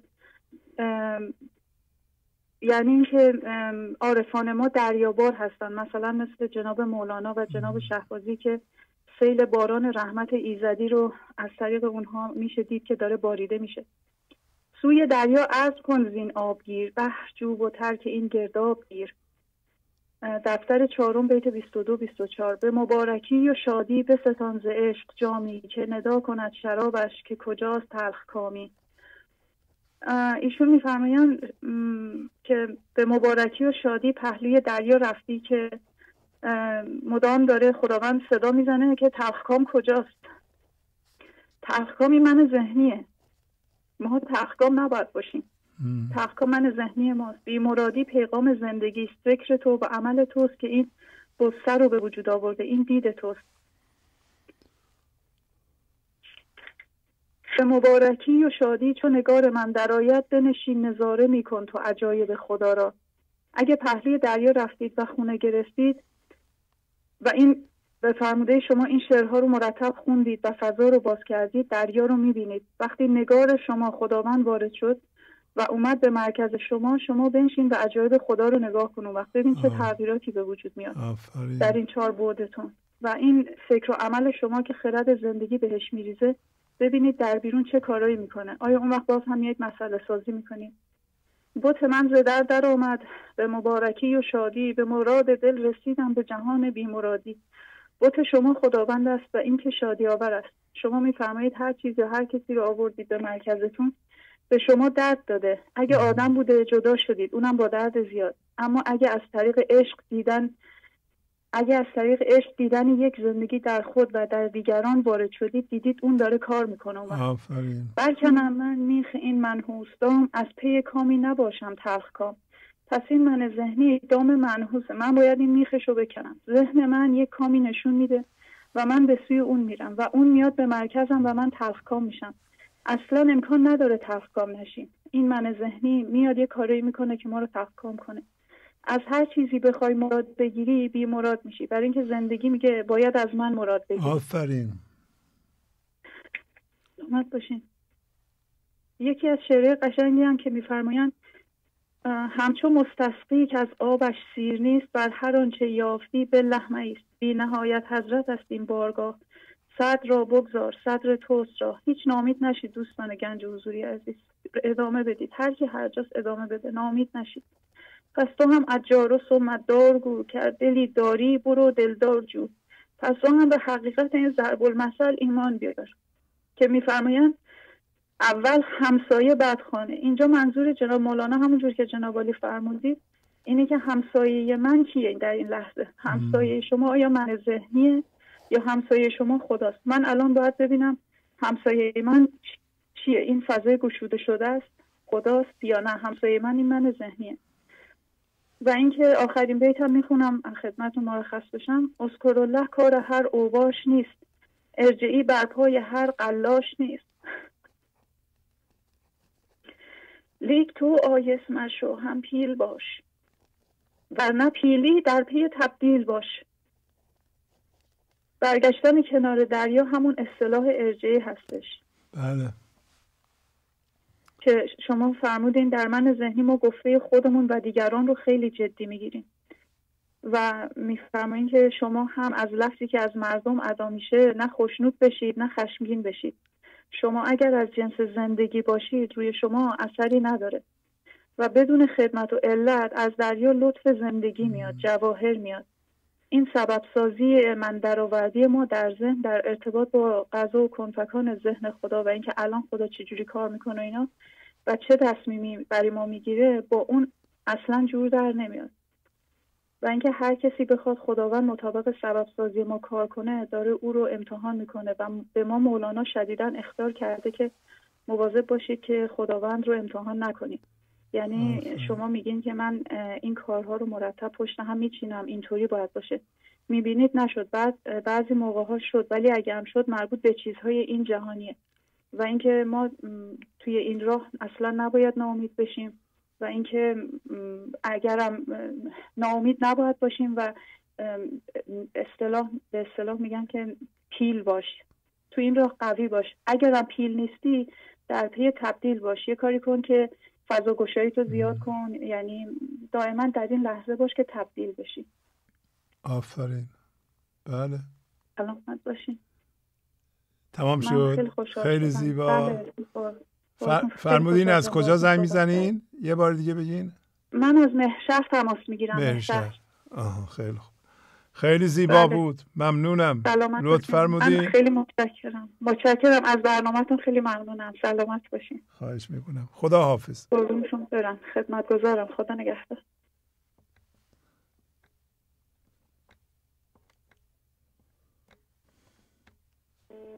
بفرمایید.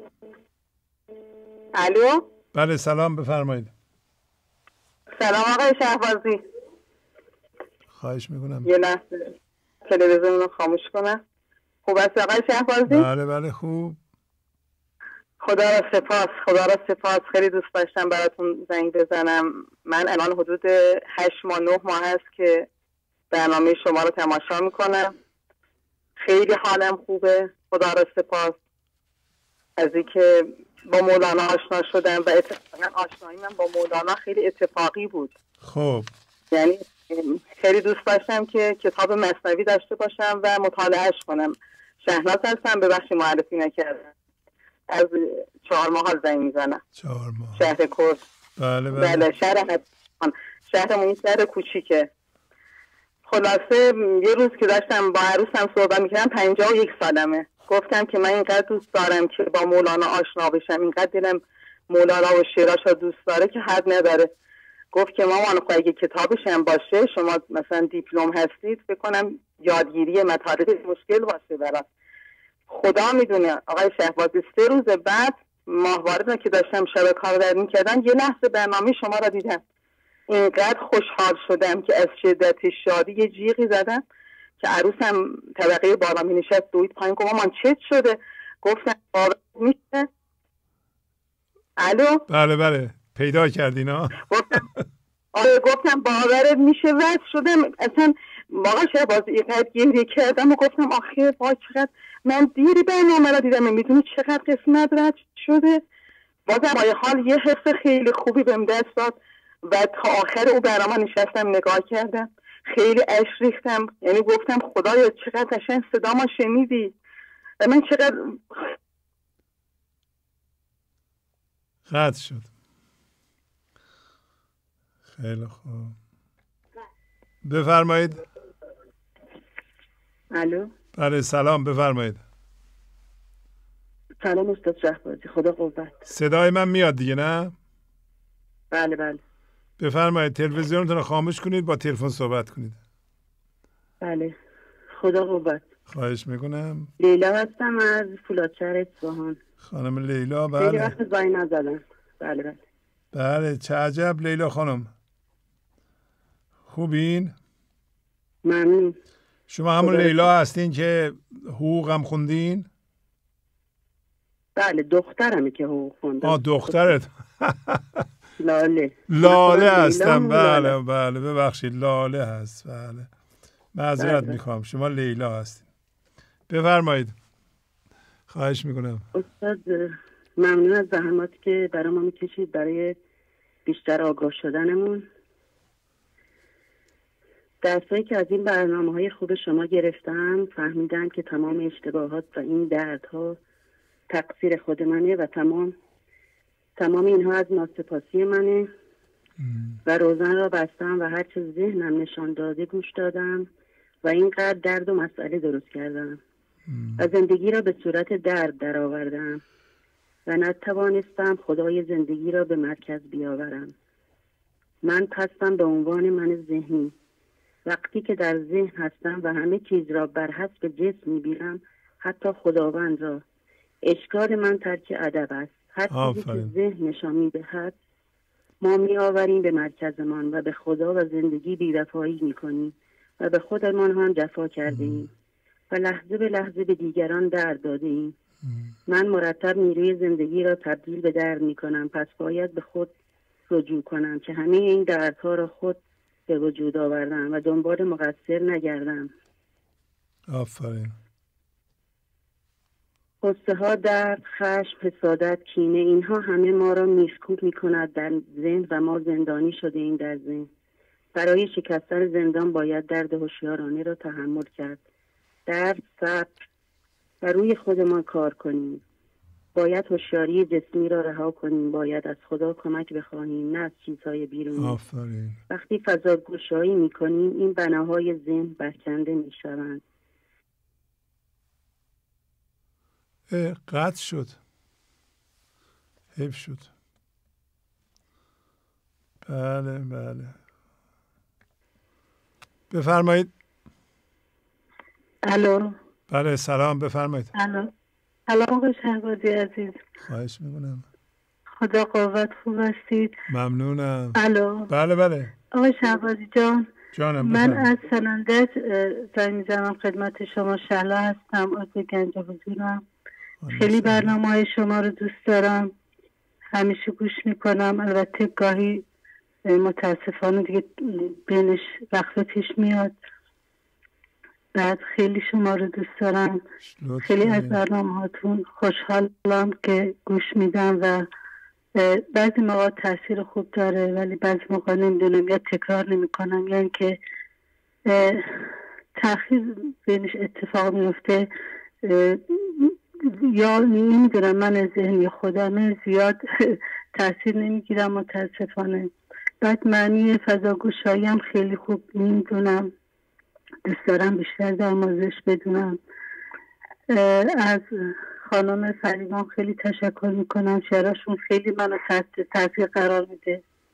بله. خیلی منو خوشحال می‌کنه. واقعا تحت تاثیر قرار می‌گیرم. انشالله همیشه زنده باشم. و نمی‌تونم دیگه چی بگم. آقای شهبازی جان من چند سال پیش در اصلا که برنامه شما رو می‌دیدم یه خوابی دیدم خیلی دوست داشتم براتون تعریف کنم. متاسفانه این اولین باره که دارم باتون صحبت می‌کنم. موفق نشدم که قبلا باتون صحبت کنم. بعد من خواب دیدم که جسد من که حالا کبود بود و زشتم بود توی تابوتی گذاشته بودن. بعد یه چند نفر انجام شده بودن دارش من داشتم خودم رو می‌دیدم. بعد می‌خواستم این احساس می‌کردم یه صاحبی داره که بیاد این جسد رو برداره دفن کنه. ولی منتظر بودم که صاحبش بیاد. ولی نمی‌دونستم میترسیدم. مردم می‌گفتن خب صبر کن صبر کن حالا میاد. من ترسیدم و فرار کردم. نمی‌دونم واقعا دیگه. تعبیرش چی دوست دارم شما در این مورد برای من یه چیزی بگید منو راهنمایی کنید. در سن بیمارادی هم خیلی دارم. شما, شما به صورت حضور ناظر من ذهنیتون رو دیدین دیگه. اگه نمی ترسیدین واقعا وای میستادین صاحب اون جسد میومد می‌برد. صاحب اون جسد خداست خریدارش خداست. بله. و این ترس کار خیلی ها رو خراب می‌کنه این بله. خواب جالبی است شما دیدین البته حالا در ظاهرم اگه شما واقعا من ذهنیتون رو دیدین دیدین اینقدر زشته که زشتم هست همه منهای ذهنی فرار بله. نکنید این خیلی مهمه که وقتی زندگی به ما کمک می‌کنه خودمون رو ببینیم و خودمون به بله. نظرمون وحشتناک میاییم در حالی که از خودمون یک پندار کمال داریم. بله. هر کسی هزار تا هم درد داره هزار جورم ظلم کرده خودشو خیلی بالا می‌دونه و کامل می‌دونه. میگه دیگه از من آدم بهتری وجود نداره. یک دفعه اگر مولانا بخونه فضا باز کنه یه موقع یه لحظه خودشو ببینه نباید وحشت کنه. فرار کنه. دیگه نخواد نخواد بله. ببینه. بله. توجه می‌کنین؟ نترسیم. ما از خودمون نباید بترسیم. ممکنه واقعا آدم وحشتناکی باشیم ما. هیچ کدوم از ما فکر نمی کنیم دروغ میگیم. وقتی متوجه میشیم نه من خیلی دروغ میگم. نمی‌خوایم ببینیم اینو. نمی‌خوایم بدونیم. من ذهنی نمی‌خواد بدونه. نمی‌خواد شما بدونین من ذهنی چی کار می‌کنه. بعضی از ما کارهایی می‌کنیم که اگر البته وقتی به ما میگن شما اینطوری هستید زیر بار نمیریم. چون ناموس داریم چون می‌خوایم اون تصویر زیبا رو حفظ کنیم به دیگران هم همه رو نشون بدیم انکار می‌کنیم. ولی خداوند بعضی موقع خود ما رو به ما نشون میده. نباید بترسیم. این خیلی مهمه. که نترسیم از خودمون برام دعا کنید. آقای شهبازی عزیز برای من دعا کنید لطفا. ما چه اصلا اون نفس رو نداریم. شما هر روزم با شما خودش دعا ولی نه من اون نفس دعا رو ندارم ولی خب شما شما اتفاقا شما به نظر میاد که داشتیم پیشرفت می‌کردین فرار کردیم ترسیدین و نباید فرار می‌کردین. باید همینطوری نگاه می‌کردین. البته اون خواب بوده این خواب اون خواب ولی خوبی بوده. حالا اینه من توضیح دادم که اگر امروز هم داشتیم خواب بیهوشی. خواب بیهوشی همه خواب, خواب حضوره. که اگر خودمون رو دیدیم دیدیم که ای بابا ما زندگی رو با درد تبدیل می‌کنیم. ما سبب درد دیگران میشیم. ما کنترل می‌کنیم. ما عیب جویی می‌کنیم. همش به عیب دیگران فکر می‌کنیم. ما نقص دیگران رو می‌بینیم و پیدا می‌کنیم و میگیم تا اونا کوچیک بشن. دیدن این چیزها در ما وحشت میانگیزه. ما از خودمون میترسیم. نمی‌خوایم ببینیم. ولی باید ببینیم. نباید بترسیم. برای همین میگه که اسکر الله کار هر اوباش نیست ارجعی بر پای هر قلاش نیست. همین الان گفت که خانمی خوند یعنی ذکر خدا و فضاگشایی کار هر من ذهنی نیست و اینکه ما ارجعی بر پای هر قلاش نیست. یعنی برگشتن به سوی خدا هر کس کار هر کسی نیست. چون اگه بترسیم ما و می‌خوایم من ذهنی رو حفظ کنیم دیگه. بله درست. ولی بهترین دعا کننده برای خودتون خودتون هستین خانم. دعای ما همینی که اینا رو توی صفحه می نویسیم میگیم ببینید دیگه. شما هم خیلی باهوش هستین و دانا هستین. می‌خونین معنیش رو می‌فهمین. عمل کنید. شما خودتون با عمل کردن برای خودتون دعا کنید. بخواین که فرار نکنید. بخواین که این من ذهنی خودتون رو ولو وحشتناک عوض کنید. این ده ویران و ترا هیچ به بغداد مده. توجه می‌کنین. همین ده ویران زودی می‌تونه به وسیله تابش و نور زندگی آبادان بشه. ممنونم باتون خداحافظی می‌کنم.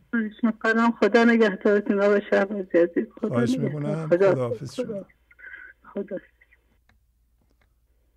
بفرمایید. الو سلام خوبی؟ آقای شهبازی؟ بله بله خوب. خدا قوت. ممنونم از اجرای برنامه زیبای امروز. خیلی عالی بود. خوب بود. عالی بود عالی بود. هرچند من دیشب باید زنگ کردم که زود بیدارشم نمی‌دونم چرا خواب موندم امروز. نیم ساعت اول رو من نتونستم ببینم.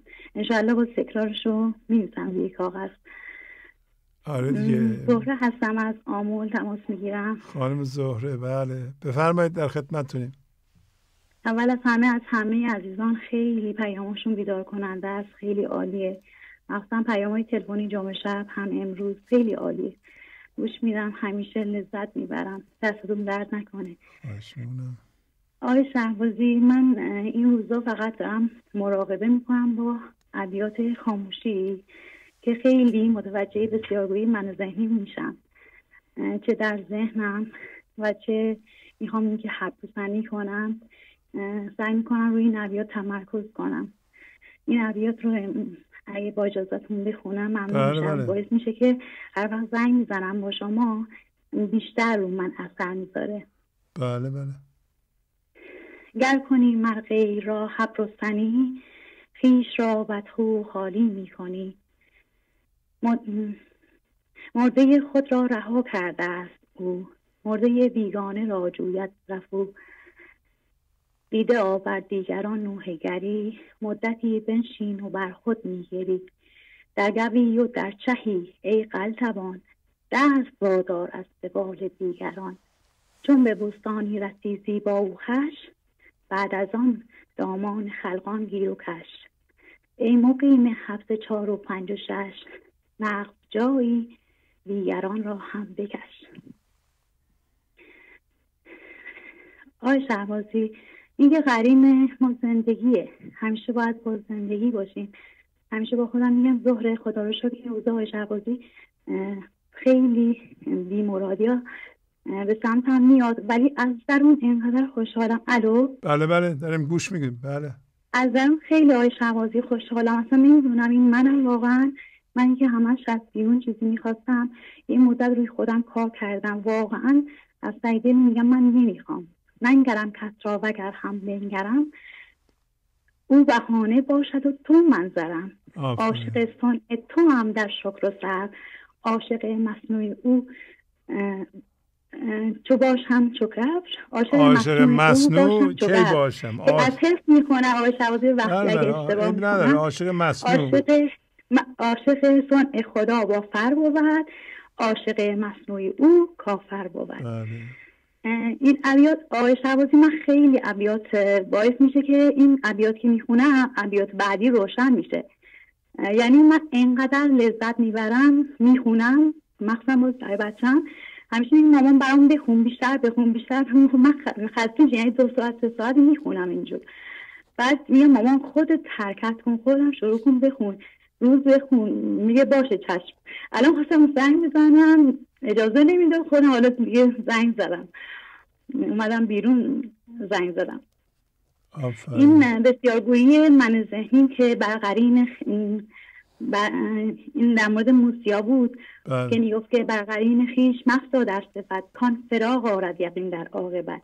هر چه گویی ایدم هستی از آن پرده دیگر بر او بستی بدون با خودم میگم که زهر جان تو همه چی رو به طور ذهنی یاد گرفتی. دیگه می‌دونی چیه. گوی زندگی به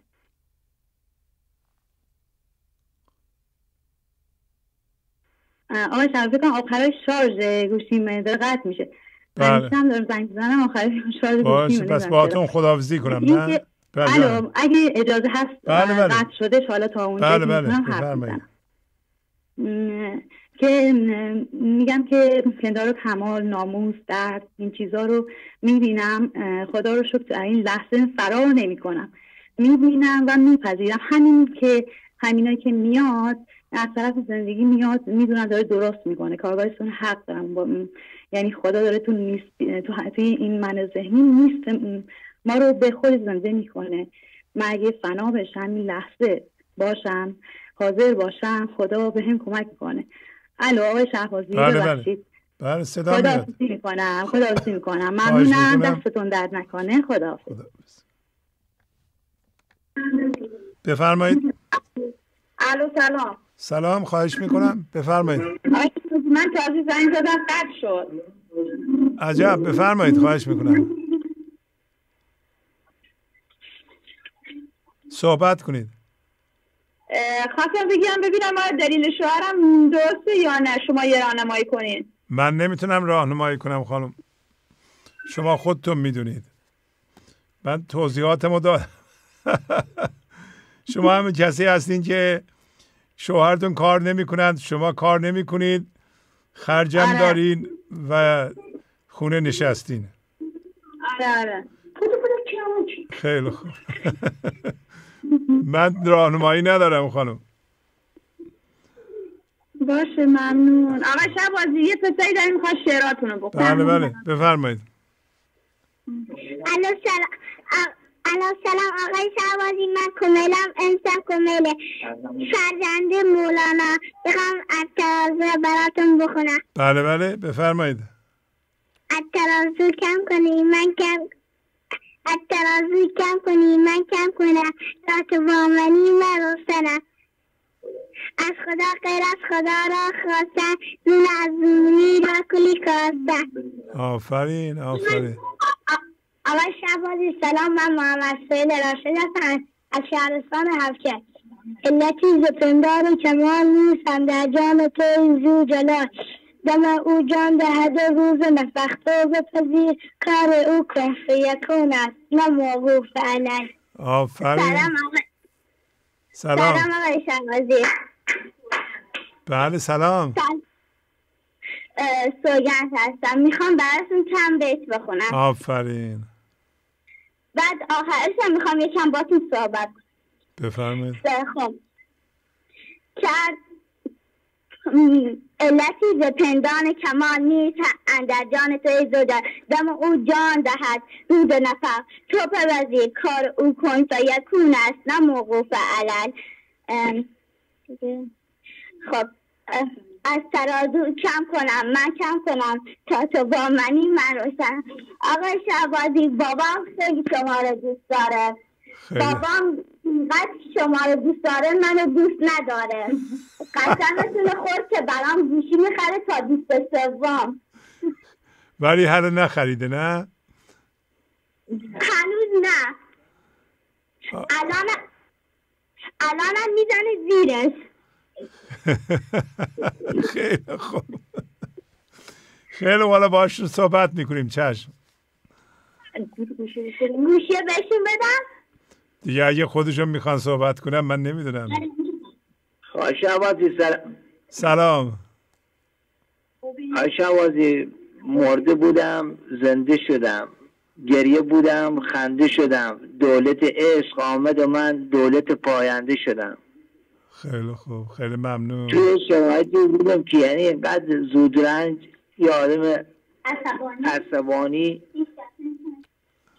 حتی کسی جرأت نمی‌کرد یا نزدیک من خب. ولی از بحثی که برنامه نگاه کردم صادقانه انگار یه نوری اومد تو خونمون. با اینکه بیکارم بودم توی شرایط سختم بودم ولی یه خدا یه دختری بهم داد. وقتی نگاهش کنم احساس کنم شعرهایی دارم تو صورتش بینم خیلی خوب. یه دختری بهم داد الان شیش ماهش خدا شکر. یعنی گم- انگار یه امیدی به این برنامه بهم داد که زندگی کنم. انشالله انشالله. حالا انشالله کارم بکنین که این خانم شما شکایت نکنن. باشه چشم. آی شعبازی ممنونم. به, نوکرتم آی شعبازی دست در نکنه. به خانم سوگندم شما یه تلفن بخرید که شکایت نکنن. باشه.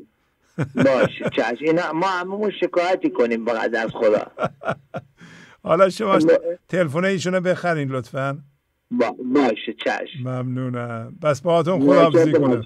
جان چی می‌خواد صحبت کنه؟ سوکی اه، خانمم؟ هر... نه هر کی یعنی می‌خواد. کسی نیست صحبت کنه درسته؟ می‌خوام چند تا بیت دیگه بخونم. چند تا بیت دیگه بخونید. قرار شد تلفن شما رو هم بخرم باباتون. آره اگه خ... ممنون. اگه خدا بخواد. انشالله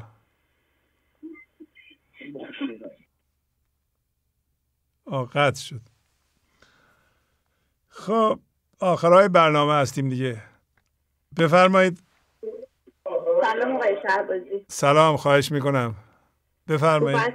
خیلی خوب. آره.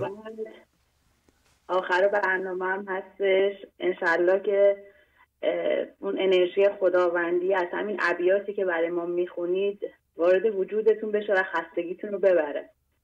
والا من خسته نیستم ولی خب می‌دونم که باید دیگه یه حد حدودی داره برنامه. خسته نیستم من فکر نکنم به نظر دیر نمیشیم همینجوری بشینیم ما هم هستیم ما هم نشستیم. حالا به نظر- بعد ساعتی که برسید به نظر. شما من خسته میام. نه اصلا خسته نیستید. خب ما میگیم چندین ساعت نشستید اونجا میگیم شاید خسته شده باشید. حالا به لحاظ جسمانی شاید. خیلی خوب. نه واقعا خسته نیستم. انرژی هم. دارم می‌تونم با- باشم. ولی خب باید یه جایی تمام کنیم برنامه رو. شما خسته نشین بینندگان خسته نشن. بفرمایید. آقای شهبازی یک چند وقتیه که من همش خب قانون مادی رو من رعایت می‌کنم تا حد توانم. قانون معنوی رو دارم تلاش می‌کنم که خب خیلی رعایت کنم خیلی کار کنم. هر روز الان دارم کار می‌کنم دیگه. اونجوری نیست که یه روز کار کنم دو روز کار نکنم. خیلی مرتب تر شده. با ابیات مراقبه می‌کنم هر روز. برنامه ها رو دیگه سعی می‌کنم کامل نگاه کنم. یه که از این ور یه از اون ور نباشه. یه پکیج کامل رو نگاه کنم. خیلی بهتر شدم به لحاظ این دوتا قانون. بله. ولی احساس کردم آقای شعبازی یه قانون عملی هم باید باشه. جبران عملی یعنی جبران مادی جبران معنوی و جبران عملی. که این بله. جبران عملی آقا من شعر انستو رو یاد گرفتم. آیا عملا انستو می‌کنم. من مثلا پندار کمال رو معنوی یاد گرفتم. آیا عملا توی عمل این کار رو می‌کنم؟ آیا فضا گشایی توی عمل می‌کنم؟ آیا توی عملم تسلیم میشم؟ آیا وقتی قضا و قدر میاد نمی‌دانم میگم؟ آقای شهبازی من قانون جبران عملی رو الان انجام نمیدم. یعنی انگار فهمیدم مولانا چی میگه. درسای تئوری رو گرفتم همه رو. ولی اینکه در عمل بخوام بیام پیادش بکنم در این جبران خیلی هنوز ضعیفم خیلی بله. ضعیفم. و باید روی عملم دیگه خیلی کار بکنم. انشالله بله بله درست میگه و آقای شهبازی نکته دیگه ای که می‌خواستم بگم من ذهنی رو من یه شناسایی کردم. دیدم که بله یه اتفاقاتی برای من افتاده به لحاظ زندگی بیرونی. خب یه پیشرفت هایی کردم یه اتفاقات خوبی افتاده به لحاظ کاری به لحاظ درسی به لحاظ دنیایی اتفاقات خوبی برای من افتاده و من واقعا شاکر زندگی هستم. ولی من ذهنی درونن داره کارهای خودشو می‌کنه. خیلی بله. جالبه. این درون من حسادت هنوز هست. حرس هنوز هست اون شهوت هنوز هست. شاید بیرونی دیگه نیست یعنی من عملی دیگه اون کارا رو نمی کنم ولی درونم هنوز اینا هست و من اینها رو می‌بینم. بله. و خیلی برای من جالبه که وقتی من با ابیات مولانا مراقبه می‌کنم درونم واقعا من اون من ذهنی زشت خودم رو می‌بینم. که چقدر حالا این حرف رو جلوشم نزنم چون حالا ناراحت میشه. ولی خب یه جورایی خیلی زشته خیلی کثیفه خیلی البته خب اون ذاتشه ها. با وقتی ذات یک چیزی هست نباید ازش خورده گرفت. نباید گفت چرا تو اینطوری هستی. خب من ذهنی ذاتشه. ذات اغرب وقتی نیش می‌زنه دیگه خورده ای نمی‌گیریم. میگیم دیگه ذاتشه. اون نیش زدنه. الان خب من ذهنی هم این من باید یاد بگیرم. من باید یاد بگیرم که با این من ذهنی چیکار بکنم. اون که خب بیچاره دیگه اون مدلیه دیگه چیکارش کنم؟ بله. نمی‌تونم کاریش بکنم. من باید عوض بشم. بله. و خیلی وقتتون رو نگیرم چون تایم هم داره تموم میشه. و نکته دیگه که می‌خواستم بگم آقای شهبازی من ذهنی کاری می‌کنه. مثلا مثال می‌زنم. اگر من توی بچگی توی خانواده بزرگ شدم که مثلا حالا مادرم یا پدرم یه خطاهایی داشته دائما به من میگه که تو هم مثل اونها خواهی شد. بله. تو عوض نمیشی. ببین عین کارای اونا رو داری می‌کنی. ببین عین مثلا مادرت شدی یا ببین همون کارهایی که مثلا تو بچگی رنجت می‌داد. الان داری خودت اون کارا رو می‌کنی و تو توانایی تغییر نداری. یعنی اون جبر رو به من میاره که تو خودت هم بکشی می‌خوای مثل اون بشی. پس خیلی تلاش نکن. و من آقای شعبازی فهمیدم که من باید اینها رو گوش کنم ولی تلاش خودم رو بکنم. ناامید نشم. بله. این هر چقدر تو میگه تو نمی‌تونی تو نمی‌تونی عوض بشی تو نمی‌تونی کاری بکنی من فقط قوانین رو رعایت کنم قانون جبران مادی رو رعایت کنم جبران معنوی رو رعایت کنم و جبران عملی رو رعایت کنم. از شما هم خیلی ممنونم. خیلی دوستتون دارم آقای شهبازی. لطف دارین. فرمودین از کجا زنگ می‌زنین؟ من از کرج تماس می‌گیرم آقای شهبازی. خیلی خوب. عالی. موفق باشین. پس باهاتون خداحافظی می‌کنم. خدا نگهدار. خب دوستان برنامه تمام شد. با اجازه شما البته.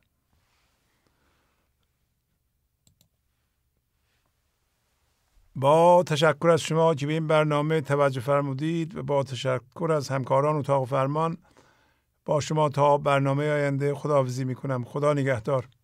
گنج حضور. سی دی و دیویدیو های گنج حضور بر اساس مصنوی و غزلیات مولانا و غزلیات حافظ. برای برخورداری از زنده بودن زندگی این لحظه و حس فضای پذیرش و آرامش نامحدود این لحظه برای حس شادی آرامش طبیعی درونی و بروز عشق در شما. برای سلامتی تن ذهن و لطیف کردن احساس شما. برای خلاص شدن از مسائل زندگی توهمات ذهنی بی‌حوصلگی دلمردگی بی انرژی بودن. و رسیدن به حالت شادی طبیعی.